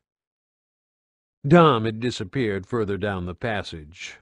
Cole could hear splintering wood and the clatter of tins. You can't eat ammo, Baird called. Yeah, but you can eat this. Dom came jogging back down the passage with some more metal containers in his hand, small rectangular cans. He held one up and rattled it. Dry rations. Man, you gonna shit yourself for a year if you try eating that garbage now. Cole held out his hand for one of the cans. Looks like some kind of cracker. Don't Navy crackers have weevils in 'em or something? Canapes! Baird jeered from the shaft. He must have had his head stuck down there. How elegant! We clear this place out first. Then we worry about the eat-by date. Marcus studied another box with a frown, pressing his earpiece. Bernie? Found the front door yet? Bernie didn't respond. The radios were always a problem underground. But she'd been gone long enough to walk nearly a kilometer, and that meant she could be anywhere. Marcus shook his head and ambled away down the passage, repeating the call. That you barking, Cole? Baird called. There was a lot more wild noise around Port Farrall than Cole expected. Everything from surprisingly loud bird song to something that sounded like a guy coughing up rust lung which Bernie said was a stag telling other bucks to stay off his turf. Without humans and their machines around, you could hear stuff from five, ten clicks away. But that was definitely dogs he could hear now. I can't tell where it's coming from. Sounds distant.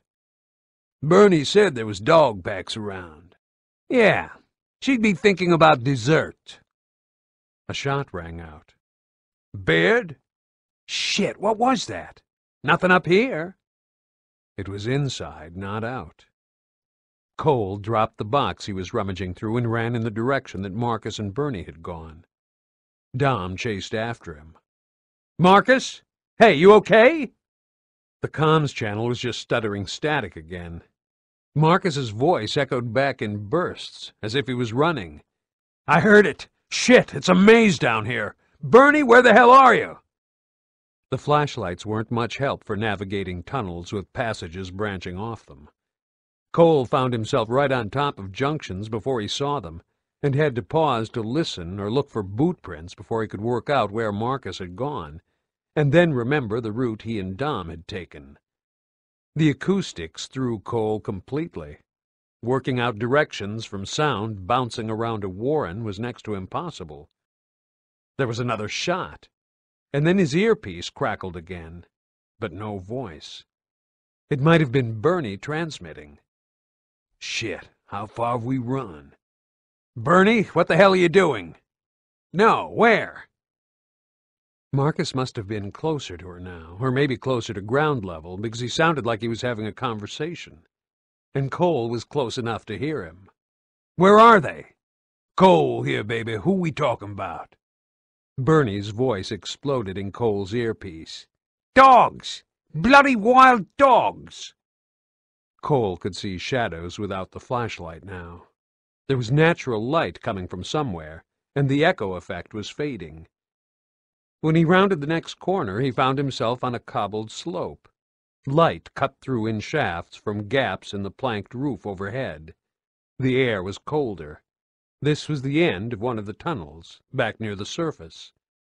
Then he heard the snarling and a long burst of automatic fire. Shit, Dom said. Just how big are those mutts? Cole switched his Lancer to automatic out of habit, not expecting anything more than a few hungry strays. But he was wrong. When he got to the top of the shallow slope, he stepped sideways toward the light and saw Marcus, Lancer aimed, taking one slow step at a time, as if he was tracking something. Where'd they go? Marcus turned. Shit! Oh, fuck! That was Bernie. She wheeled around at the same time Marcus did, and Cole could see blood on her chin. That was when it ceased to be just weird and became a fight. A pack of at least twenty dogs, big ones, mongrels and hounds of all sorts, came racing down another passage from behind Cole and Dom, like they'd wheeled around the back to ambush them. Cole opened fire. Shit! He'd chainsawed his way through more grubs than he could even begin to count, and now he was under attack from friggin' puppies? But they weren't cute pets. They were wild predators, too fast to target and way too close to shoot without spraying Dom or Marcus, and two got past. Cole spun around to see them leap and bring down Bernie by sheer momentum. Nobody had a clear shot. The big tan dog, with a back like a damn pony, had its jaw clamped on her left bicep, and the other one, black and tan, smooth-haired, would have had her face off if she hadn't hooked her fingers in the corner of its mouth and ripped hard. Marcus moved in and brought his lancer down like a mallet. It took Dom two point-blank shots to stop the other one. Bernie lay there for a moment and then struggled to her feet. Cole caught her arm to steady her. It was the first time he'd seen her really scared, wide-eyed, chalk-white, and breathing hard. What, you forgot you've got chainsaws or something? she snapped. We might have taken your arm off. Marcus started checking her over, all quiet and calm again. Dom, are there any more out there? Looks all clear. All they could hear now was the wind and Baird's shouts. Cole had no idea where the tunnel had come up, but Baird seemed to have found them. Bernie limped out into the open air. Whoa! Firelight? Baird said. What the hell's down there? All done. Marcus held up his hand. Feral dogs. You're shitting me. We can take on the grub army, but we crap our pants when we run into a pooch or two? Man, you didn't see see 'em. Cole had never seen a dog set on killing, let alone a pack of them. They didn't run off whimpering. They weren't scared of humans or rifles. They just kept on coming. Those things are fast. Bernie didn't like losing face in front of Baird. Cole watched her brace her shoulders like she was going to cuss him out. The idea is to pick 'em off at a distance, she said, but her voice was still shaky. Not get cornered and knocked down in a confined space where you can't use your weapon. Haven't they got rabbits to chase? It's cold. There's less for them to hunt in this weather, and we've attracted them. She tried to unfasten her elbow plate to roll back her sleeve, but she was trembling too much. Cole grabbed her arm and took off the layers for her. A human settlement's an easy meal for dogs. Skin's not broken, Cole said. You're still going to see the doc. Your chin's cut or scratched or something. Baird studied the dead dogs and prodded them with his boot. So are we eating these or not? I think I'll pass, Bernie said. She looked plain wrung out. It just wasn't right for a lady of that age to have to live like this. Okay, she was tough and she could take care of herself, but it still upset Cole that she even had to. They headed back toward Port Farrall, Baird ambling along in front and shaking his head as if he couldn't believe Delta Squad had come to this.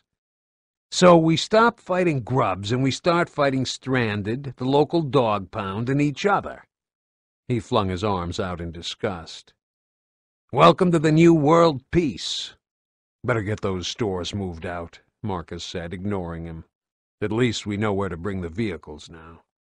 Dom kept turning around to scan the area. Man, I never knew dogs would try to kill people like that. You sure they're not diseased or something? They're just being dogs, Bernie said. When people disappear and there's no more commands or fences, animals go back to being what they always were animals. Marcus nodded to himself. Cole knew that look. Like humans, Marcus said. Port Farrall, Checkpoint B, two days later. A steady trickle of junkers and battered trucks was still running between the dockyard and Port Farrall, ferrying the windfall of supplies from the tunnels. Dom huddled in the shelter of a wall. A dark red down-filled jacket, definitely not uniform issue, had been left without explanation on his mattress a couple of days ago, and that meant someone else had given it up for him. He needed to know who was prepared to make that sacrifice for him in this weather. When he finished his duty watch, he'd hand it on to the next guy, Jace. For all the agony and privation of the last few weeks, he found the unquestioning comradeship of being a gear the most comforting thing in his life. And I haven't blown my own brains out yet, so I can't be grieving that much, can I? What kind of bastard am I? Dom even found himself distracted, wondering what he'd find to eat in the barracks. He didn't deserve a damn jacket that could have been making someone else comfortable. Footsteps crunched behind him from the direction of the food distribution center. The snow had mostly vanished, despite the lack of a thaw. It had sublimed, Baird said, but the ground was still frozen. Cole had given up trying to arrange thrashball games to keep the kids' spirits up, because he was worried they'd break bones on a sports field as solid as concrete. So what did you find? Anya slipped close to Dom and tucked her arm through his for warmth. That was the kind of thing you learned to do fast with buddies in this climate. It didn't mean anything else. Prescott's actually excited about it. I don't think I've ever seen him excited about anything. What, he's jumping up and down, clapping his hands? No, he keeps smiling. It's indigestion. So, Lancer rounds, high-energy crackers, antiseptic liquid? Field dressings, sterile scalpels, painkillers, loads of drugs, but so damn old. Hayman's pleased. She says expiry dates are pretty flexible for a lot of meds. So we've got fuel, ammo, and medical supplies, but no damn food. Well, the chickens are enjoying the crackers. Shit. Someone really did bring chickens with them? No pigs? Oh, we have some refugee pigs, too. Anya fumbled in her pocket and pulled out a tiny plastic container. And I traded a pair of gloves for this tonight. Eye makeup. Half full. We won't be making this kind of thing again for years. You don't need it, Dom was simply being matter of fact. Anya could stop traffic, makeup or not. People stared at her even in this shithole of a camp. Do you know who left this jacket for me? Anya shook her head. No, but it's kind of them. Everyone knows I shot Maria, don't they? It was a shrinking community, and gossip was one of the few interesting things left to do. Are they saying what a bastard I am? Anya's arm tightened on his. It was the first time he'd said it out loud to her. If they're talking about you at all, she said gently, they're saying that you really have to love someone to be willing to end their misery and take it on yourself for the rest of your life. Dom didn't want to be let off the hook. He didn't want to be poor, tragic Dom, hero and martyr. He wanted someone to punch him out for failing his wife. He thought he understood the weird shit going on in his head that made him react that way, but it didn't actually stop him from feeling it. Do you ever not do things, really obvious things, and then hate yourself afterward? he asked. Every day, Anya nodded. Yes, every day. You know, we came face to face with the Locust Queen. I was thinking about it last night, and I could have asked her. I could have asked why the hell the grubs hate us so much, what they want, why they did that to Maria. And I didn't. You really think she'd have given you an answer? Seriously? Anya was right, but Dom was still in that place where he could know one thing and yet believe another entirely. No, probably not. Hey, you're going to freeze out here. Go back to the mess. If you ever want to talk, Dom, you know I'm here.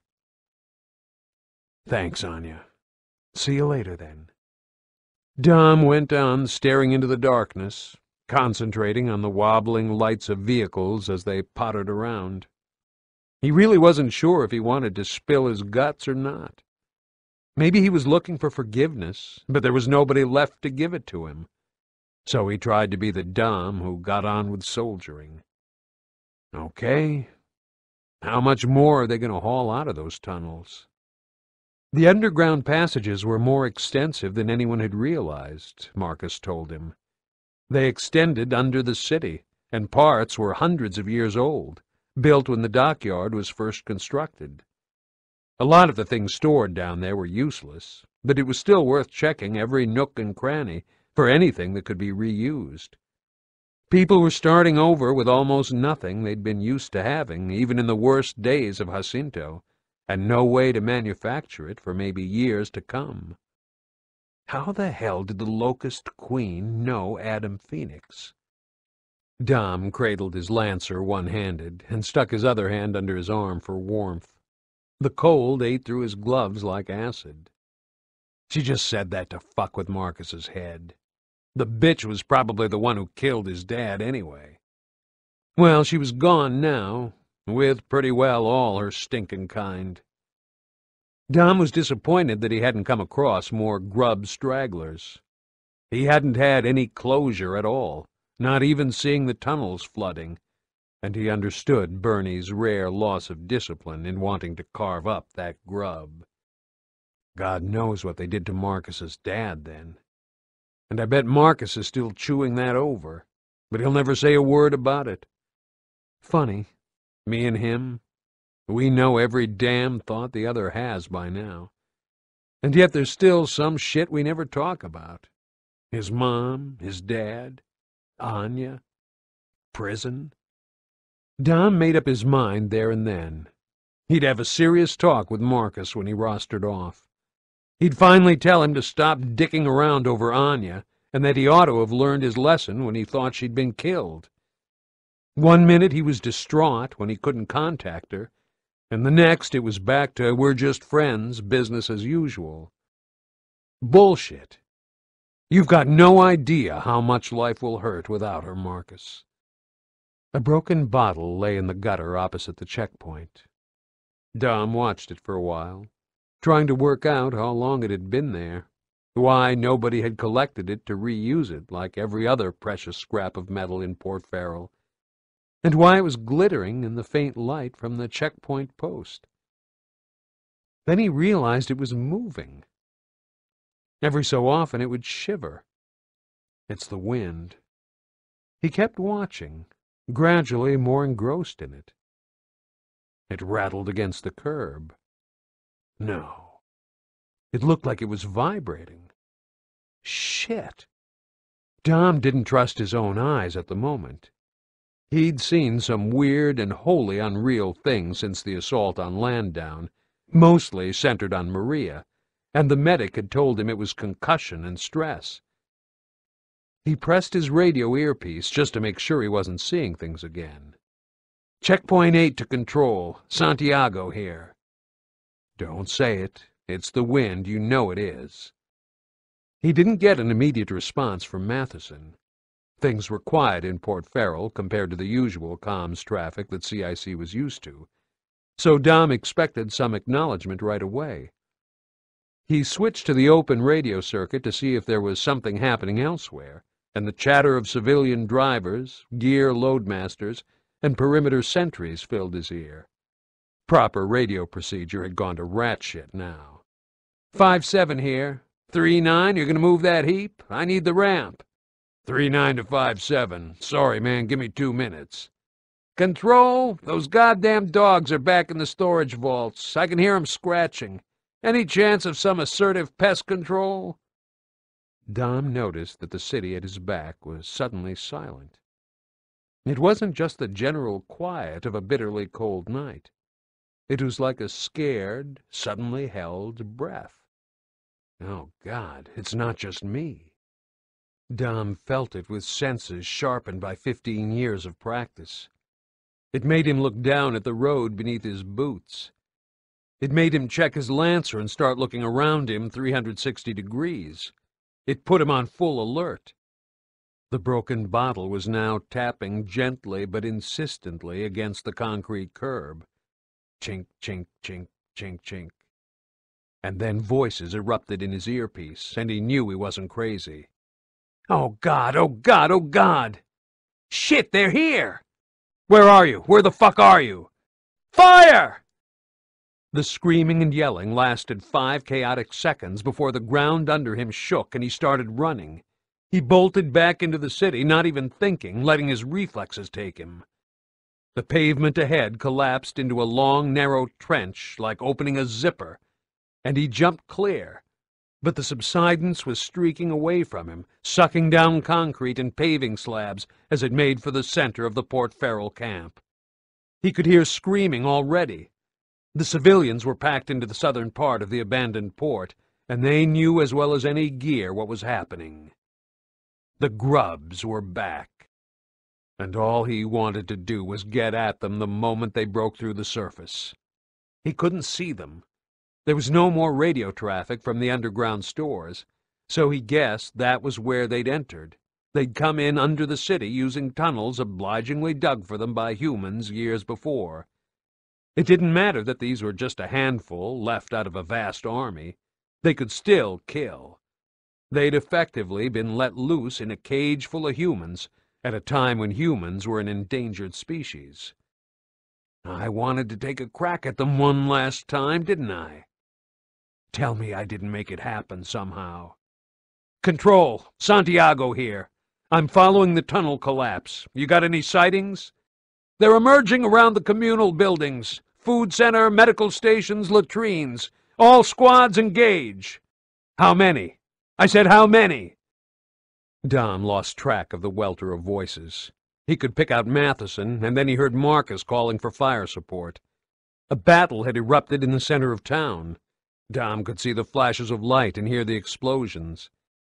He was now running against a tide of civvies heading down the street toward him women carrying kids bundled in just their nightclothes, some folks clutching the grab bags they'd been so thoroughly drilled to snatch and run with when disaster struck.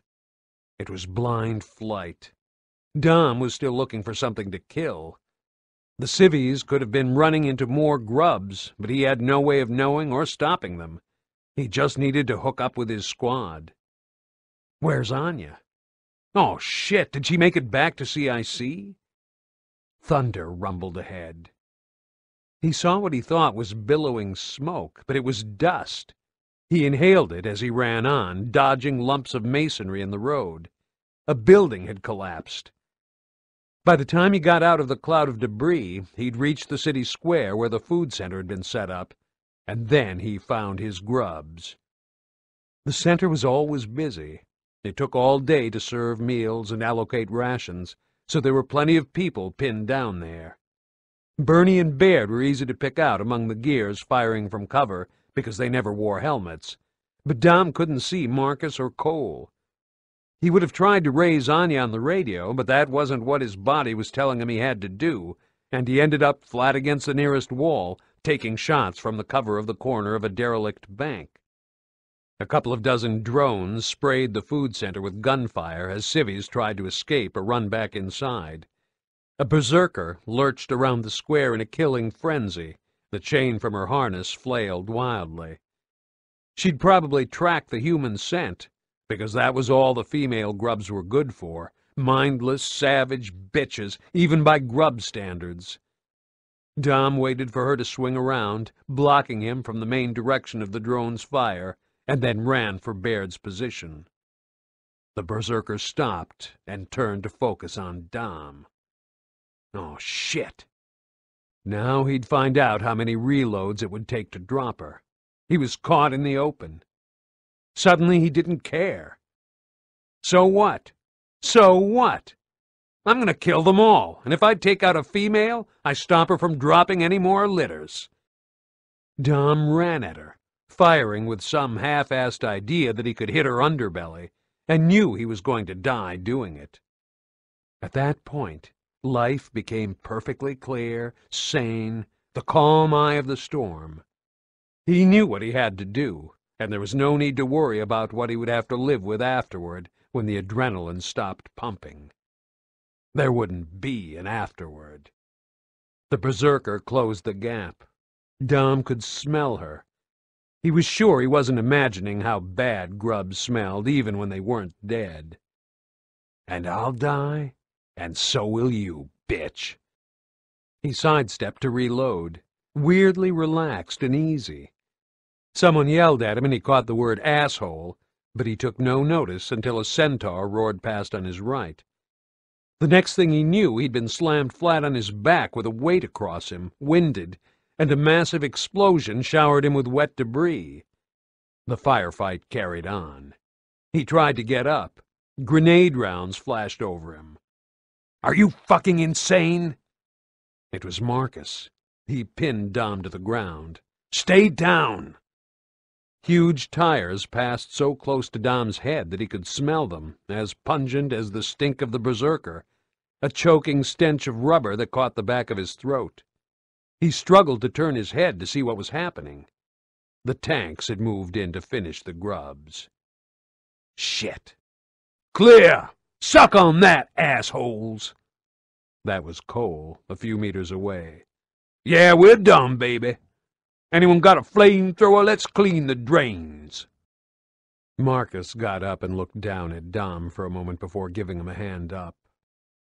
Dom was lobbed back into reality, his detachment suddenly gone, leaving him with a pounding heart and ragged breath. Oh, shit! I'm crazy! Dom, don't do this. Marcus grabbed his shoulder one-handed as if he was going to shake some sense into him. You're going to get through it. There's no point beating these assholes if you throw your life away. Dom could decode Marcus well enough by now. Guilt crashed in on him again. But this time it wasn't about Maria. He tried to be his old self, as much for his own reassurance as for Marcus. Sorry, man. I just get mad. Marcus let go of his shoulder, then walked from grub to grub as if he was tallying the corpses, nodding. I know. Just remember that a centaur round up the ass is going to ruin your day and mine. The centaur gunner leaned out of the tank's top hatch and called down to them. She had a good vantage point way up there. It's not many. I make it less than forty. She pushed back her goggles and pressed her earpiece, listening for a moment. Yeah, small raiding party. We're going to keep getting stragglers, but at least they're down to their womenfolk now. Small by the old standards, Marcus said but not when they get loose among civvies. Dom watched casualties being carried away. They've got to stop sometime.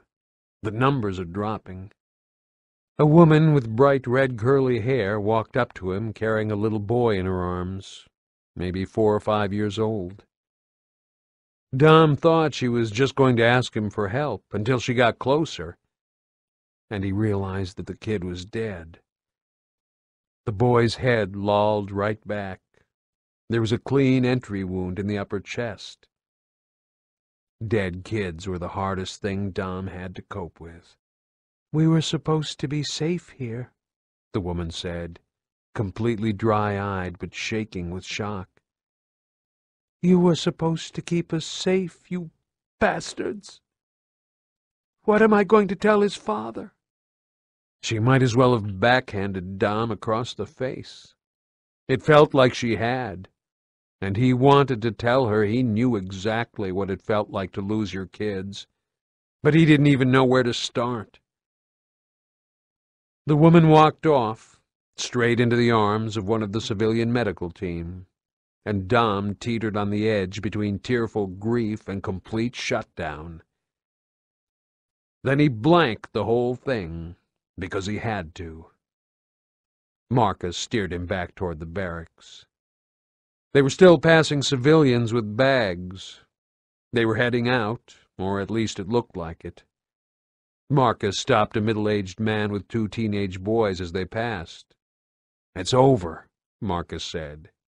You can go home now. Home my ass, the man said. There's no home any more. We're going to find the nearest stranded community. They seem to survive okay. Dom watched them disappear down the road. They weren't alone. He passed a few dozen on the walk back to the old school. Whatever had held people together in Jacinto was starting to come unraveled. Vote of no confidence, Marcus muttered. Over to you, Mr. Chairman. Dom wasn't sure that even Prescott's spin skills could make people feel good about Port Farrall. Like a car wreck, you were relieved to stagger out alive. But then you realized you were hurt and a long way from home with no way of getting back. This was the core of what was left of humankind, and there was no rescue service on the way. Yeah. Shit, said Dom.